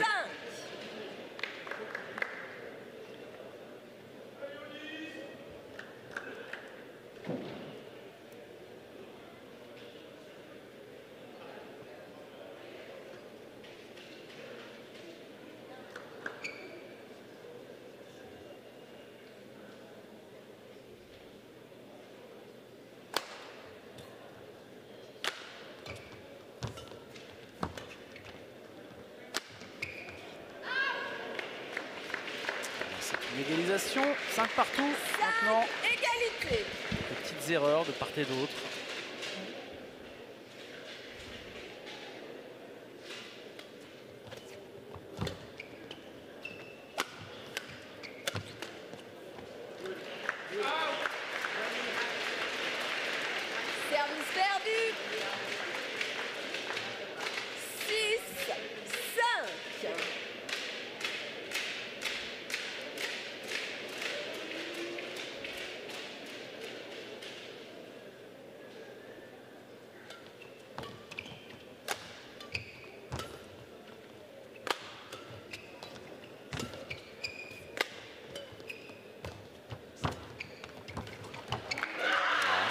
Courte là. Malheureusement sur ce coup-là. 7-5. Comment euh, on gagne Comment vous jugez ces deux joueuses par rapport à Kish Wefei, qui reste la numéro 1 française euh, quand elle est en forme, elle vaut à peu près 30e mondiale. Est-ce que euh, vous pensez que Rosie et, et Léonis peuvent atteindre cette barre-là? Euh, fait quand elle est en forme, je trouve qu'elle a peut-être un boost plus de variation dans, dans, les, dans le jeu et les, en vitesse de mouvement. Elle est. euh, ouais. 7, 5. Après, elle est un peu mélangée de de deux styles. elle est à, à la fois, elle arrive à défendre, elle arrive à attaquer. Alors, Rosie, par exemple, je trouve qu'elle attaque, mais elle a son attaque pique pas beaucoup. De temps en temps, là, sur les sticks croisés euh, sur, sur la tête, ça pique un peu. Mais les autres moments, ça. Donc, euh, son jeu est, est joué beaucoup plus sur la patience, moins la mal. rallication. Elle fait un peu moins mal. Du coup, euh, par exemple, euh, Eunice, hier, elle a plus du mal, puisque je pense que euh, la, la jeune. euh, Malia Ma- Awaro Ouais, euh, Maya qui lui a. Les attaques de Maya et de l'avant du terrain qui lui a beaucoup plus euh, gêné. 8. Et, euh, Bah, On a hâte en tout cas qu'elle Léonis, soit. elle, est, elle, est, elle, est- elle a des attaques, des, mais elle est euh, légèrement un peu plus lourde dans le mouvement par rapport, par rapport au chef. Après, elle, est très, pu- elle, a, elle a de puissance. C'est vrai.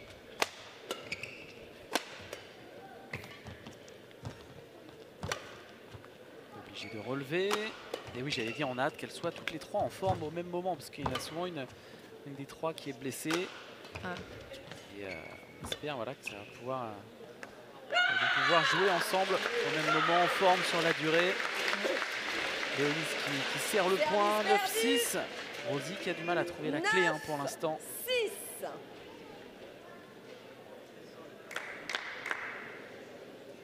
Après, il y a le match de, euh, de Maria contre Lyonnais, c'est très intéressant. Je, je vois un potentiel dans- dans- chez les jeunes euh, voilà, qui, qui- qui arrivent là. C'est vrai, il y a pas mal de jeunes joueuses euh, intéressantes, effectivement. Euh, euh, on a vu Anna Tatranova qui n'a que 20 ans. Euh, Émilie Drouin aussi. Enfin, il y en a beaucoup, beaucoup des jeunes à, à fort potentiel.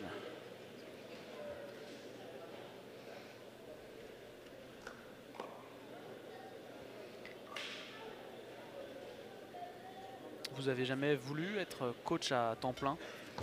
S'occuper d'un joueur toute l'année Oui, c'est un- choix familial. ouais. Pour l'instant, j'avais privilégié le choix de s'occuper un peu plus de mes enfants. Eh oui. Après, tant d'années à voyager partout tout le temps, c'est pas mal de rester un peu aussi à la maison. Euh, oui, parce que j'ai mon mari qui est, qui est l'entraîneur national dans la voile, donc euh, il, il voyage beaucoup, donc euh, il va falloir quelqu'un à la maison. Et la voile au JO, ça va être euh, à Marseille. Ah oui, c'est ça. On est à la maison. Ça va être la fête. Un petit peu des JO de Paris aussi. euh, il y en a un petit peu à Tahiti pour le surf, Oui. un petit peu à Marseille pour la voile. Et il y aura le tir à Châteauroux, je crois, et puis un peu de basket à Lille. Finalement, ça va être les, les JO de, de toute la France. Ça va être une belle fête. Belle année 2024. Ouais, c'est clair. En On est- espérant que nous, les badistes, euh, nos jeunes, hein, il y a Delphine et Tom, qui a peut-être. euh, On espère que ça va aller mieux. C'est un- vrai que le mois de janvier, ça a été un petit peu, opportunité. un peu décevant pour eux, mais euh, on espère qu'ils vont se reprendre. On a, on a confiance en leur potentiel. Même euh, dernièrement, il y a Christo qui a gagné un match contre Suichi hein, sur une compétition. C'est vrai, c'est qui vrai, a- c'est vrai. Et on sait qu'ils sont capables d'aller chercher les meilleurs. Il faut, le, faut répéter les. Le faire plusieurs fois d'affilée maintenant, c'est ça le plus dur évidemment, mais Ouais. le potentiel, on sait que qu'ils l'ont. 7-11 pendant ce temps-là sur, euh, sur le terrain. Vous avez dû croiser votre ancien entraîneur Fabrice Vallet qui était là Ouais. euh, au cours de ce week-end avec sa fille euh, qui a déjà Ouais. été championne de France aussi Oui, elle a gagné en 2022 en double dan. avec Émilie Verselot. Maintenant, elle joue plus, elle joue plus ensemble. C'était 2021, je crois que c'était à Besançon. 22 ou ouais. 2000 2021 il me semble. Fin 2021 parce que c'est vrai que ça avait été quasiment deux ans après les championnats d'avant euh, à cause du Covid.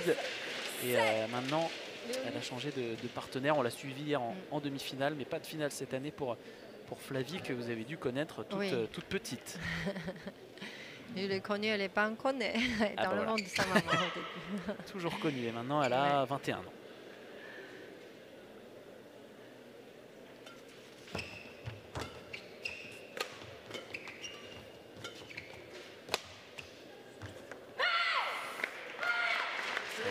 Dedans. Léonie c'est un petit peu courte, 8-12.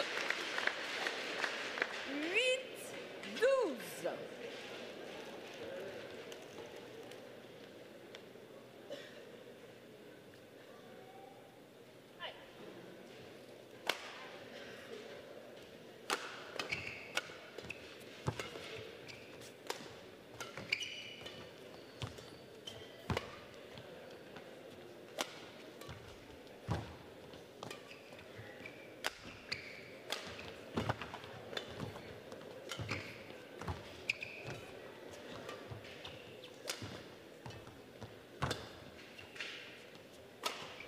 Ah, Ah, magnifique.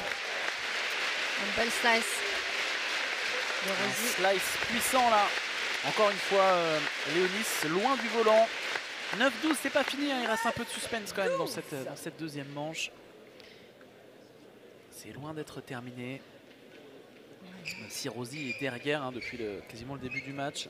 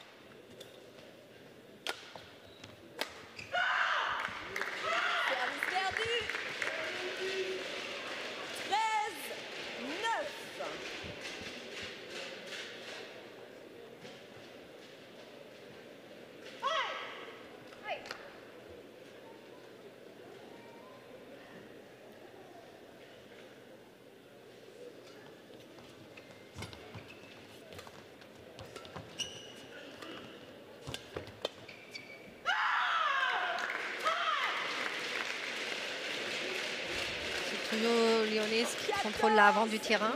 Et du coup, euh, je pense qu'aussi temps, elle euh, elle n'arrive pas trop l'embêter. euh.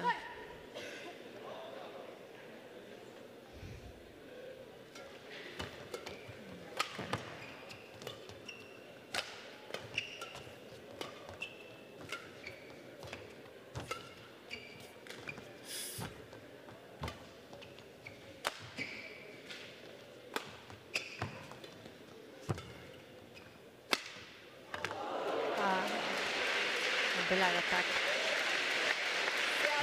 Ce volant. Non, j'ai cru que c'était resté du côté de chez euh, Pancassari, mais non. Il s'est arrêté dans la bande et il est finalement 14 passé du côté de, de chez Léonis.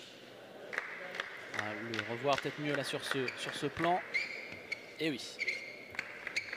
Un petit peu de réussite là, avec euh, la joueuse de Strasbourg. 10-14.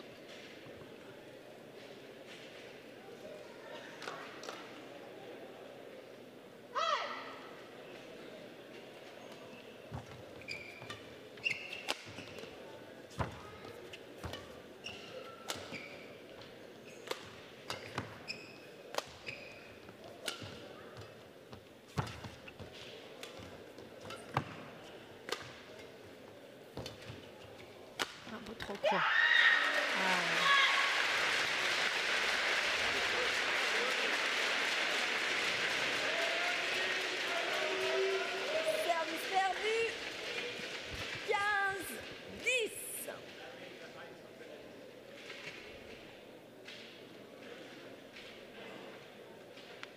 Ah, À ce niveau-là, il faut que chaque volant soit qualitatif.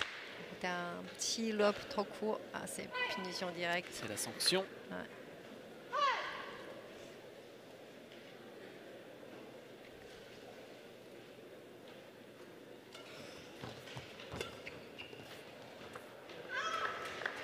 Service perdu.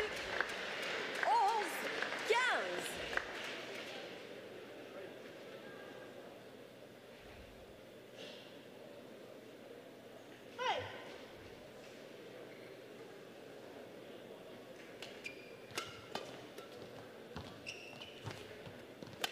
Au ras du filet.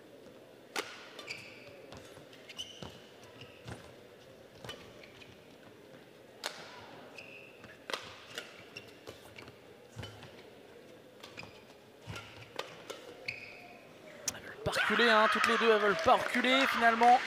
Là, ça a répondu du tac au tac et euh, ça accroche la ligne. La réussite cette fois avec euh, Huette.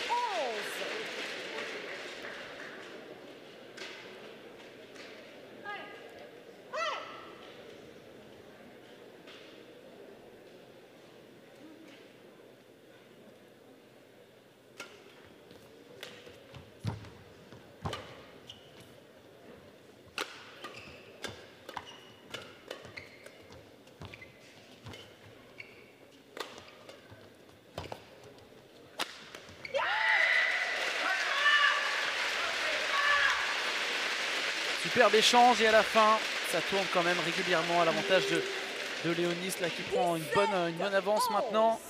C'est pas, c'est loin d'être fini, mais c'est quand même là un avantage décisif peut-être. On voit que Léonis, euh, aujourd'hui, elle était euh, en termes de concentration, motivation et, et son stratégie, tout est bien calé. Elle a subi une alerte hier et euh, elle a retenu la, la leçon et euh, c'est vrai qu'on sent qu'elle met plus de on a l'impression en tout cas qu'elle met plus de poids dans le volant, qu'elle est un peu plus puissante et puis euh, au filet c'est- c'est relativement propre aussi. hein. Jouez.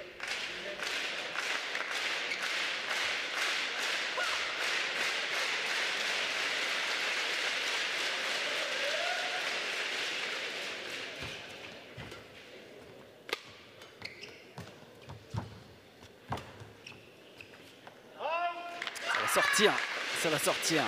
Aïe aïe aïe, ça se complique pour Rosie Pancassari. Ouais. Des cas, ça se, se fait déjà plus en plus. Service perdu. Aïe, aïe, aïe. Un petit peu précipité, 12-18. En global, on voit que Léonis, elle prenait les volants assez tôt en avant du terrain. Donc elle contrôle quand même un petit peu le rythme et le jeu.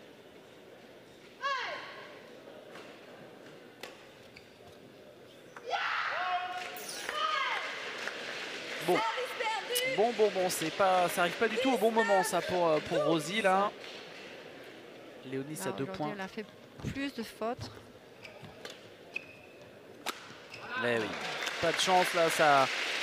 Le filet qui ralentit le volant et ensuite c'est presque facile là pour conclure pour Léonis. 8 volants de match. Point de match. 12. Et le public de Fos-sur-Mer qui donne de la voix.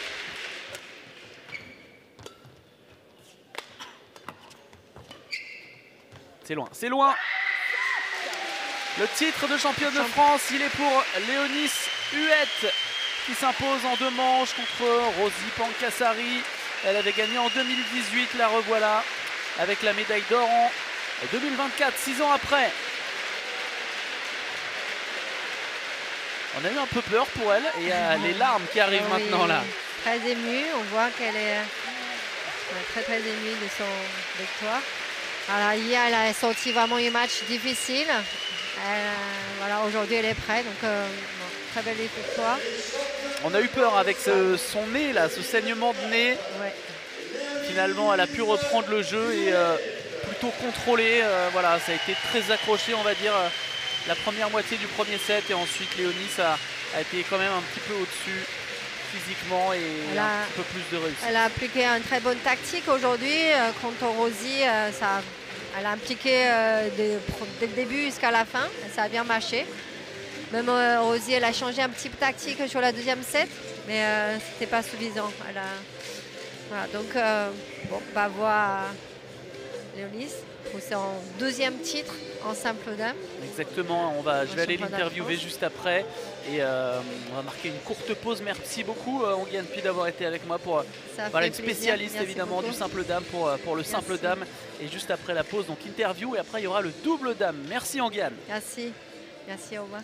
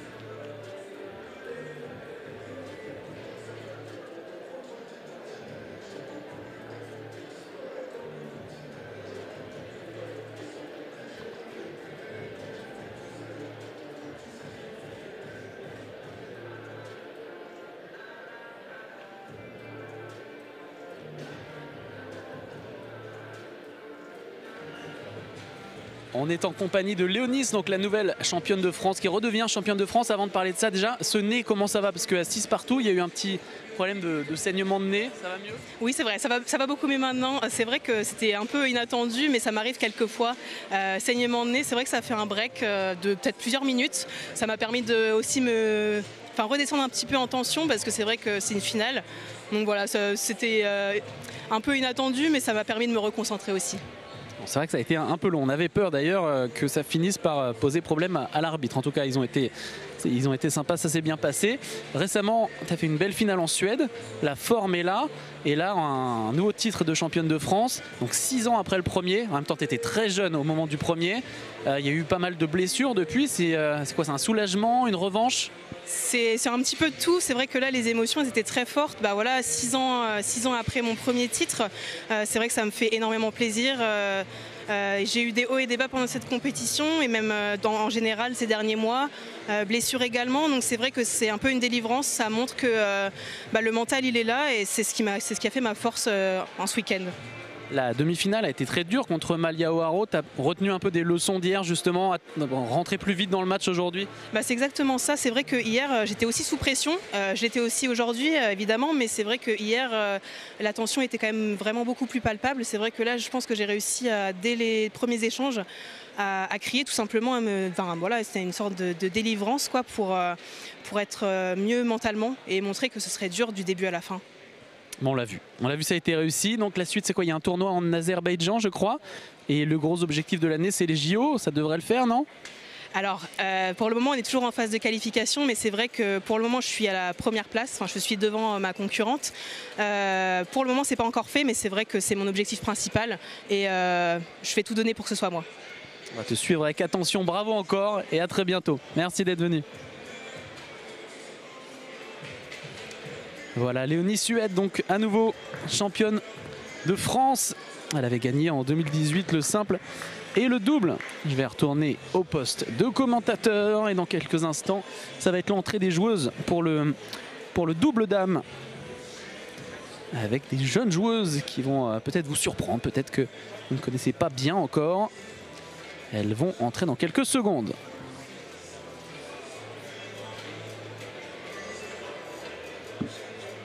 Mesdames, Messieurs, sous un tonnerre d'applaudissements, voici l'entrée du double dame finale. Opposant la tête de série héroïne, Marco Lambert et Anne Frank, à un retour sur le terrain. Elsa Jacob et Camille Conan.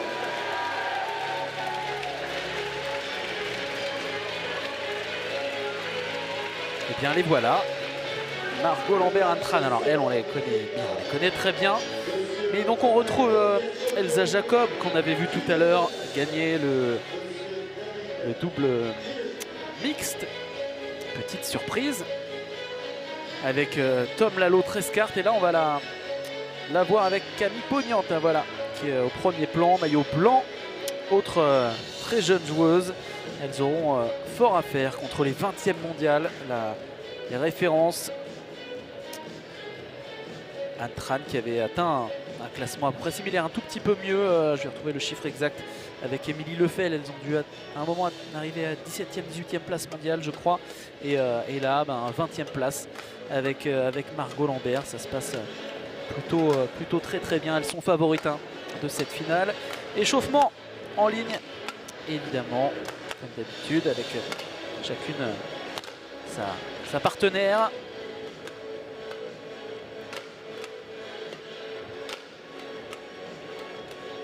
Je parlais de la 20e place mondiale, hein, c'est le, leur meilleur classement avec une très bonne euh, fin d'année 2023 sur, euh, sur le World Tour. Ça a été un peu plus délicat là, en, janvier, mais ça ne les empêche pas d'être euh, quand même 20e mondial dans le top 20. C'est beau. Et voilà, c'était 18. Je, je vérifie en même temps. 18 avec Émilie Lefel, la précédente partenaire d'Anne. Et donc maintenant 20. Elles vont essayer de, de faire mieux qu'avec euh, qu'avec Émilie. Elle, euh, elle avait été championne de France avec Émilie. Donc pour Anne aujourd'hui, c'est la quête d'un cinquième titre de championne de France. Elle avait gagné le premier en 2013. Elle était toute jeune, elle devait avoir 17 ans. Euh, en 2013, c'était avec Delphine Lansac à l'époque qui faisait du simple et du double. Ensuite, euh, donc elle a gagné avec Émilie Lefel une fois et puis euh, elle a gagné donc les deux dernières années déjà avec Margot Lambert. Elles ont commencé à jouer ensemble fin, fin 2021 et donc elles avaient été championnes de France dès la- l'année suivante, dès début 2022.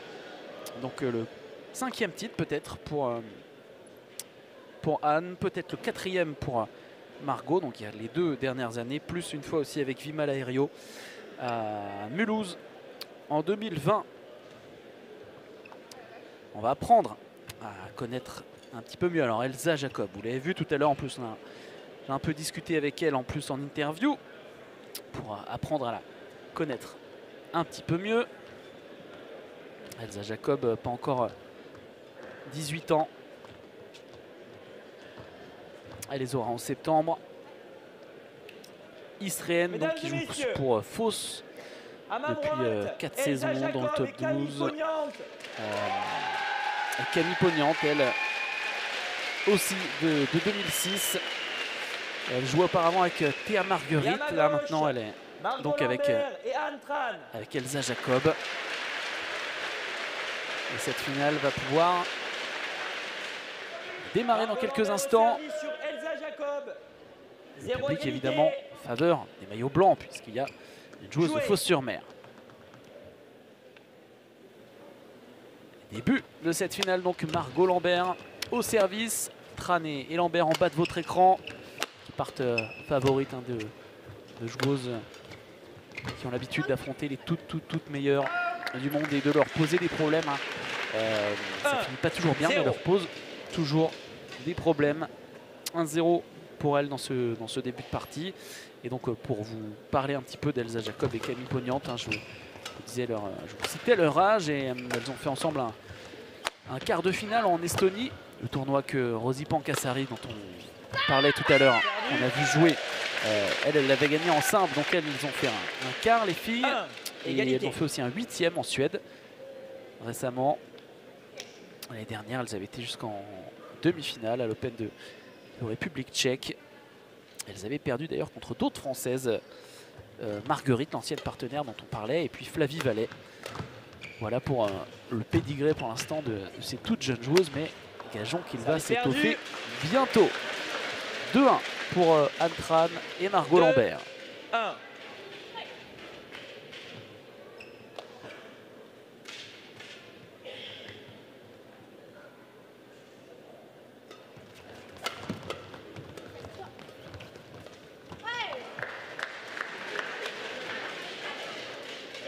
Trois. Un.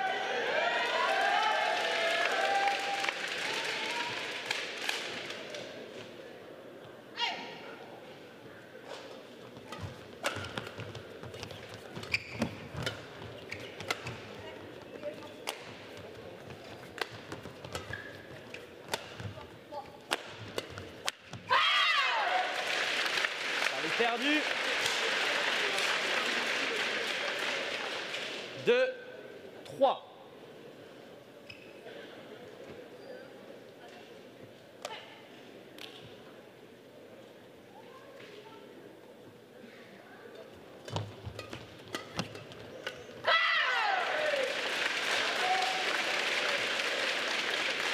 Trois. Égalité.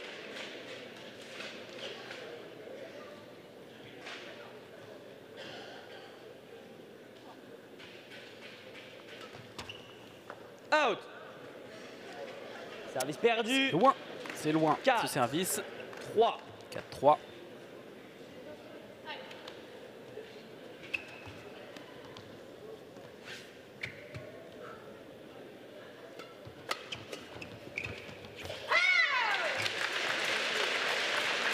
Service perdu. 4. Égalité.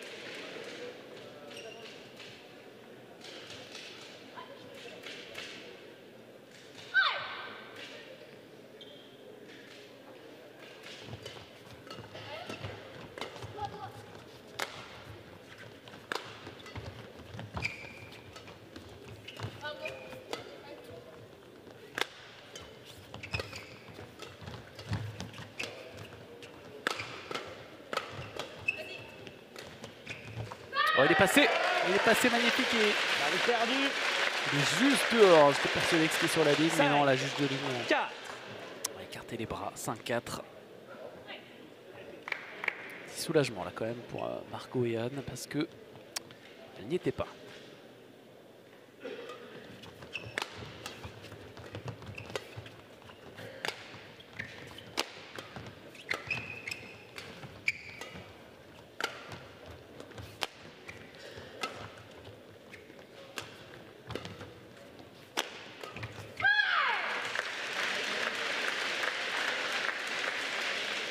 Six. Quatre.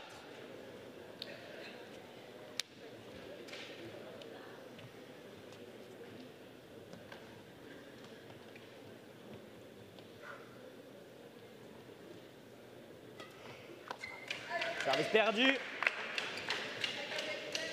5, 6.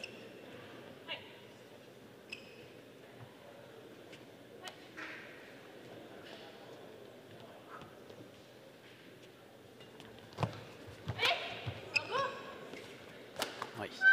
Cadeau. Service perdu. Pas de réussite là, pour, euh, pour Elsa Jacob. 7, 5.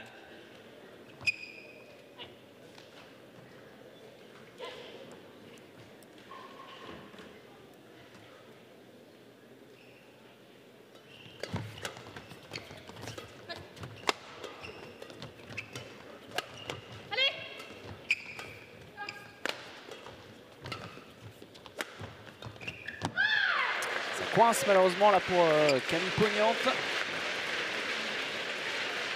8, 5.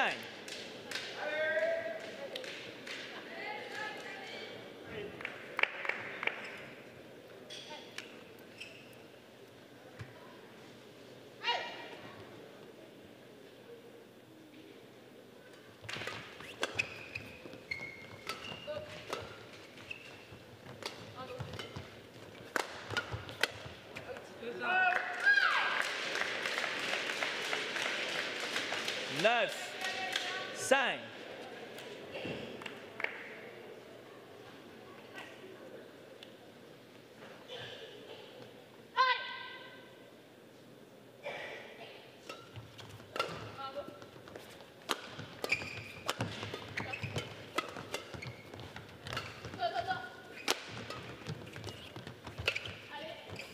Un petit bout de la raquette.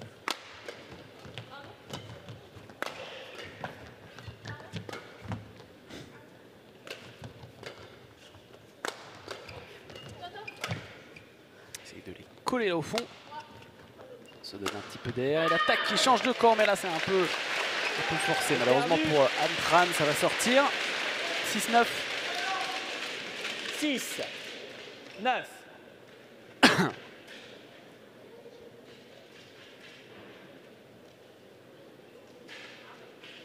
Jouer.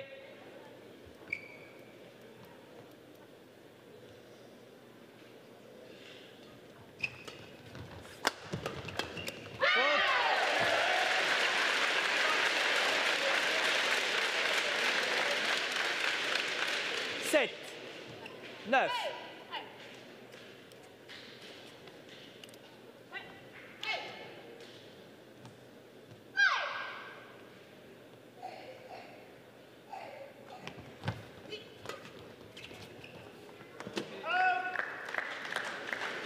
Service perdu. 10, 7.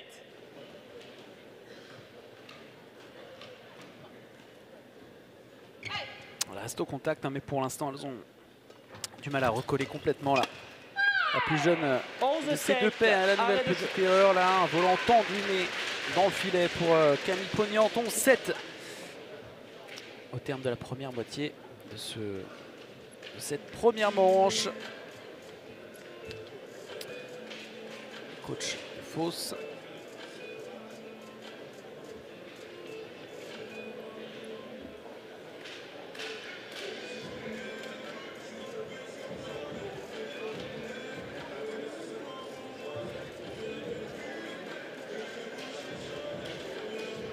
rappelle qu'il reste encore un, match après celui-là. hein. C'est pas près 20 de, de se terminer la, la finale du double homme. 20 euh, grosse affiche Merci. entre. Labarre et Corvée et les frères Popov qu'on a déjà vu en simple tout à l'heure.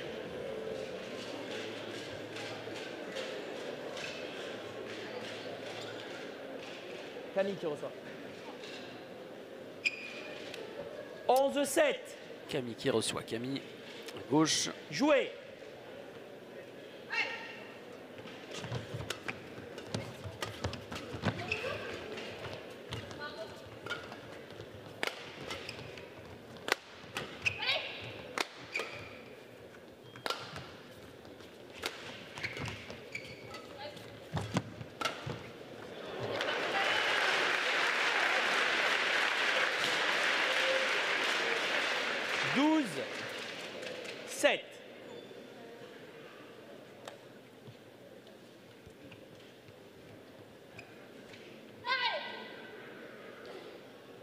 Joué.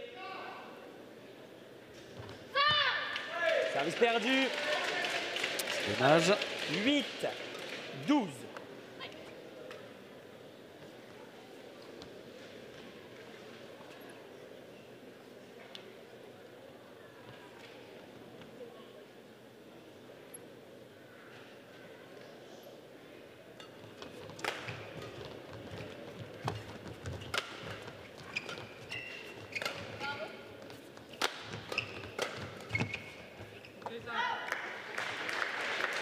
Service perdu. Ils font quand même plus mal. hein.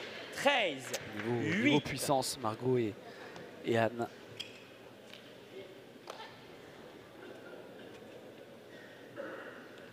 Elisa Jacob tout à l'heure dans le mix qui, euh, qui posait pas mal ses, ses volants euh, au début du match, qui a commencé à frapper plutôt euh, sur la fin de la partie, frapper plus fort, à lâcher ses coups. Là, elle va s'en vouloir euh, 14. Camille, Huit. la joueuse de, de Mulhouse.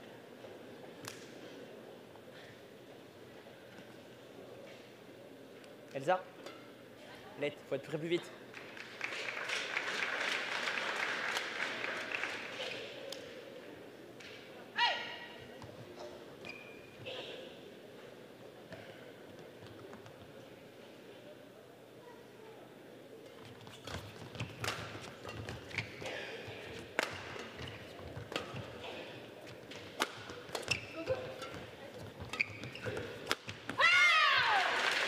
Service perdu.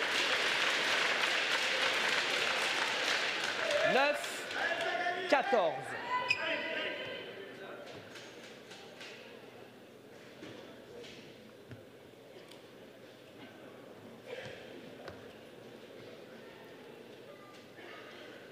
Joué. Service perdu. 15. 9.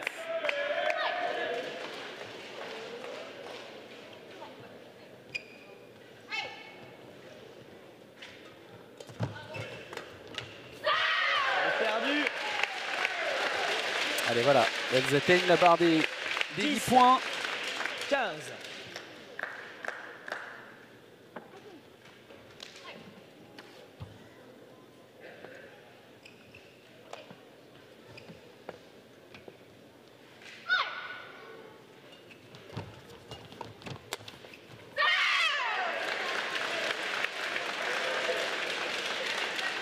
Onze. La réussite 15. avec Tradé Lambert, là, le- la bande du filet, qui a décidé de pas les aider.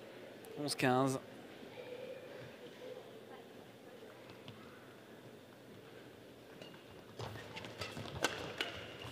Service perdu. 16. 11.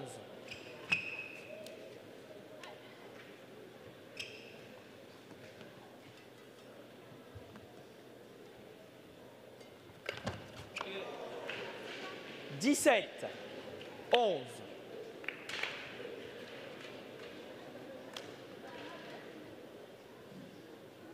Jouer. Let. Margot, Elsa.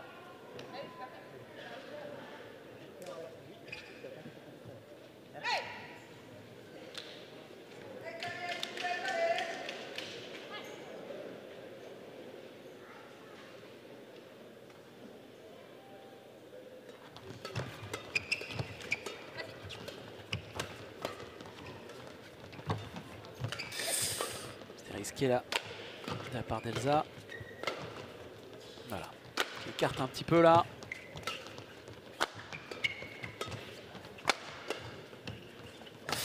C'est dur.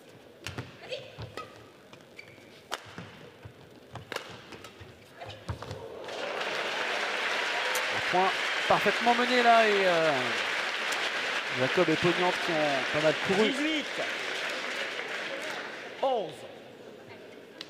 passer beaucoup de temps à défendre là, dans, ce, dans ce point.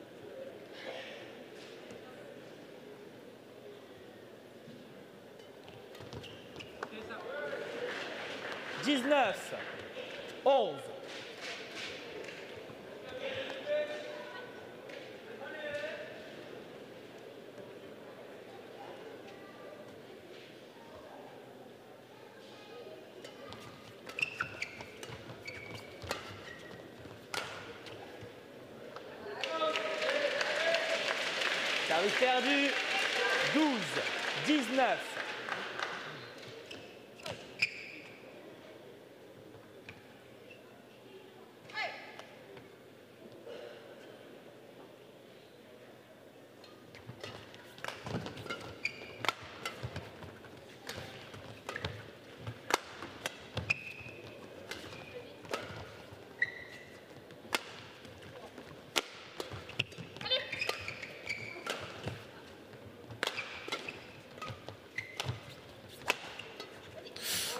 Joli, joli, joli, joli. Il n'y avait personne. Bien joué, Anna.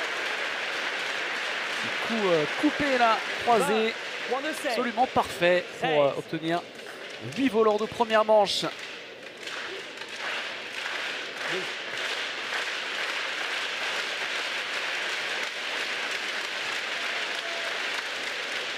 Peu de réussite, j'avais pas bien vu, je crois que sur le ralenti on voit que ça touche le filet.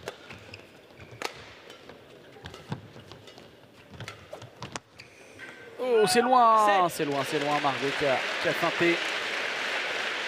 21-12 pour l'instant. Ça se passe euh, comme sur des roulettes pour euh, 21, les favorites. 12. Margot et Anne. Un peu plus impactante, comme on dirait dans le, le jargon du bad. On va essayer de remotiver. On rappelle, hein, c'est toute jeune joueuse, donc 17 ans. Camille Pognante et Elsa Jacob. Déjà euh, incroyable d'être en finale, évidemment qu'elles veulent mieux, mais pour l'instant, elles tombent sur un os à terme de cette euh, première manche.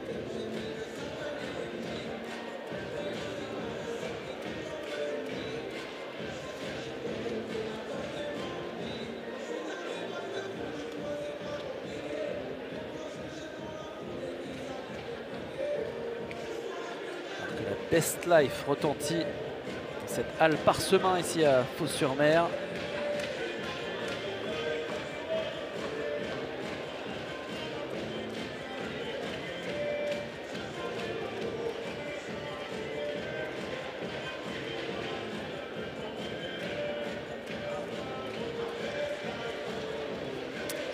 Plutôt jolis hein, ces maillots de l'équipementier de, de Margot. Là, on a vu hier Léo Rossi qui en portait un en rose avec euh, un petit fleuri dans le dos là.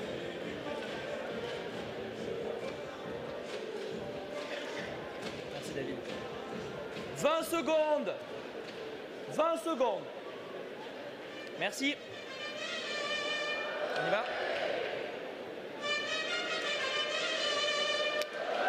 Pour l'instant, elles n'ont pas eu à forcer leur talent. euh, Margot et Anne. Second set. Zéro égalité. Jouez.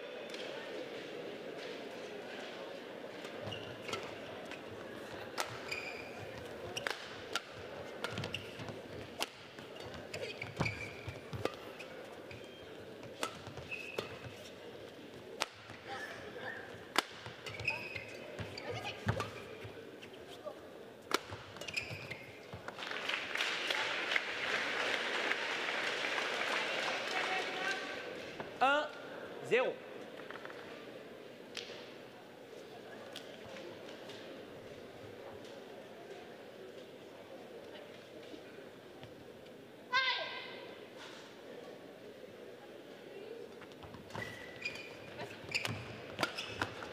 Ah, joli.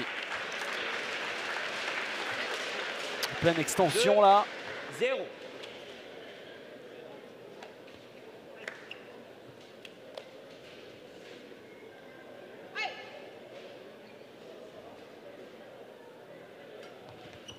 Bien varié au service là. Et ça fait la différence. Ça fait la différence puisque Camille Pognante a remis un peu comme elle a pu. Et derrière, c'est revenu vite.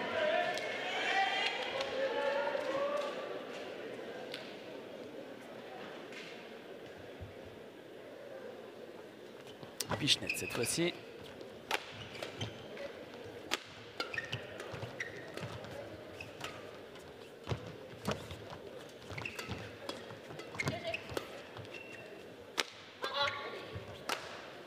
Aïe aïe aïe, ça va sortir là de quelques centimètres.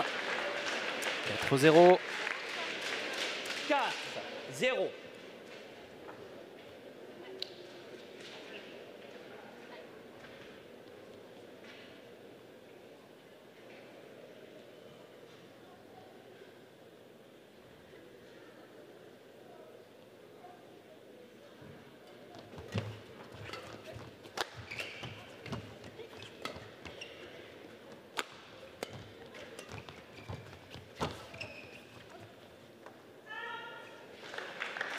fait malheureusement pas mal de, de fautes directes là. 5. Commises euh, par Jacob et, et Pognante.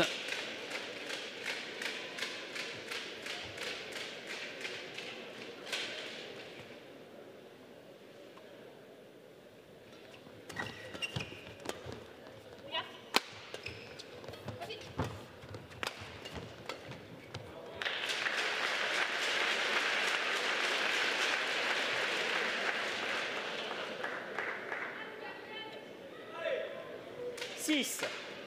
0.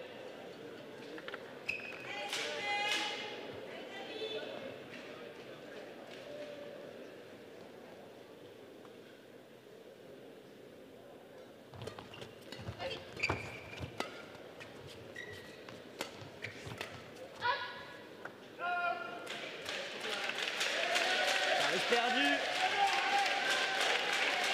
1. 6.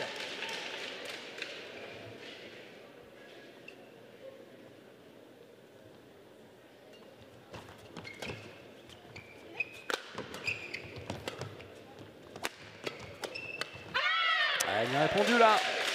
Pas mal de vitesse dans ce volant là. Le point serré de Camille Pognante. Allez, elle revient à 2-6. 6.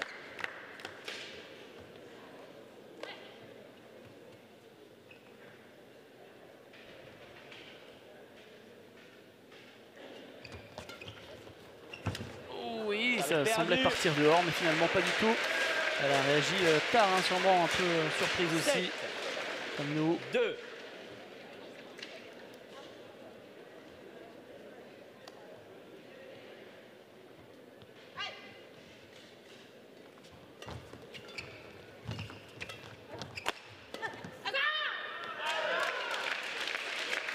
Service perdu. 3. 7.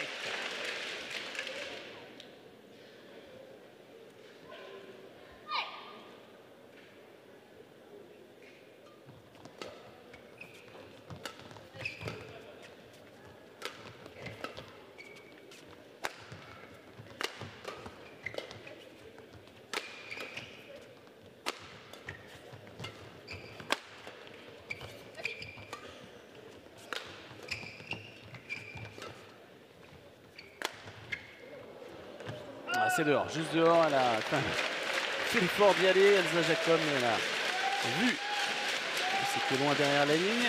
4. 7-4. 7. 4-7 plutôt. Joué.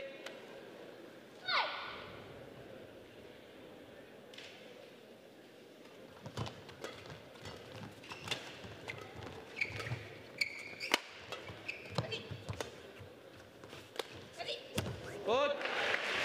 Service perdu. 8. 4.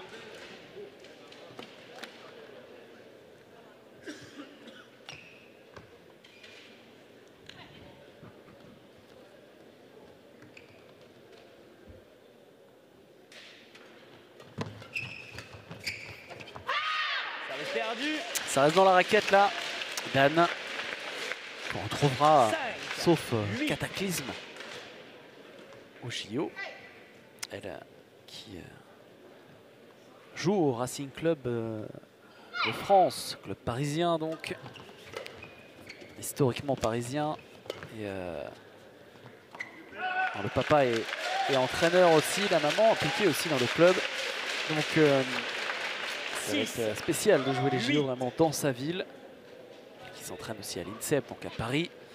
Et euh, elles sont euh, largement dans les clous pour l'instant pour la qualif olympique. Donc euh, voilà, il faudrait vraiment un catastrophe ou un problème physique pour qu'elle ne puisse pas y aller.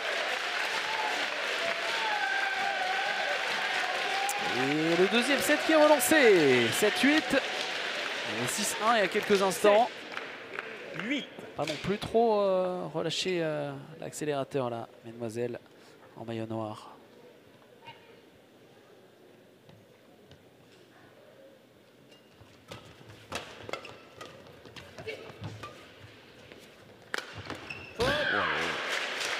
Et oui, la puissance aide hein, quand même euh, ce, match de, de Margot Lambert.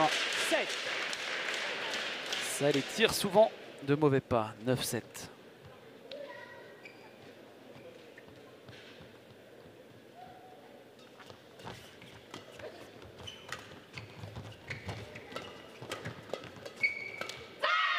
est perdu. 8. 9.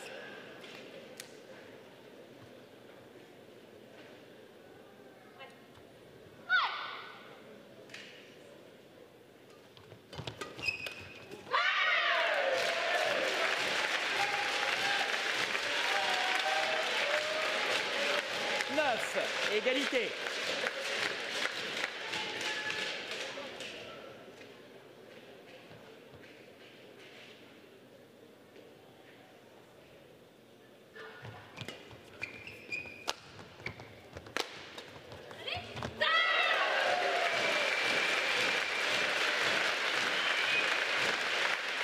Dix. Neuf. Incroyable, on ne pensait pas que ce, ce- ce serait possible là, il y a quelques minutes à peine. Elles sont devant maintenant.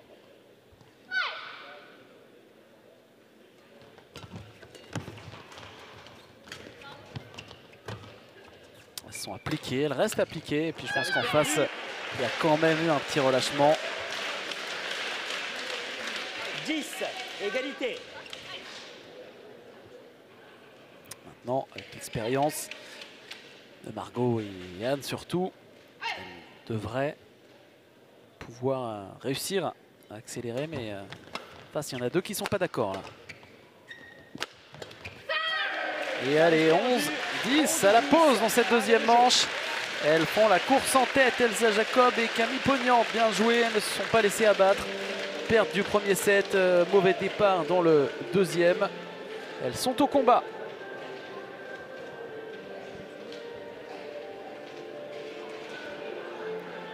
Ça va être particulier ensuite pour le, le dernier match puisque euh, alors, tout à l'heure j'étais accompagné d'Arnaud Merclé pour le simple homme, de Ongian Pi pour le simple dame, deux spécialistes de ces disciplines. Je serai encore avec un spécialiste juste après pour le, le double homme. Et je disais que c'est particulier parce que c'est le tenant du titre qui va venir s'asseoir à côté de moi. Euh, William Villéger, champion de France. L'an dernier avec Julien Maillot qui est blessé. Ils ont donc renoncer cette année. Va assister, on va assister avec lui en même temps voilà, à la remise en jeu de son titre, de leur titre avec, euh, avec Maillot. 11-10. Tu te poseras la question, mais je crois qu'il a encore deux mois de, de rééducation pour pouvoir, pour pouvoir vraiment rejouer à temps plein.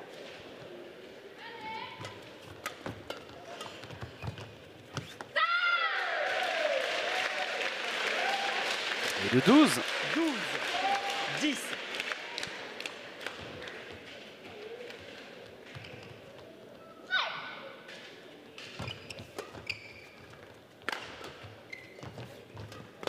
Faute.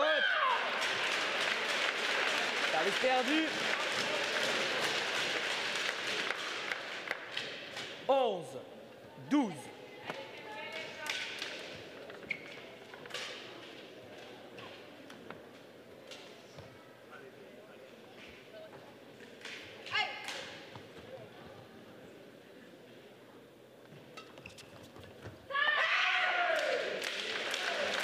Service perdu.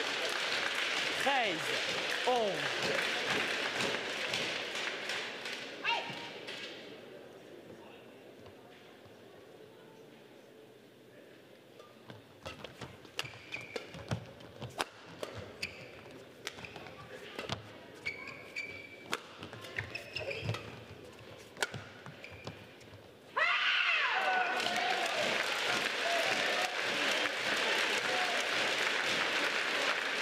Quatorze, onze.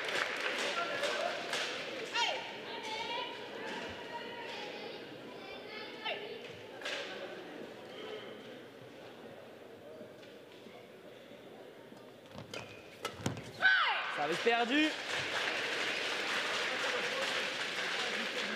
12, 14.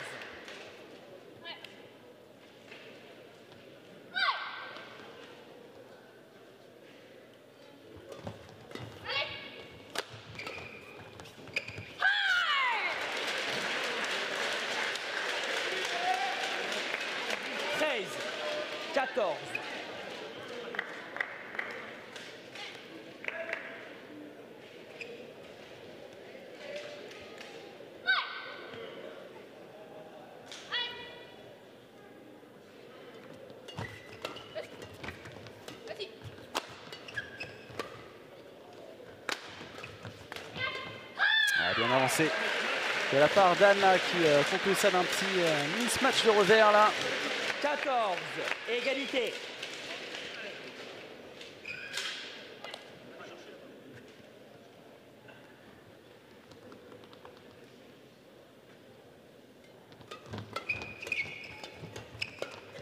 Faute. Oh, c'est touché, je crois, par Elsa Jacob.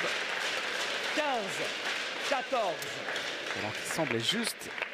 Elle l'a touché, le chassé croisé qui reprend. Lantran et, Lambert, et Margot Lambert de nouveau aux commandes. La belle réponse tout de suite. 15, égalité.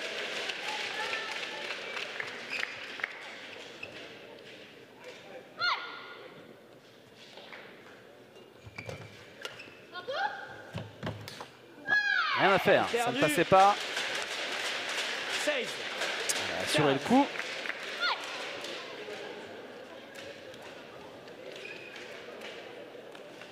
joué.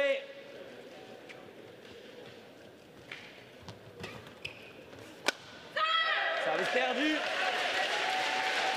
On va avoir du suspense jusqu'au bout dans ce deuxième set. 16, égalité.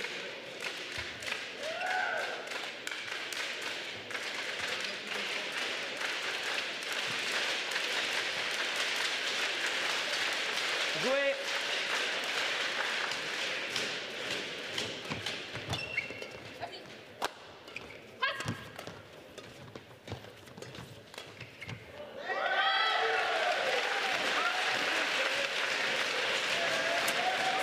C'est 16 pour les plus jeunes 16.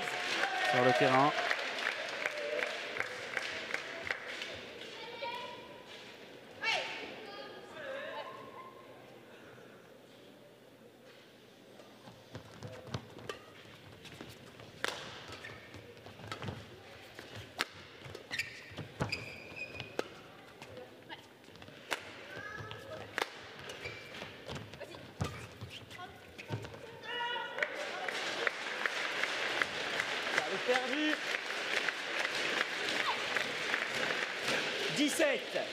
te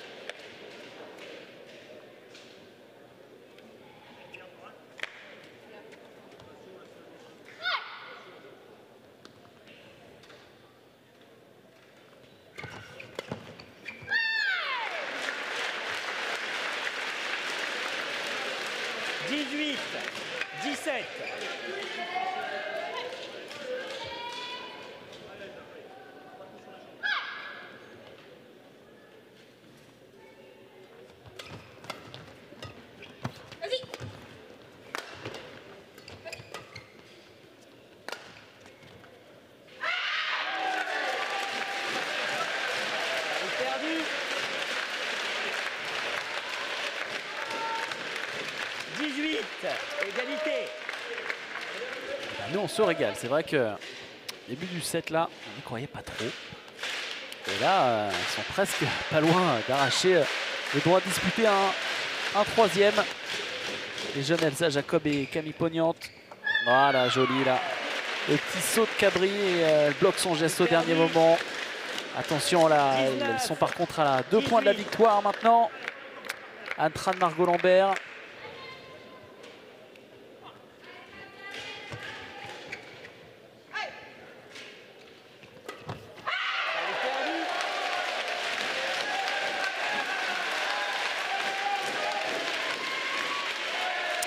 7 pour Jacob et Pognant, tout volant de match là maintenant. 19, égalité.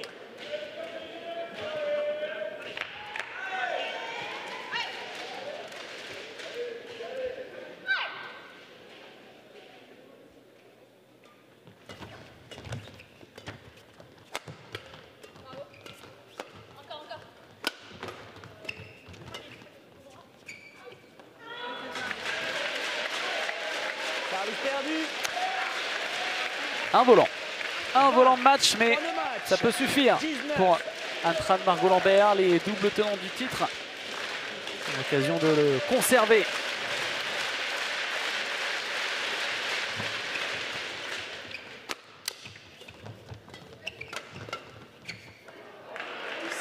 Annoncé dedans. Annoncé dedans. C'est gagné pour Antran et Margot Lambert, mais euh, vraiment pas facile ce deuxième set là pour elle. Elsa Jacob déjà titrée en mix tout à l'heure et Camille Pognante qui ont fait leur, leur, euh, leur match, leur set plutôt malheureusement dans le premier. Il a manqué quelque chose mais c'était très bien dans le deuxième. Donc 21, 19. Bon, pas de surprise dans ce tableau là. Donc les favorites eh bien, ont assuré leur statut. Elles conservent donc leur titre. C'est donc le cinquième pour Anne Tran et le quatrième pour Margot Lambert. On va avoir le, le podium, la Marseillaise. Je vais aller les retrouver pour l'interview traditionnelle. Et puis après, donc ce sera euh, grosse affiche, les frères Popov contre Corvé Labarre, le double homme. Je serai accompagné de William Villéger, donc le tenant du titre, qui va venir s'asseoir à côté de moi. On marque une très courte pause et on se retrouve dans quelques instants.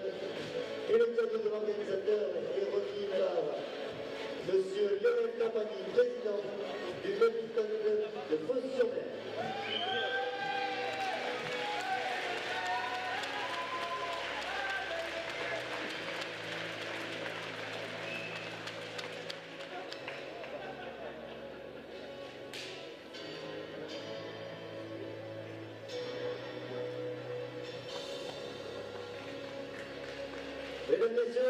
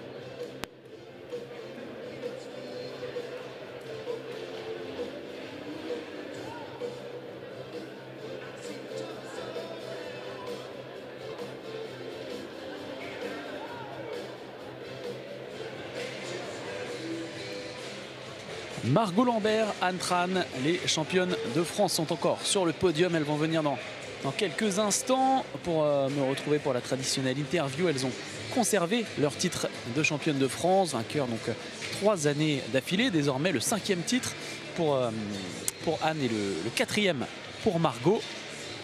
Et voilà qui sont appelés par Ludivine Lata de la Fédération française de badminton et elles vont arriver dans quelques instants. Plusieurs fois qu'on se retrouve comme ça à la fin des championnats de France puisqu'elles gagnent souvent. Donc forcément, on se retrouve souvent pour les interviews. Les voilà qui arrivent. Bravo les filles. Margot qui arrive aussi. Bonjour, bravo surtout. Je commençais à préparer les, les questions pendant le match, vers la fin du match, et euh, j'allais vous dire, bon, petite journée tranquille au bureau, mais finalement pas tant que ça, euh, elles se sont réveillées dans le deuxième set. Elles, ont, elles ont mis un peu plus de pression. Nous, on a peut-être un peu baissé l'intensité dans le jeu. Euh, donc, euh, ça fait que c'était très serré. Ouais. On s'est fait une petite frayeur quand même. Euh, elles, ont, elles ont fait leur match, euh, enfin, en tout cas leur deuxième set. Donc, euh, ouais, c'était intéressant, intéressant à jouer. Il y a eu un petit relâchement, non Ça, ça arrive, mais malgré le prof- professionnalisme, est-ce qu'on se relâche un petit peu parfois euh, inconsciemment? Ouais, il y a eu un petit, un petit relâchement, hein, on va pas se mentir. Euh, après, on, on a quand même su se reconcentrer pour, euh, pour faire le taf et gagner le, match en 2-7. Comment vous jugez cette nouvelle génération des euh, Verselot, euh, enfin plutôt la génération d'encore après, euh, Drouin, Marguerite, Pognante, toutes ces joueuses-là? C'est important d'avoir aussi de la concurrence, il y a du potentiel chez elles. Oui, clairement, euh, c'est bien de, bah, de faire ces championnats de France, de voir euh, les, jeunes qui arrivent. euh, c'est aussi intéressant de jouer contre elles. Je pense qu'il y a encore du chemin à faire pour, qu'on soit tout ensemble sur la scène mondiale.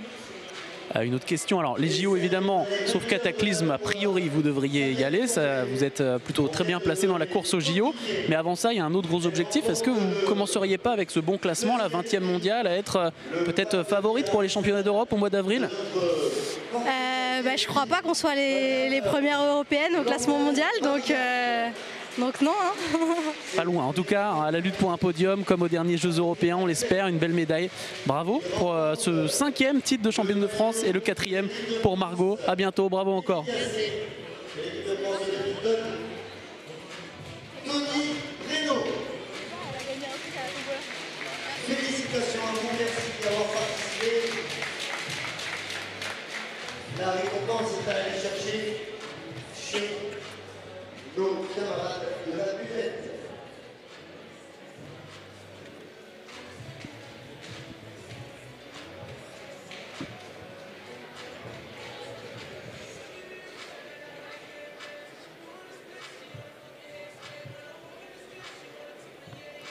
Voyez le programme voilà, qui s'est affiché, il a disparu évidemment depuis. Mais euh, avec ce dernier match qui nous reste à vivre ensemble, dans quelques secondes ils vont rentrer. Merci voilà la régie qui nous, les- qui nous le remet, Lucas Corvero dans la barre. Contre Christo Popov et Thomas Junior Popov qui ont eu un petit peu de temps pour, euh, pour se reposer après leur finale homérique en simple homme. Ils vont rentrer dans quelques secondes.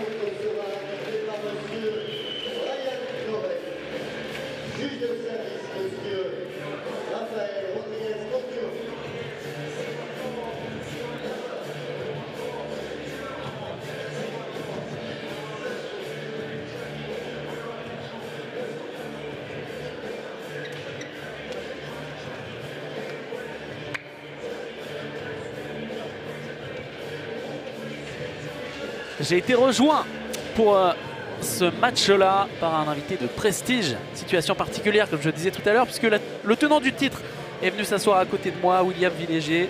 Salut, merci d'être là avec nous pour euh, cette finale du double homme, donc les Popov contre euh, Corvée et Labarre. C'est une, une belle affiche, c'était l'affiche attendue. Euh, ça va être bizarre de vivre ça un peu sur, euh, sur le bord du terrain, donc euh, voilà, jusqu'à encore quelques secondes avant de, de remettre ce titre en jeu. Donc l'année l'année dernière avec Julien Maillot, on s'était retrouvé pour l'interview d'après-match. Euh, J'échangeais justement des messages, euh, des, des WhatsApp cette semaine avec Julien Maillot qui me disait qu'a priori la, ta convalescence, enfin ta rééducation, ça devrait prendre encore deux mois, quelque chose comme ça, c'est ça? C'est ça, oui. Donc c'est une blessure au poignet? C'est ça. Je me suis fait opérer euh, du poignet du coup le, le 15 septembre. Donc euh, je reprends bien les entraînements en ce moment. Et je serai de retour sur le- les terrains euh, dans très peu de temps. Euh, L'objectif ce sera de revenir sur euh, la journée d'interclub, la J9, pour mon Ouais. premier match en compétition, on va dire. Donc avec Strasbourg C'est ça. Parce que tu, tu viens d'ici, tu viens de Miramas si je dis pas de bêtises. Et ça oui. Et euh, donc on est, on est tout proche, tout proche de Fos-sur-Mer. Un régional de l'étape malheureusement. Tu n'as pas pu les disputer euh, sur le terrain, mais tu as été là pour euh, assister au match là, depuis, depuis vendredi. Ça fait bizarre de voir les championnats euh, quasiment à la maison, non? C'est ça, ouais, ça fait, ça fait bizarre. euh, ouais, je suis pas du club, mais comme si j'étais à la maison, donc euh, de venir à la salle, euh, être au bord des terrains et de pas pouvoir participer, ça, c'est un peu, un peu décevant, mais a un petit goût amer quand même, Ouais. oui. Forcément, forcément. Bah, c'est le jeu malheureusement, voilà, le, le risque avec les blessures. Bon, on espère que, que ça, va, ça va bien se passer avec ce retour, donc euh, probablement vers le, vers le mois d'avril alors. Et puis euh, avec, euh, avec Julien Maillot, parce qu'il y avait de, de belles choses. L'année dernière, c'était pas vous qu'on attendait le plus, malgré que euh, Julien avait déjà été champion de France plusieurs fois. Et euh, vous aviez battu en demi-finale Corvée là-bas. Et en finale, les frères Popov, en 2-7 d'ailleurs, si je dis pas de bêtises. Donc on a vraiment un témoin privilégié qui les connaît très bien, qui les a battus il n'y a pas longtemps. Donc ça va pouvoir démarrer dans quelques instants. Alors Lucas Corvé, on va vous parler un petit peu de Ronan et Lucas, puisque on a déjà vu Christo et, Tommy tout à l'heure. Lucas Corvé, 30 ans, 1m90, qui avait été euh, champion deux fois en simple homme par le passé.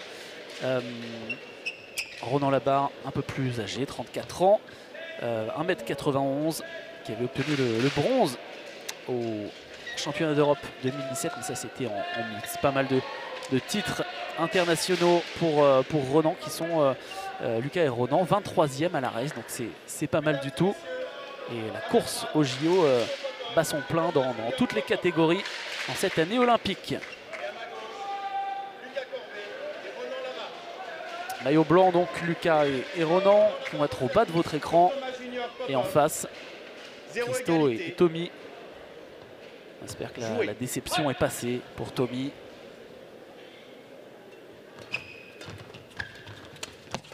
Bon,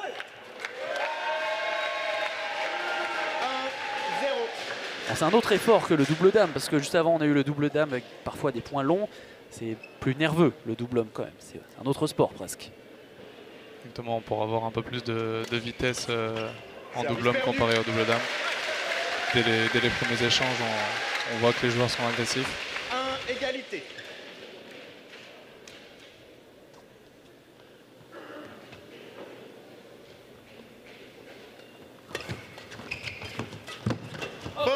Christo qui a surgi. Qu'est-ce qui se passe? Il a touché le filet, non? Christo qui touche le filet.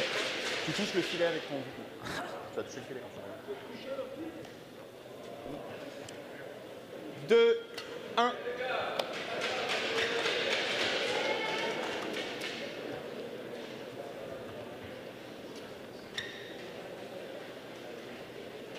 Jouer.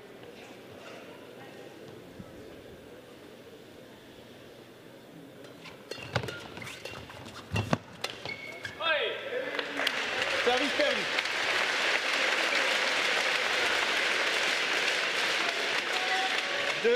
Deux, Égal. égalité.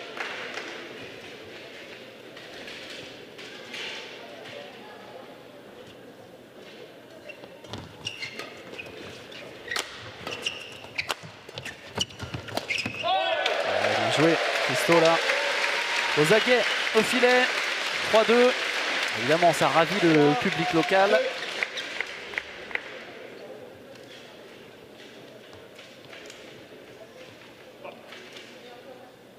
Jouer.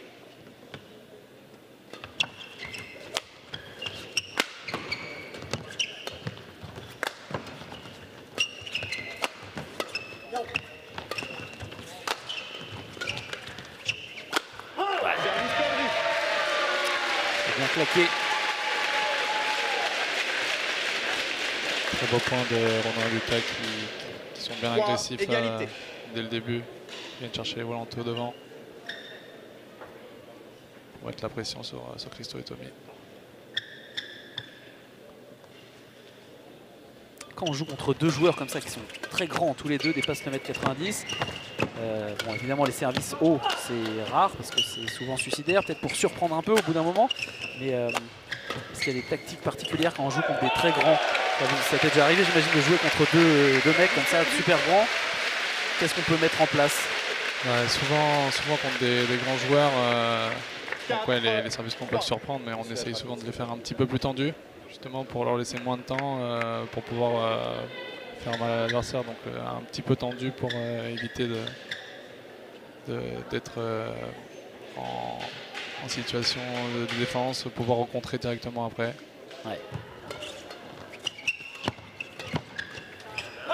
Service perdu. Tommy qui, qui teste un petit peu. Égalité.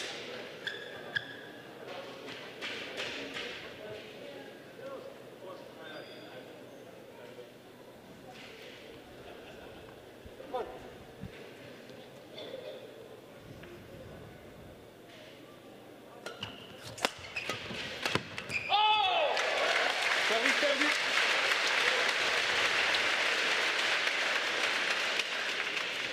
Cinq, quatre.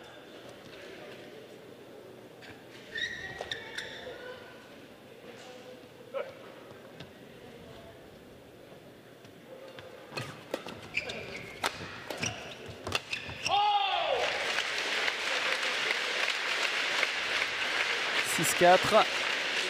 6, Il y a une tournée asiatique euh, pas mal pour euh, Lucas et, Ronan là euh, au mois de janvier. C'est un peu plus dur quand même en double depuis une bonne année hein, pour, pour Tommy et, Christo. En simple, il y a des, coups d'éclat, mais en double, ça fait. voilà, il y a eu la grosse éclaircie des Jeux européens. Et globalement, 2023, ça a été un peu plus dur. Service perdu. Et tout à l'heure, je vous parlais aussi des nombres de titres là pour euh, Anne Tran, cinquième Cinq, titre. Et, euh, Ronan lui vise le neuvième. C'est quand même assez impressionnant cette longévité, à la fois en mixte et en, en double homme.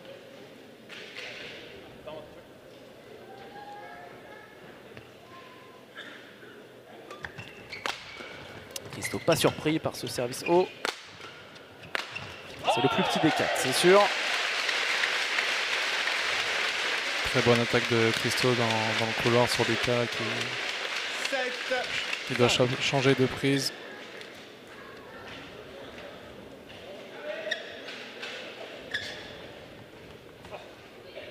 Est-ce que c'est déroutant, alors justement pour les avoir joués euh, l'année dernière, mais c'était pas la seule fois, j'imagine, déroutant de jouer contre euh, deux joueurs de simple qui jouent ensemble en double Est-ce qu'ils font des choses entre guillemets inhabituelles? Bah, surtout Tommy et Christo qui, qui sont très forts en, en défense. Du coup, ils ont une bonne couverture de terrain déjà en simple. Donc en double, c'est encore plus dur de mettre le volant par terre. Donc les deux, ils, euh, ils en jouent beaucoup de ça, euh, de leur défense. Où, ouais, c'est très dur de mettre le volant par terre. Christo qui est un peu plus euh, rapide vers l'avant, qui, qui a aussi un peu plus des coups de double comparé à Tommy qui met un petit peu moins de pression.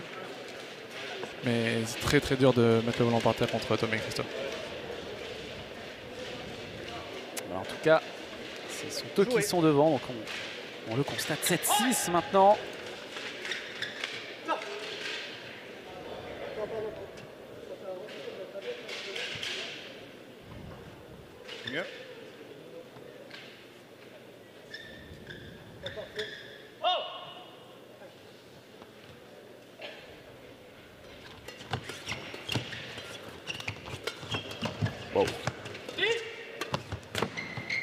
Ah, c'est loin, hein, c'est loin, c'est très loin, ça craque.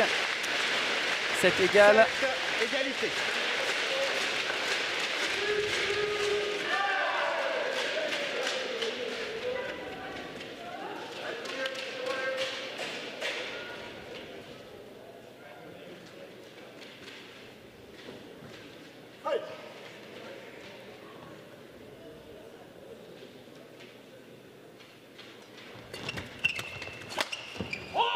Service perdu. Bon retour de Christo. Ronan un petit peu en retard. Il redonne l'attaque facilement.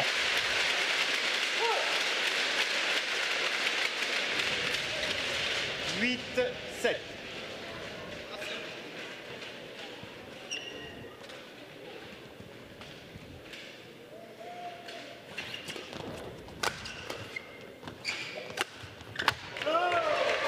C'est dedans.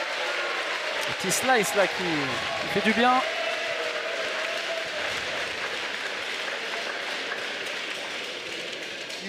Égalité. Bonne variation de, de Lucas. C'est sur ce genre d'attaque-là qu'ils réussiront à, à mettre le volant par terre. Pensez à bien varier contre Tommy et Christo. C'est important. Ah,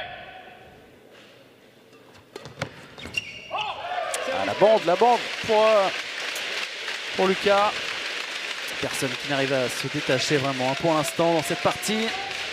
9, 8.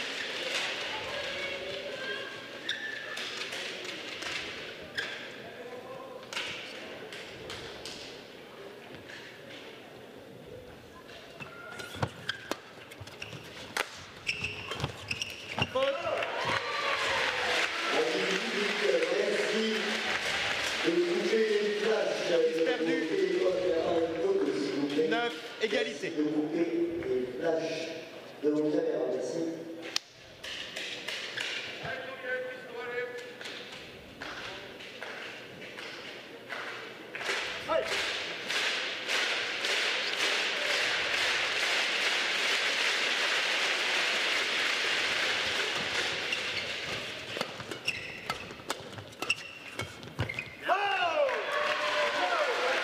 Une bonne pression vers l'avant de Lucas et Ronan qui va permettre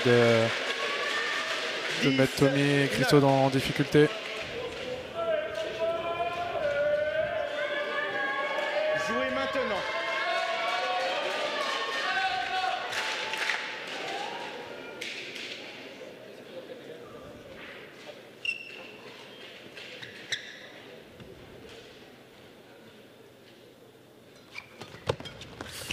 Remis en ras du filet.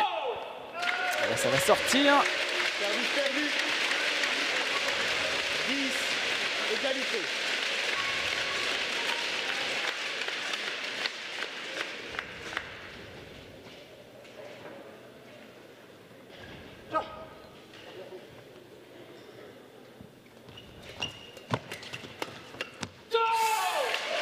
C'est boisé. Ça va rester chez euh, Labarre et, et Corvée. Bon, match euh, très serré pour l'instant.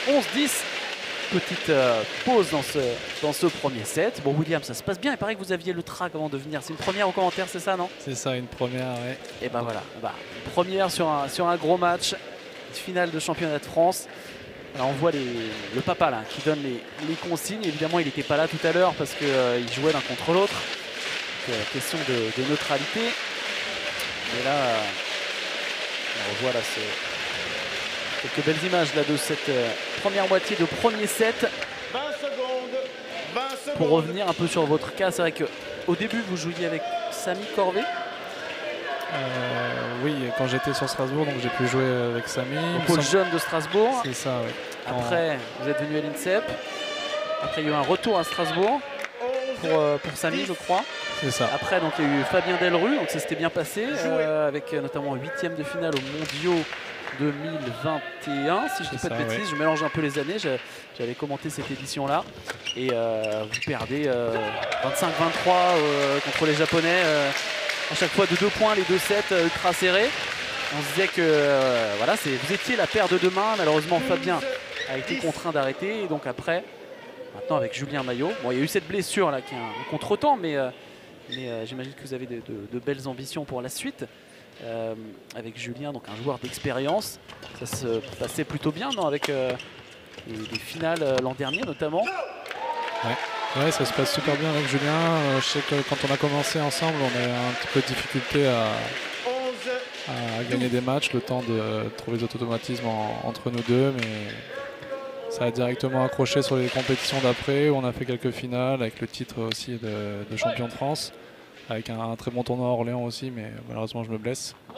Donc euh, avec Julien ça, ça promet. Euh, On, était sur une bonne lancée. et dès mon retour, on, fera ce qu'il faut pour, euh, pour revenir au niveau. Bah oui, vous êtes, vous êtes complémentaires, deux profils complémentaires. Et non, mais ce que je lui disais, bah, je peux le dire à l'antenne aussi, je pense que enfin, je vois pas pourquoi vous pourriez pas arriver aux alentours euh, au moins de la 20e place mondiale. Clairement, euh, vous avez tous les deux du talent et, euh, et encore de, de belles années devant elle, devant, devant vous, pardon. Donc euh, on y croit, on y croit pour la suite. Et euh, voilà, prendre le temps de bien continuer à se, à se soigner. Et on, on suivra ensuite pour la fin de l'année euh, 2024. C'est vrai que Julien, on le connaît depuis longtemps, mais il a même pas encore 30 ans. Donc euh, il reste encore du temps. Vous avez de belles années devant vous. 13, 12. Bon, ça ne se lâche pas là, sur ce terrain. Toujours euh, un point d'écart.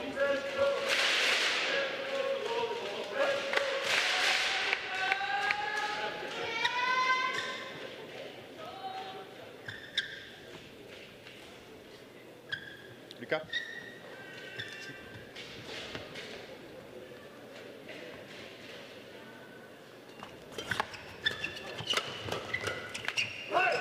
Service perdu.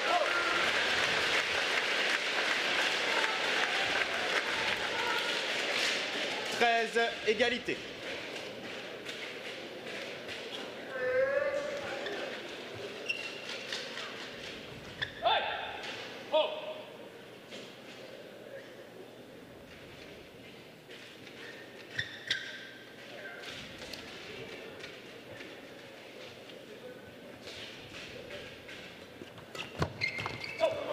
Service perdu. Aux aguets tout de suite, un retour euh, un peu tournoyant là. Compliqué à relever pour, euh, pour 14, Lucas. 13.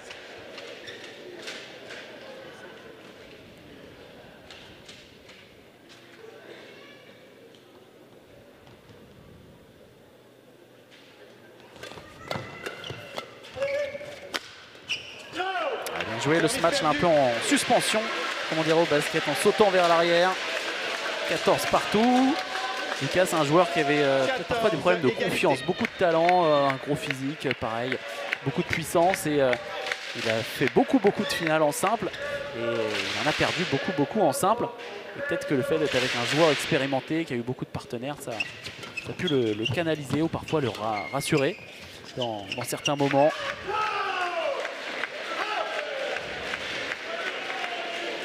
15, 14. Est-ce qu'à l'INSEP, on travaille aussi le mental euh, dans le double? C'est quelque Oui. chose d'im- d'important. Ouais, c'est- comment, comment on travaille le mental? Sur, sur l'INSEP, on a, on a des, des préparateurs euh, qui peuvent nous aider. euh, la plupart des joueurs sont suivis. C'est vrai que c'est- ça reste très important. C'est qu'il y a des sportifs qui sont suivis aussi par des psychologues. Je ne sais pas si c'est le cas des, des gens de l'INSEP pour le bad et les autres sports. Ouais, à l'INSEP, euh, certains joueurs ont aussi euh, suivi avec des, avec des psychologues. Aïe aïe aïe aïe aïe la bande Cette fois avec les pop-off. 15, 16.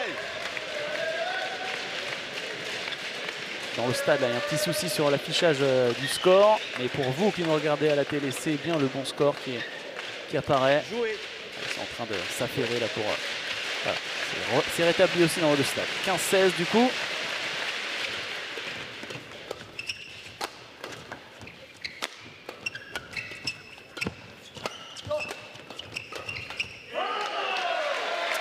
Pris pour cible. Encore une fois, une bonne pression vers l'avant de Ronan et Lucas. Où Tommy et Christo se retrouvent en difficulté en défense.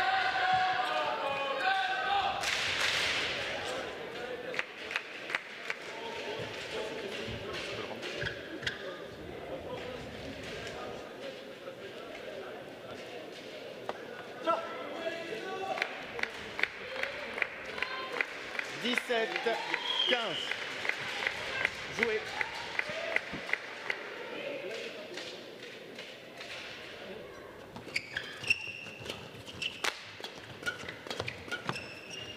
Oh, ça sort. Service perdu. Il y a pas mal de vitesse hein, dans les volants, des trajectoires tendues. Personne qui ne veut euh, vraiment reculer.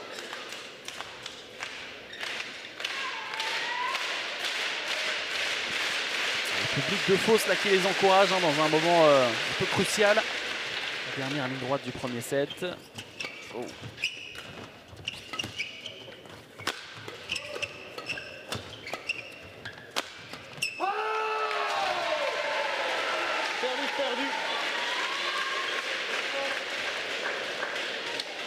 18, 16.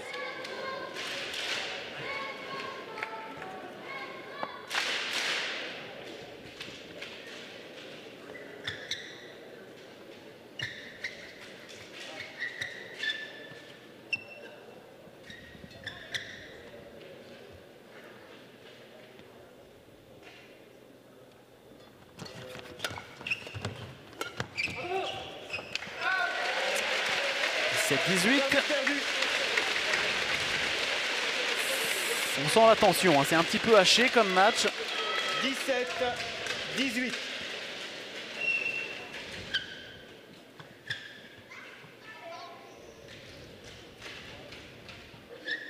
Lucas, lettre, Lucas.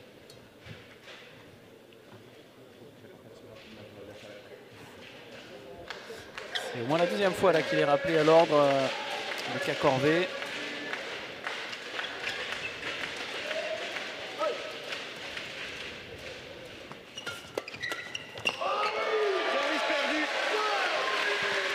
Bon retour, bonne prise d'option de Lucas.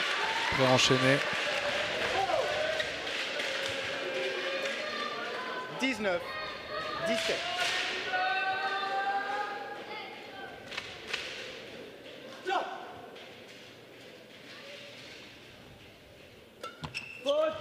Faute au service annoncé. Trop haut. Au-dessus du mètre Service 15. perdu. C'est point pour l'adversaire du coup. 18, 19. 18-19. Ça intervient à un mauvais moment pour euh, Ronan et Lucas. Ça, C'est pas facile, notamment pour vous qui êtes grande taille. Les, euh, donc, euh, William, euh, Tommy, il faut toujours se, se plier un peu pour Ronan, Lucas. Voilà, dès qu'on dépasse le mètre 90, c'est pas une règle qui arrange tout le monde. Mais bon, en tout cas, là, ça fait point pour les Popov.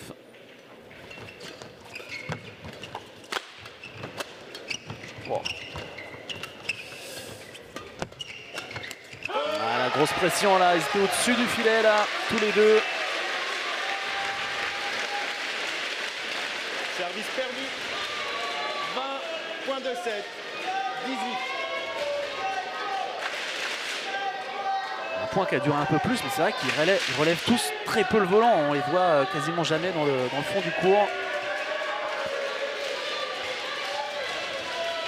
Deux volants de premier set.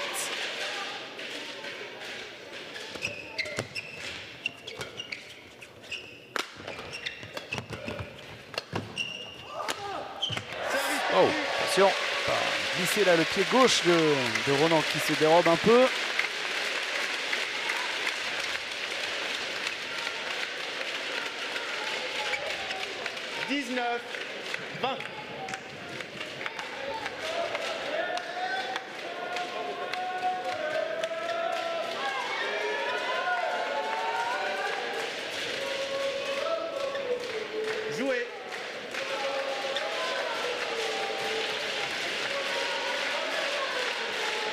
Deuxième opportunité, la grosse pression sur euh, Christo au service.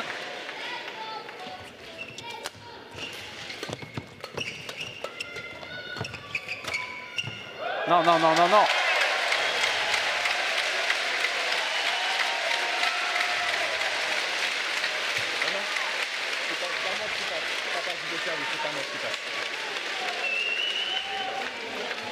Tu passes par moi. Tu vas pas le voir, tu passes par moi. 20, égalité.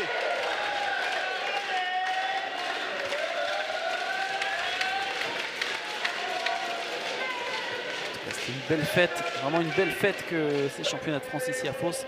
Et là, vous ne voyez pas, parce que vous voyez euh, là à l'écran toute la tribune du bas, mais il y a une tribune deux fois plus grosse au-dessus et il y en a aussi de l'autre côté, donc c'est pas mal rempli. Perdu. 21, 20. Allez, troisième volant de premier set. Oh non, pas de provocation s'il te plaît.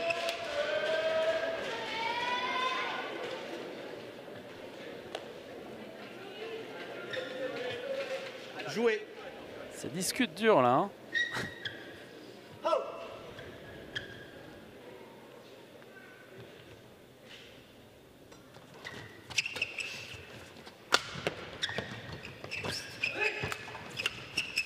Eh oui, eh oui.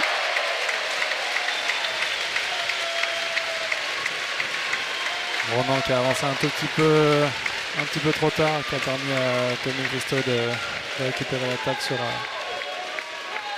ce volant.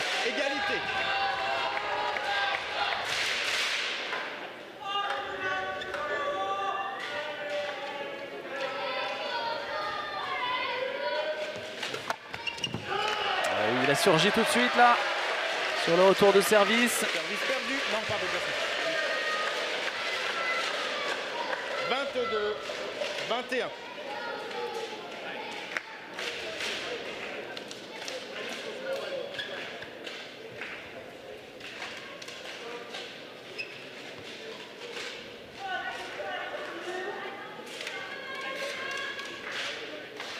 Jouer.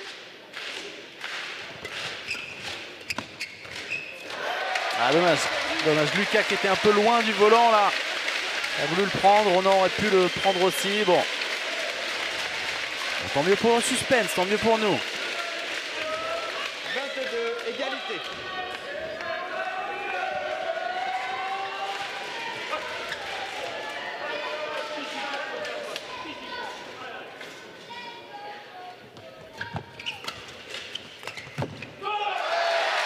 Attaque au corps là presque sur Ronan. 23-22 à leur tour d'avoir une euh, opportunité là de gagner ce set. «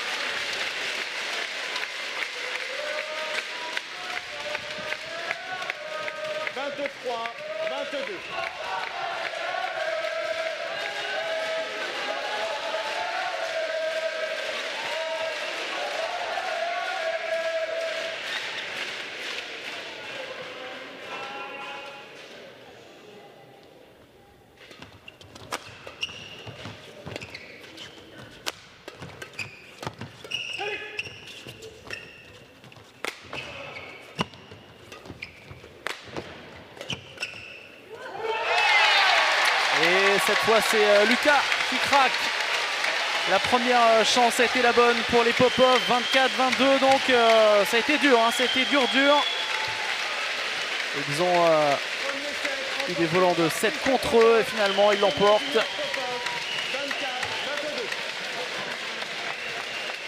Il y a le petit frère là en rouge au fond de votre écran là qui part vers la gauche, c'est Boris. Peut-être la relève, il doit avoir une quinzaine d'années maintenant Boris. Ça, tient, ça tient ses promesses ce match, hein, c'est serré. Tout à l'heure on parlait des grands. Est-ce qu'il y a des joueurs que euh, vous n'aimez pas jouer? Est-ce que par exemple à l'inverse deux petits qui, euh, qui bondissent partout, euh, c'est aussi compliqué à, à gérer? C'est quoi un peu votre, euh, votre Ça- kryptonite? Ça peut l'être aussi. Moi, je pense que c'est plus, par exemple, de jouer contre Christo. Quand on a des gauchers droitiers, c'est un peu plus, peu plus embêtant. Donc, euh, faire attention. euh, quand on joue dans le coup droit de l'un, euh, bah, c'est- de l'autre côté, c'est le coup droit de l'autre. Donc, faire attention aux prises d'options qui sont plus fortes sur le côté coup droit. Je dirais plus euh, quand on joue des gauchers droitiers, des petits, à la limite, ils peuvent être plus rapides. Comme Christo aussi, qui, qui est assez rapide, qui peut mettre vite beaucoup de pression vers l'avant. C'est quoi la paire C'est qui la paire qui vous a le plus impressionné dans les adversaires rencontrés par le passé? Imaginez, il y en a plusieurs. Euh, ouais, je dirais euh, les Japonais, Oki Kobayashi. Ouais, On- ancien champion du monde, ancien numéro 1 mondiaux. Donc euh, je les ai joués deux, deux fois et ça a, été, ça a été très dur, très impressionnant. euh, très dur de mettre le volant par terre. euh, Ah, puis c'est pareil, il y a un petit, un grand. C'est ça. Qui frappe fort et euh, Oki qui est absolument partout, euh, qui est très bon au filet aussi. Pour ce deuxième set, faites un maximum de bruit. D'ailleurs, je crois que c'est 2021 euh, où ils sont champions du monde euh, en Espagne, si je ne dis pas de bêtises. C'est ça, oui. Second set. Zéro égalité. Allez, ça va reprendre là. Deuxième manche. Les frères Popov désormais au bas de votre écran.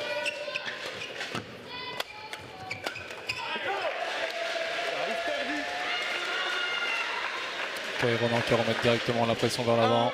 Zéro.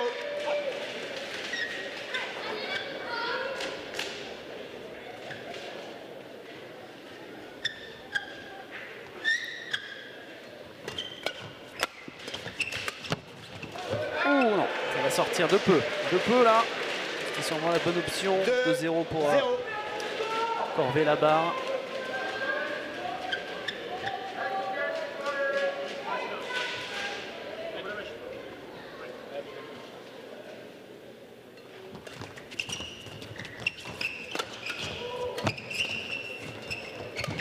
Waouh, waouh, waouh, le rush là au filet de mais c'est bien défendu. Christo là, un volant euh, haut et court, forcément. Ça allait être compliqué. Je pense qu'il a peut-être hésité.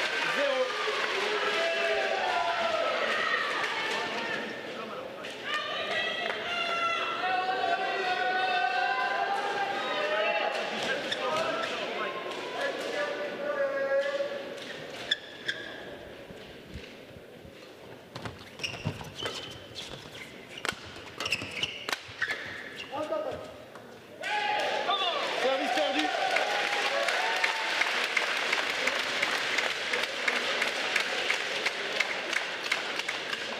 Un, trois.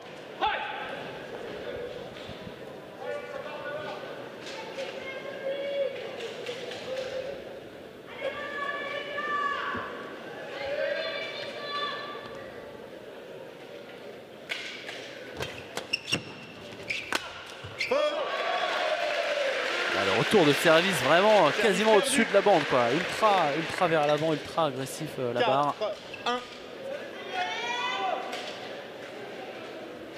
Service de Tommy un petit peu haut, directement les adversaires ils prennent l'avantage, ça pardonne pas.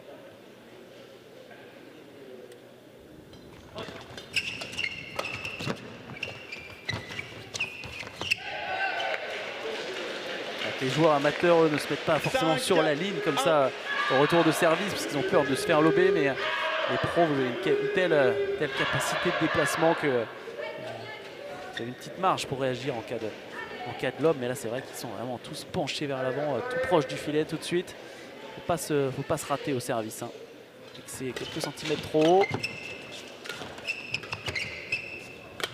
Encore plus quand on joue contre des grands joueurs.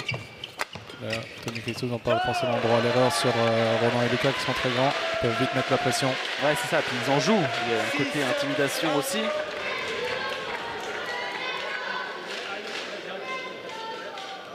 Christo, Tommy.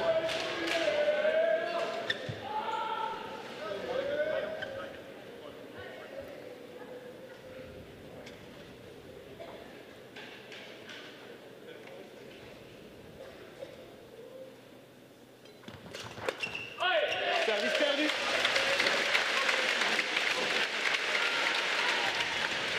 Deux, six.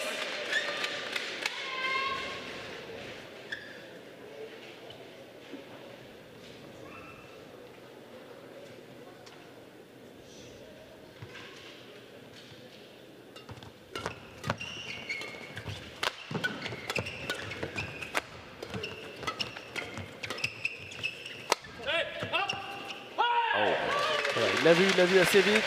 C'est sorti assez largement. 3 à 6. 3, 6.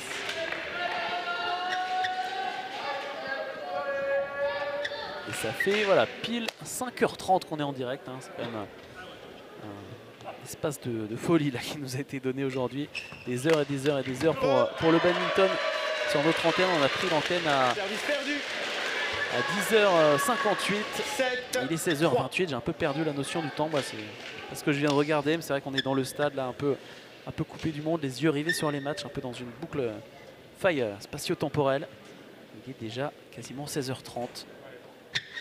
On continue de se régaler avec ces championnats de France. Jouer.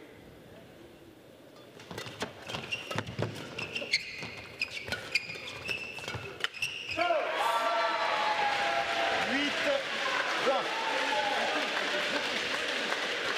Bonne trajectoire de Lucas qui permet pas au, frère Popov de, de prendre l'avantage sur ces coups-là.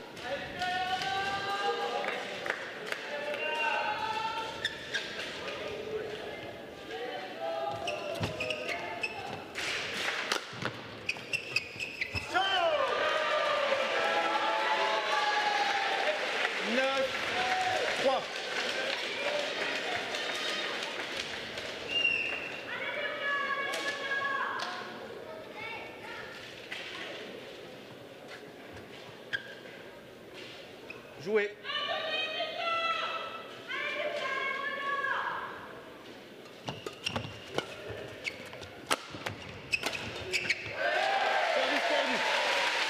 suivi de la part de, de Christo là.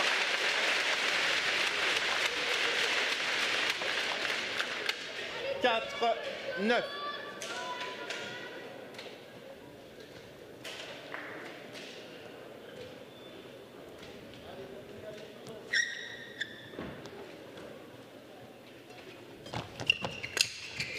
Ça se choque les raquettes. Oh, aïe aïe aïe aïe aïe aïe. Il va s'en vouloir, Tommy. Il avait tout le cours ouvert là et Lucas qui a vu que ça sortait.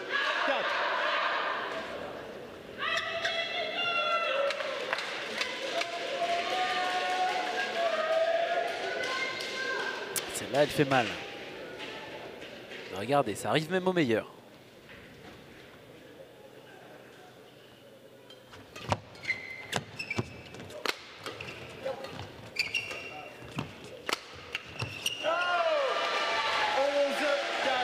Arrêt de jeu. Petite pause dans cette deuxième manche et euh, un petit peu la, soupe à la grimace pour l'instant. Dans le camp des Phocéens, ils ont arraché le premier set après avoir subi plusieurs volants de, volants de, set. Voilà. Un petit, un petit relâchement peut-être. Peut-être Ronan et, et Lucas qui en ont remis un, un peu plus aussi, qui ont su réaccélérer.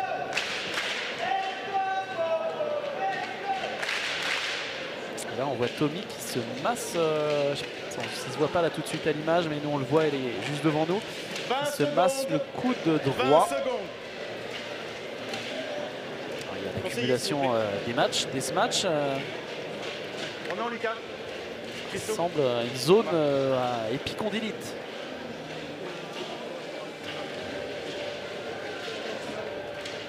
J'espère que c'est juste une petite tension passagère. Ce serait dommage qu'une blessure vienne perturber ce match. 11, 4. Joué.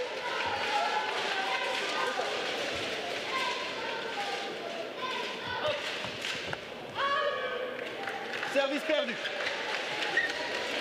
5, 11.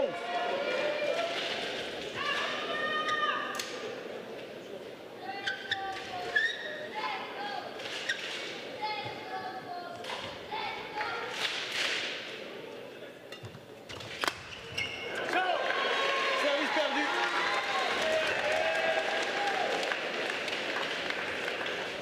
Douze, cinq.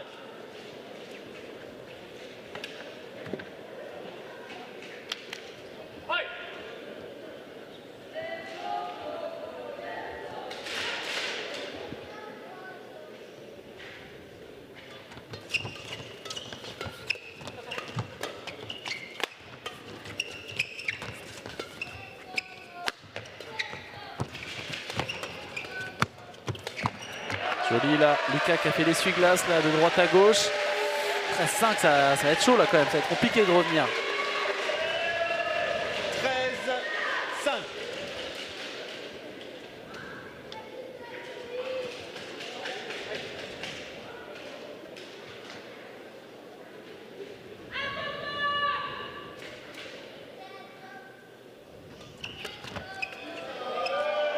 Variation en service de Lucas qui vient servir euh, quasiment dans le couloir. C'est ceux qui a l'habitude de se jeter un petit peu. euh, Ouais, un peu emporté par son saut presque là.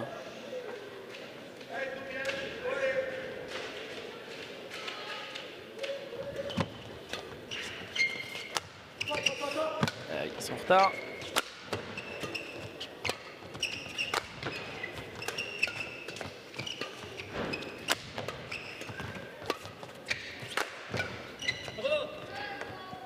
Il l'accompagne.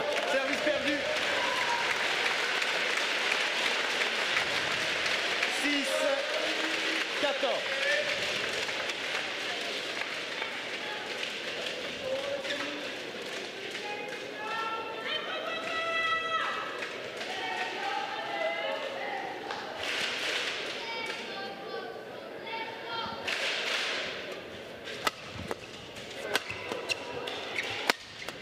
Ah, Ils sont en difficulté là depuis le deuxième coup de raquette. Ça finit bien quand même pour euh, Tommy et Christo.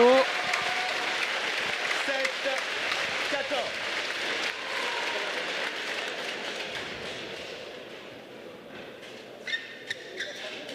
Thomas.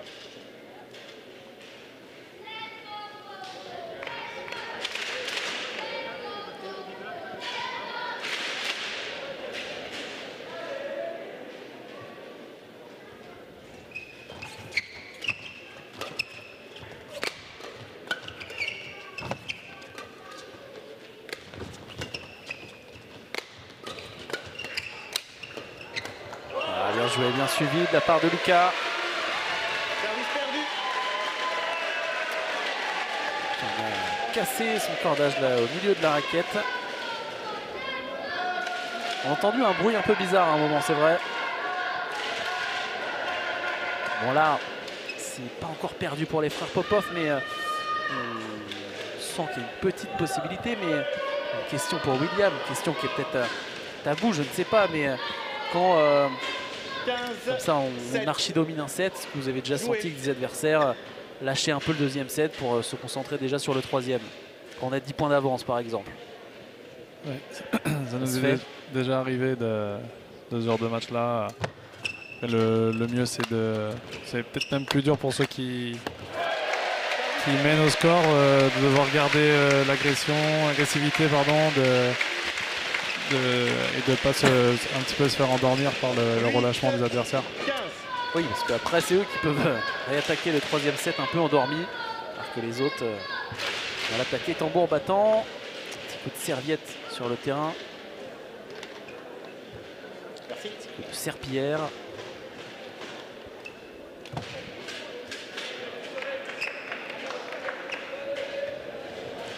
8, 15. Joué. Je crois qu'il y a euh, Elsa Jacob qui est sur les, les genoux de sa maman, là, je vous dirais. C'est ça. C'est rigolo comme image, euh, juste euh, en maillot blanc, là, juste à côté de Boris Popov. 9, 15.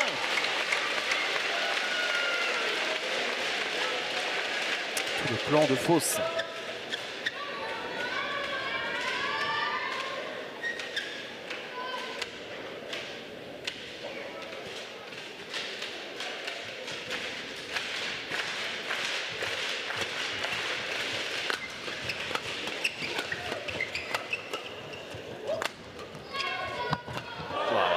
C'est compliqué là.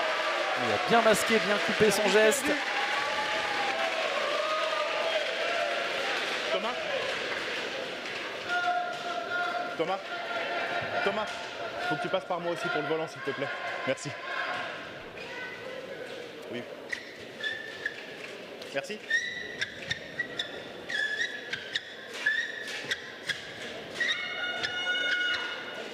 Seize, neuf. Joué.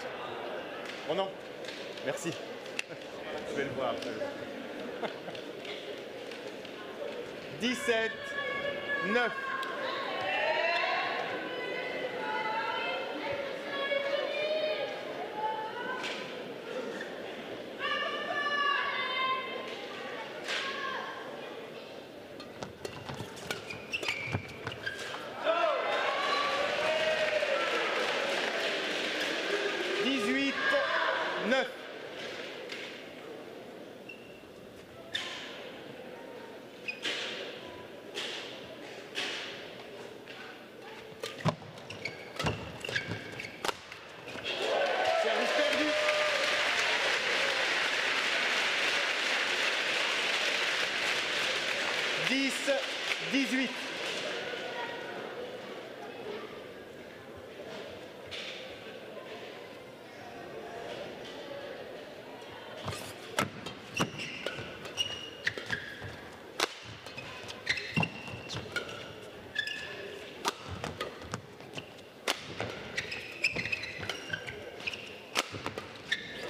Joué. Oh, ça aussi, ça passe de justesse. Christo là qui craque.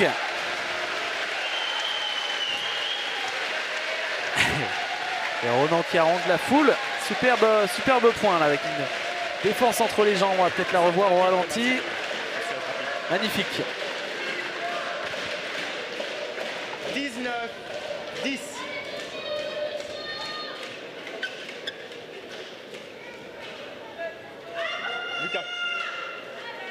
Mal embarqués, hein, les joueurs au maillot blanc.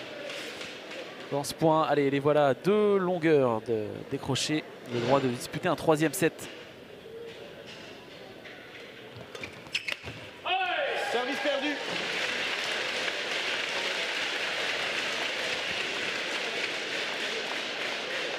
Onze, 19.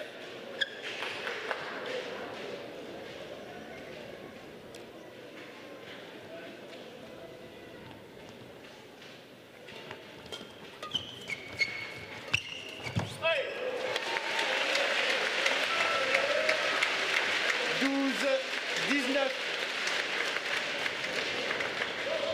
Sur ce genre de coup-là que Christo est, bon. Un peu le contrôle de simple où il arrive à faire des, bons contre-amortis. Vachement précis. C'est dur. Ah. Ça va faire 8 volants de 7 pour Corvée la barre.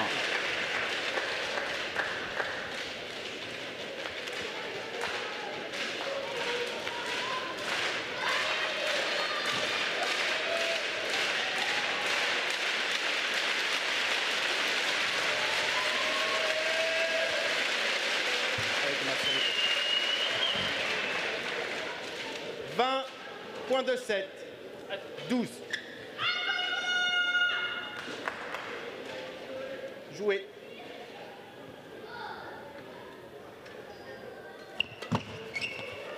Sept. C'est loin, c'est très très loin. On l'aura ce troisième set. Bon, ça a été beaucoup plus net hein, comme victoire que la, que la première manche euh, gagnée par les Popov qui vraiment l'ont arraché.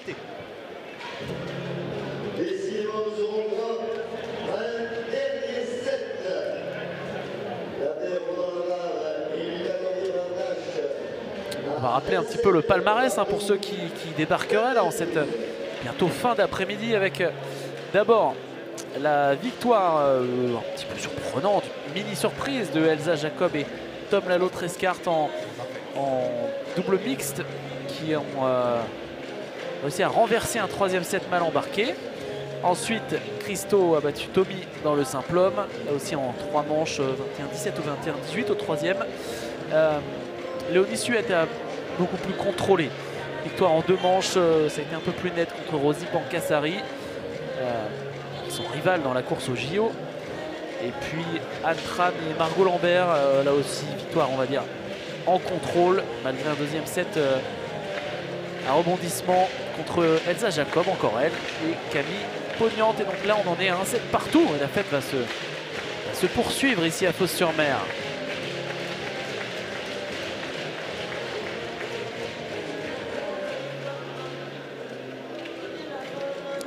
William, vous êtes arrivé en quelle année vous à l'INSEP? 2020 2020 La rentrée 2019, non? Alors j'ai refusé l'INSEP en 2018, il me semble que je suis rentré en 2021. Ah oui, après le Covid finalement. C'est ça. Parce que Ronan finalement à l'INSEP vous l'avez pas côtoyé tant que ça, parce qu'après lui il est reparti vivre dans le sud. Je crois que ça doit faire un an et demi, il a dû repartir vers septembre 2022, euh, 2022 repartir dans le sud. Et Lucas lui il était parti, il est revenu, c'est ça C'est ça, ouais. Ouais, je crois que je suis arrivé juste quand euh, Ronan est, est parti ou il commençait à partir. Et Lucas donc lui il était à ici les Moulineaux. D'ailleurs il a toujours le marqué ici les Moulineaux hein, sur son sur son t-shirt. Il est, il est fidèle à son club, malgré qu'ici Moulineaux a, a lâché le, le top 12. Et euh, il s'entraînait là-bas avec euh, Mickey Popov, donc l'oncle de, de Christo et, et Tommy. Et puis finalement, Mickey a été embauché pour l'INSEP, donc Lucas est revenu. Ouh, attention là Service perdu. 1, égalité.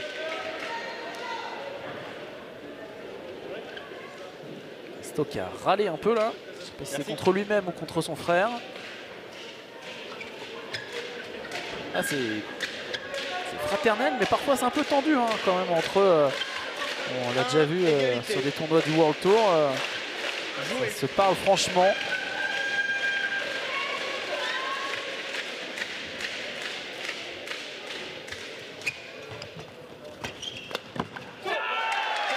Bien agressé.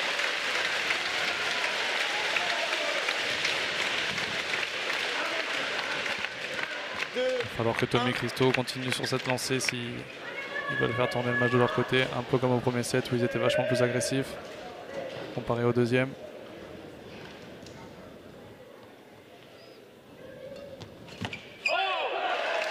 Bonne variation au service aussi, comme Ronan tout à l'heure. Service un petit peu excentré.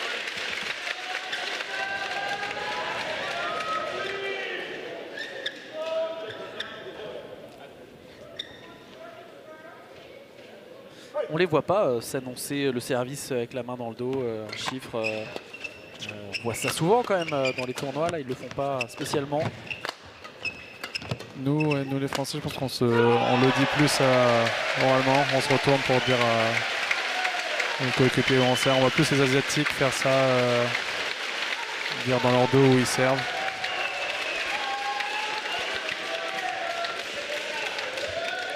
Ronan et Lucas, ils le faisaient aussi à une période. Donc, un c'est quoi? C'est sur le T au centre? Un sur le T, deux au centre et trois excentrés couloir.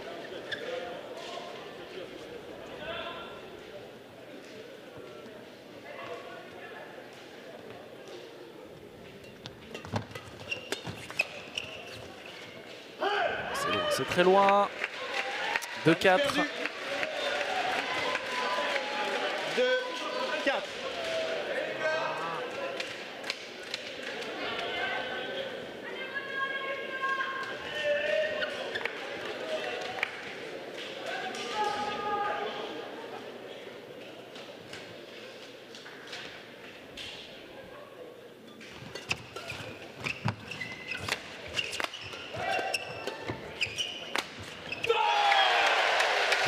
Court de Ronan.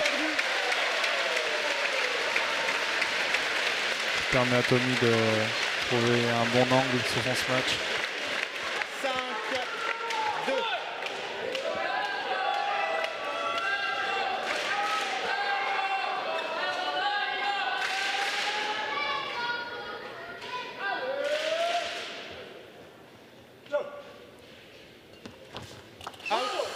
Service perdu. Ça tombe avant la ligne, ça a frôlé, ça a touché hein, la, bande là, du filet.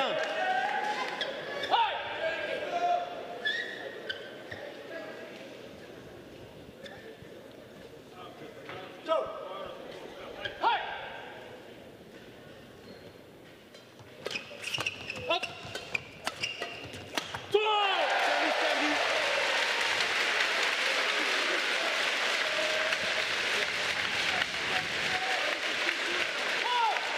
Six, trois. Les rôles se sont un petit peu inversés. Cette fois-ci, c'est Tommy et Christo qui trouvent des bonnes trajectoires descendantes qui permettent pas à Ronan et Lucas d'avoir l'avantage.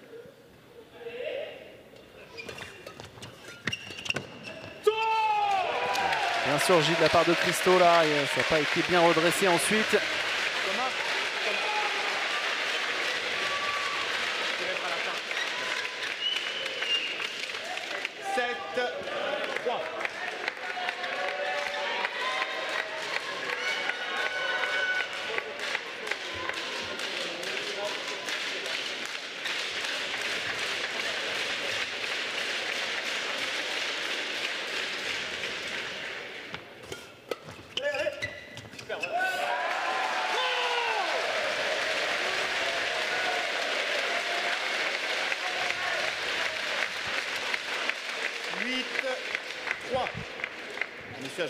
S'il te plaît.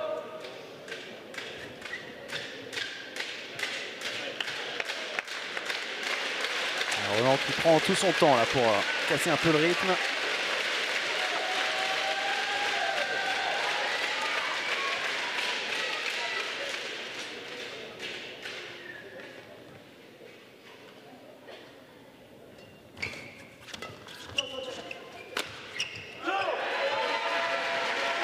Service perdu. 4, 8.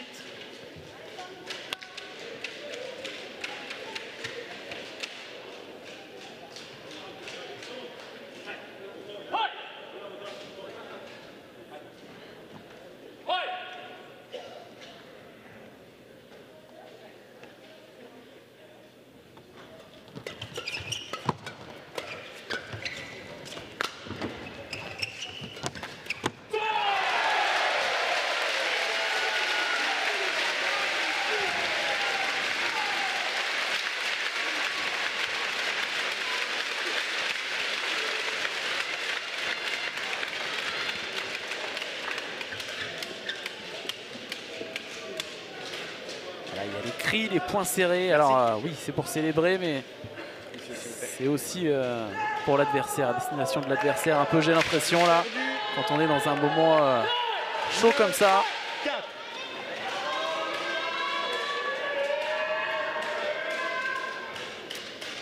On va dire que c'est viril mais correct, comme on dirait au rugby.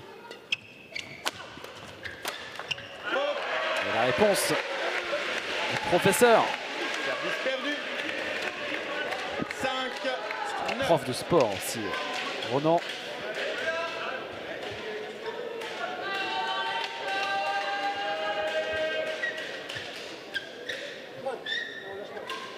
Joué.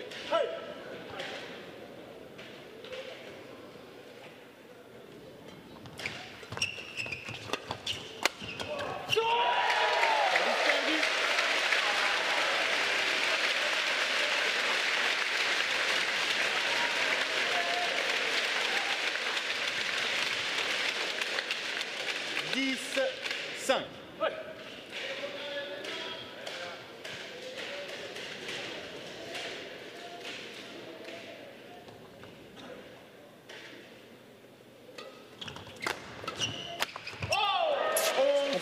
Manqué là, malheureusement. Pour Lucas Corvé, 11-5, on redéménage une dernière fois. La dernière fois de la journée même. Ah c'est chaud. C'est chaud chaud, on est tous euh, tendus là.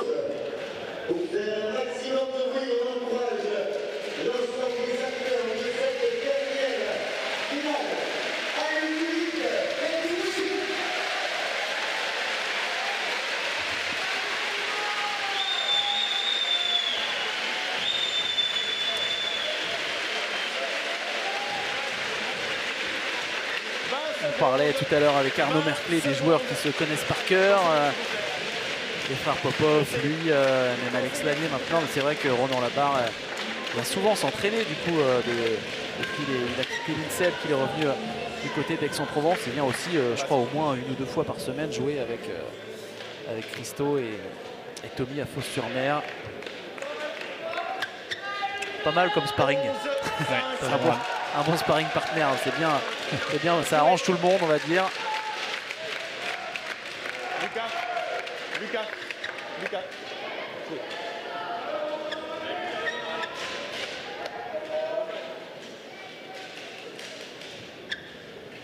Et même Lucas, hein, je crois, descendait avant de revenir à l'INSEP quand il était ici les Moulineaux. Il redescendait, voir aussi pas mal euh, Ronan dans le sud. Allez, ça a repris 11-5. Oh là là, magnifique, il a frappé plus fort là, à chaque fois qu'il a avancé.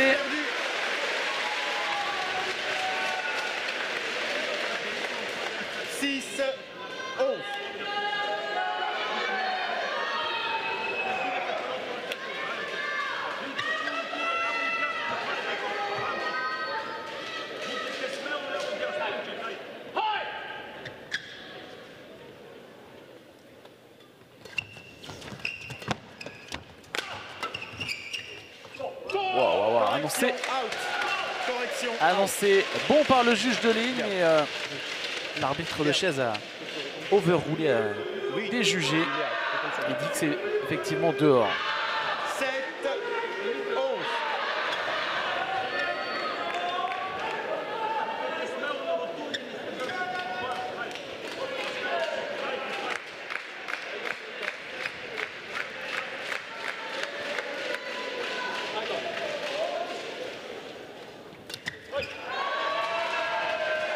Huit, onze. De Ronan qui lance la bande. Plus dur pour Christo de faire un bon retour.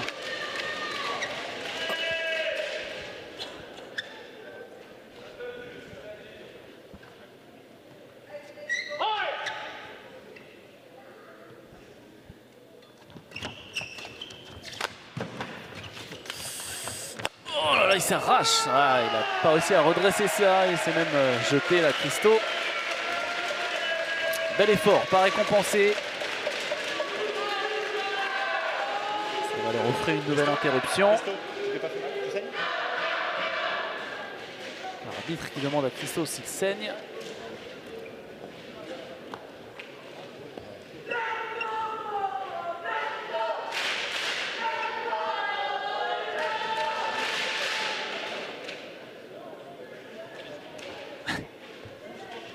prendre un bond de froid. c'est- Ouais.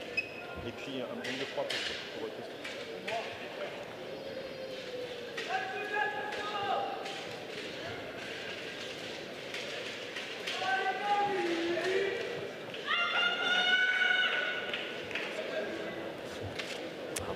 Là, vraiment tout en bas à droite de l'écran, on ne le voit pas. Et c'est euh, carrément le, le père de, Thomas et Christo qui remet du scotch là sur le, le- bord du terrain pour fixer la, la moquette puisque euh, Christo a tout arraché sur son passage visiblement.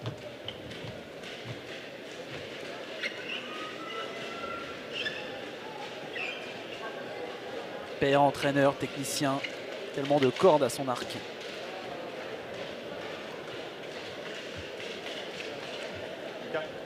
Avec un petit pansement à Christo.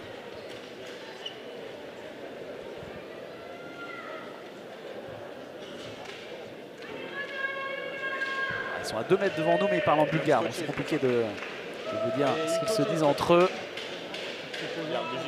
T'inquiète pas.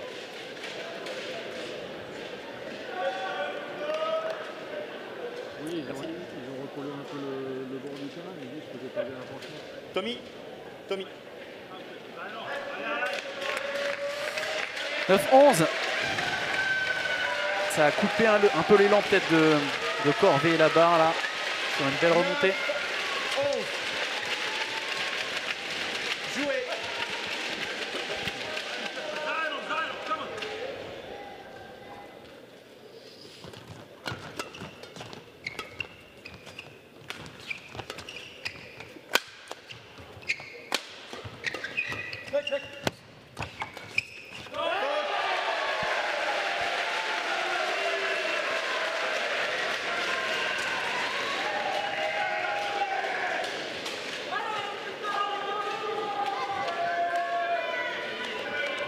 De Lucas et Ronan qui remettent une bonne pression. Christo et Tommy qui se retrouvent en difficulté en défense sur chaque volant de Ronan et Lucas. Ouais, c'est assez incroyable là, ce qui est en train de se passer. Alors je dois dire que là j'ai perdu le fil, mais il y avait quoi 11, euh, 11-5 à un moment? C'est ça. qui stoppe l'hémorragie là. Aïe aïe aïe, et ben non, ça continue. Égalisation. 11 égalité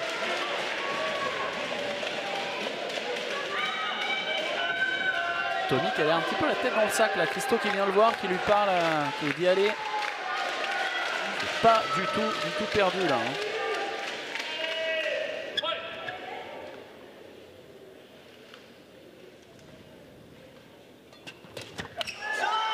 Très bon service de Ronan. 12 Et donc 7 points d'affilée.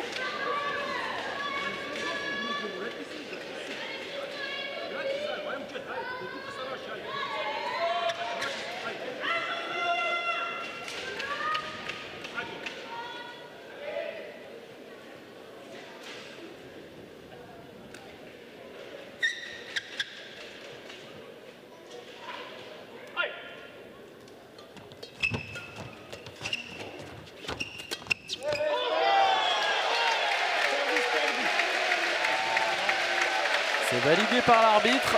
Point pour les Popov. Là, la raquette en opposition. Voilà qui stoppe la série de, la barre et Corvée sur le terrain, oh, sur le terrain. Ronan.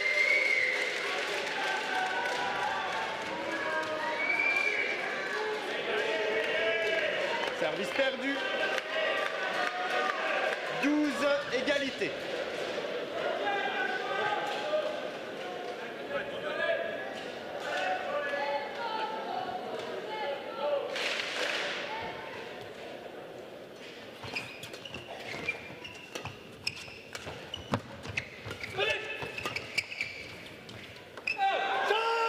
Service perdu.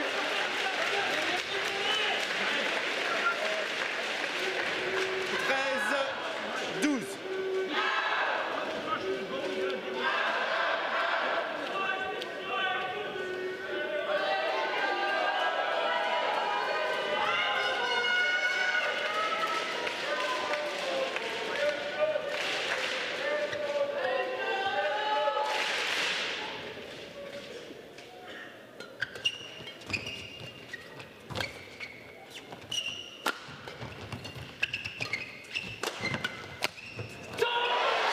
Superbe contre.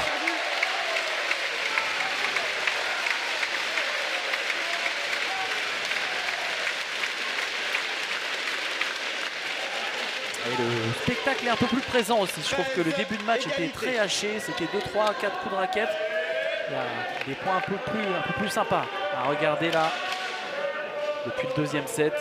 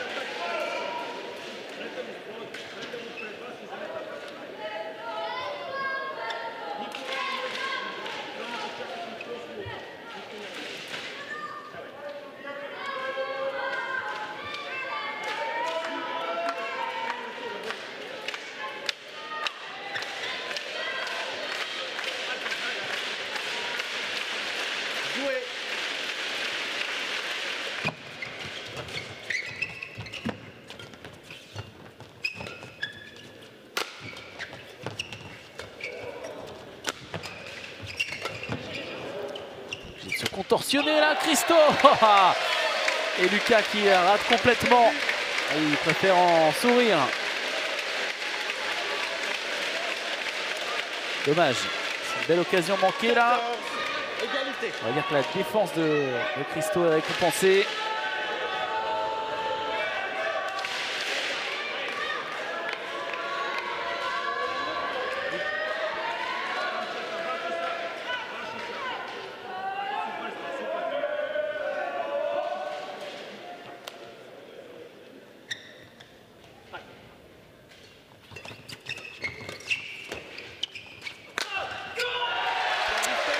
C'est le filet qui vient contrarier euh, Ronan.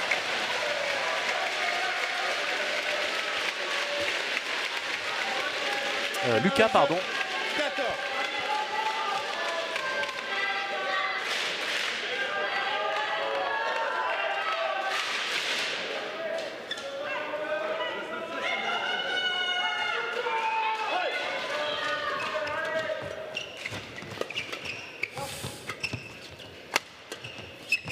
Aïe aïe aïe.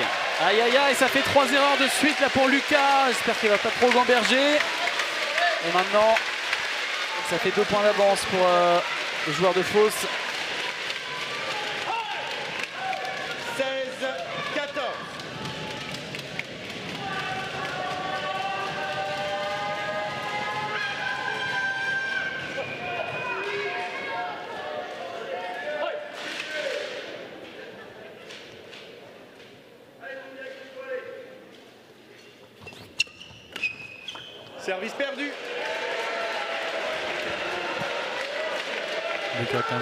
15, Marque le point avec un bois. 16.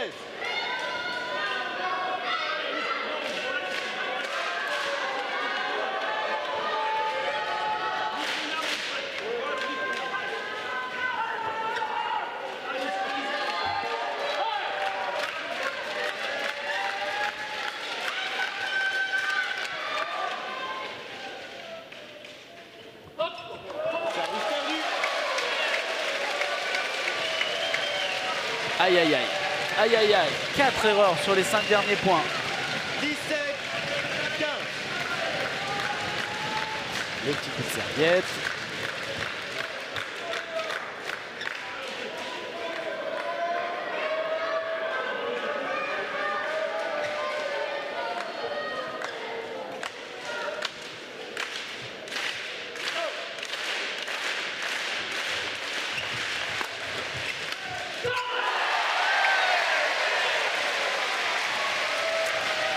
De ne pas les laisser filer maintenant là.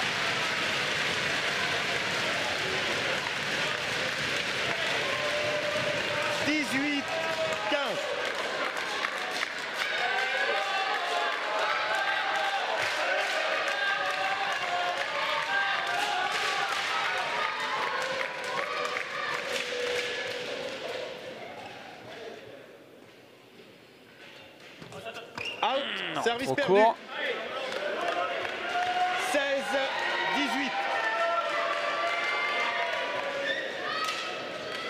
Un rapide, Thomas, s'il te plaît. On sent la tension des deux côtés là. Ah, c'est vrai. ça commence à être vraiment irrespirable là.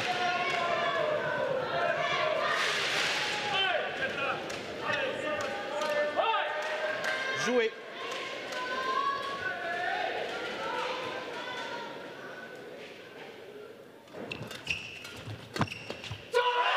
Service perdu. 19-16 à deux points du Graal. William, je vous remercie maintenant. Le match évidemment n'est pas fini. On reste ensemble jusqu'à la fin du match. Et dès que c'est se termine, je vais vite aller retrouver les vainqueurs avant le podium cette fois-ci. Merci beaucoup d'avoir été avec nous pour une première expérience. On a quand même un, un sacré match. On est plutôt bien tombé. On aurait pu avoir un 21-10, 21-12. Non, là, ça va se jouer à l'arraché au troisième. Rien, C'était un, un plaisir pour ma première de pouvoir euh, commenter ce match. Témoin privilégié. Tenant du titre, allez quoi? Encore deux points peut-être? Deux, trois points. 19. Surtout un, un local au micro. Allez. 17, 19.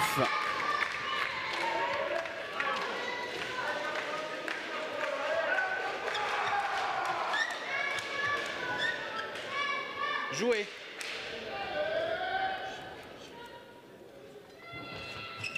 Oh, le bon retour de service là. Très bon retour de service. Le volant qui est venu mourir derrière le filet là.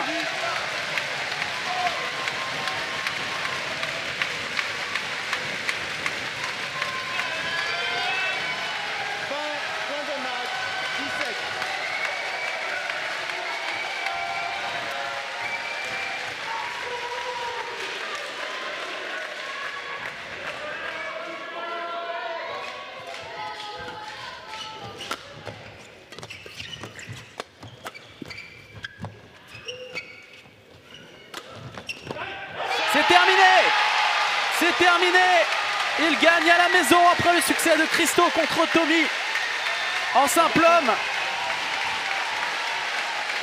Les voilà aussi sacrés en, en double homme. C'est la fête pour Fos-sur-Mer aujourd'hui. Trois titres.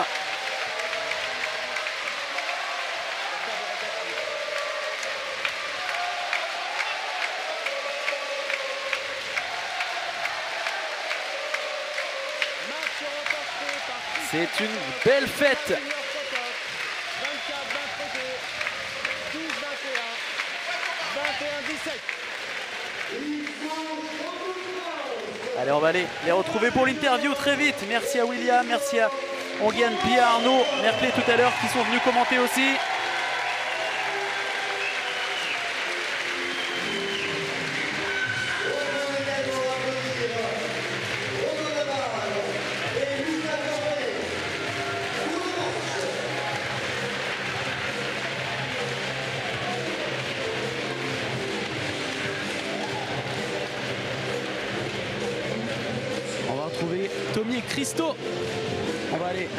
De la caméra peut-être.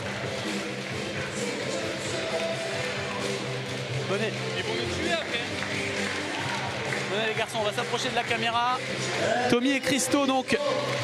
On va venir juste devant la caméra. Bravo les garçons, encore un titre pour Christo. Euh, vous aviez gagné en 2022. Vous m'entendez? Parce qu'il y a tellement de bruit. Demi-finale l'année dernière et là, une fin, une fin en apothéose. Oui, je pense que c'est un titre qui nous tenait à cœur, comme on l'a dit tout au long de la semaine. Euh, on est très très content de, de le retrouver et surtout à la maison avec un public vraiment qui est derrière nous, c'est en feu et franchement on est super content. Euh, vous jouiez contre des joueurs que vous connaissez bien, Ronan Labarre qui vient aussi souvent s'entraîner avec vous. Euh, il y a eu des petits moments, lui, vous, essayez de casser le rythme. On a usé de, de toutes, les, toutes les astuces possibles pour ce match, pour gagner ce match. Euh, oui, euh, franchement, euh, j'ai rien entendu. tu, tu peux le répéter ou pas Je disais qu'il y a eu, euh, on a usé de toutes les astuces possibles. Parfois, essayer de casser un peu le rythme, aller à, à la serviette, tout ça, parce que c'était vraiment tendu jusqu'au bout, quoi. C'était tendu jusqu'au bout et je pense que c'est pour ça qu'à la fin, ça s'est joué sur les nerfs, je pense. Surtout à partir de la fin du troisième, enfin voilà, milieu du troi- troisième, même si on menait 11-5, on savait qu'ils qu'ils allaient revenir. Et c'était à nous de rester solides et je pense que c'est ce qu'on a fait, même s'ils nous ont rattrapés, on a été plutôt euh, voilà, euh, ensemble, so- solides et on a joué euh, comme, il, comme il faut à la fin. Une autre question pour toi, est-ce que ça efface un petit peu la déception de tout à l'heure? C'est une belle fête pour terminer. Il n'y a pas de, de déception. euh, moi j'ai joué, voilà, il était plus près que moi, il a gagné, il était meilleur aujourd'hui, c'est que partie remise et voilà. Bravo, on vous laisse filer pour le podium, merci beaucoup, bravo les garçons. Faux-sur-Mer euh, en fête aujourd'hui avec donc trois titres plus une finale perdue. Ça a été vraiment un moment euh, magnifique, on les laisse filer vers le podium. Christo et Tommy voilà qui terminent euh, en beauté. Merci beaucoup de nous avoir suivis depuis euh, 10h58 ce matin, plus de, de 6 heures de direct pour ces championnats de France ici à la Halle Parsemin de Fos-sur-Mer. Merci à toutes les équipes techniques, au club de Fos, à mes consultants, à tous les gens de la fédération. Ça a été vraiment un superbe après-midi. Merci de nous avoir suivis et à très bientôt. N'oubliez pas aussi du 5 au 10 mars, les IFB à Paris. Prenez vos places pour aller voir une autre fête du badminton en France. Ciao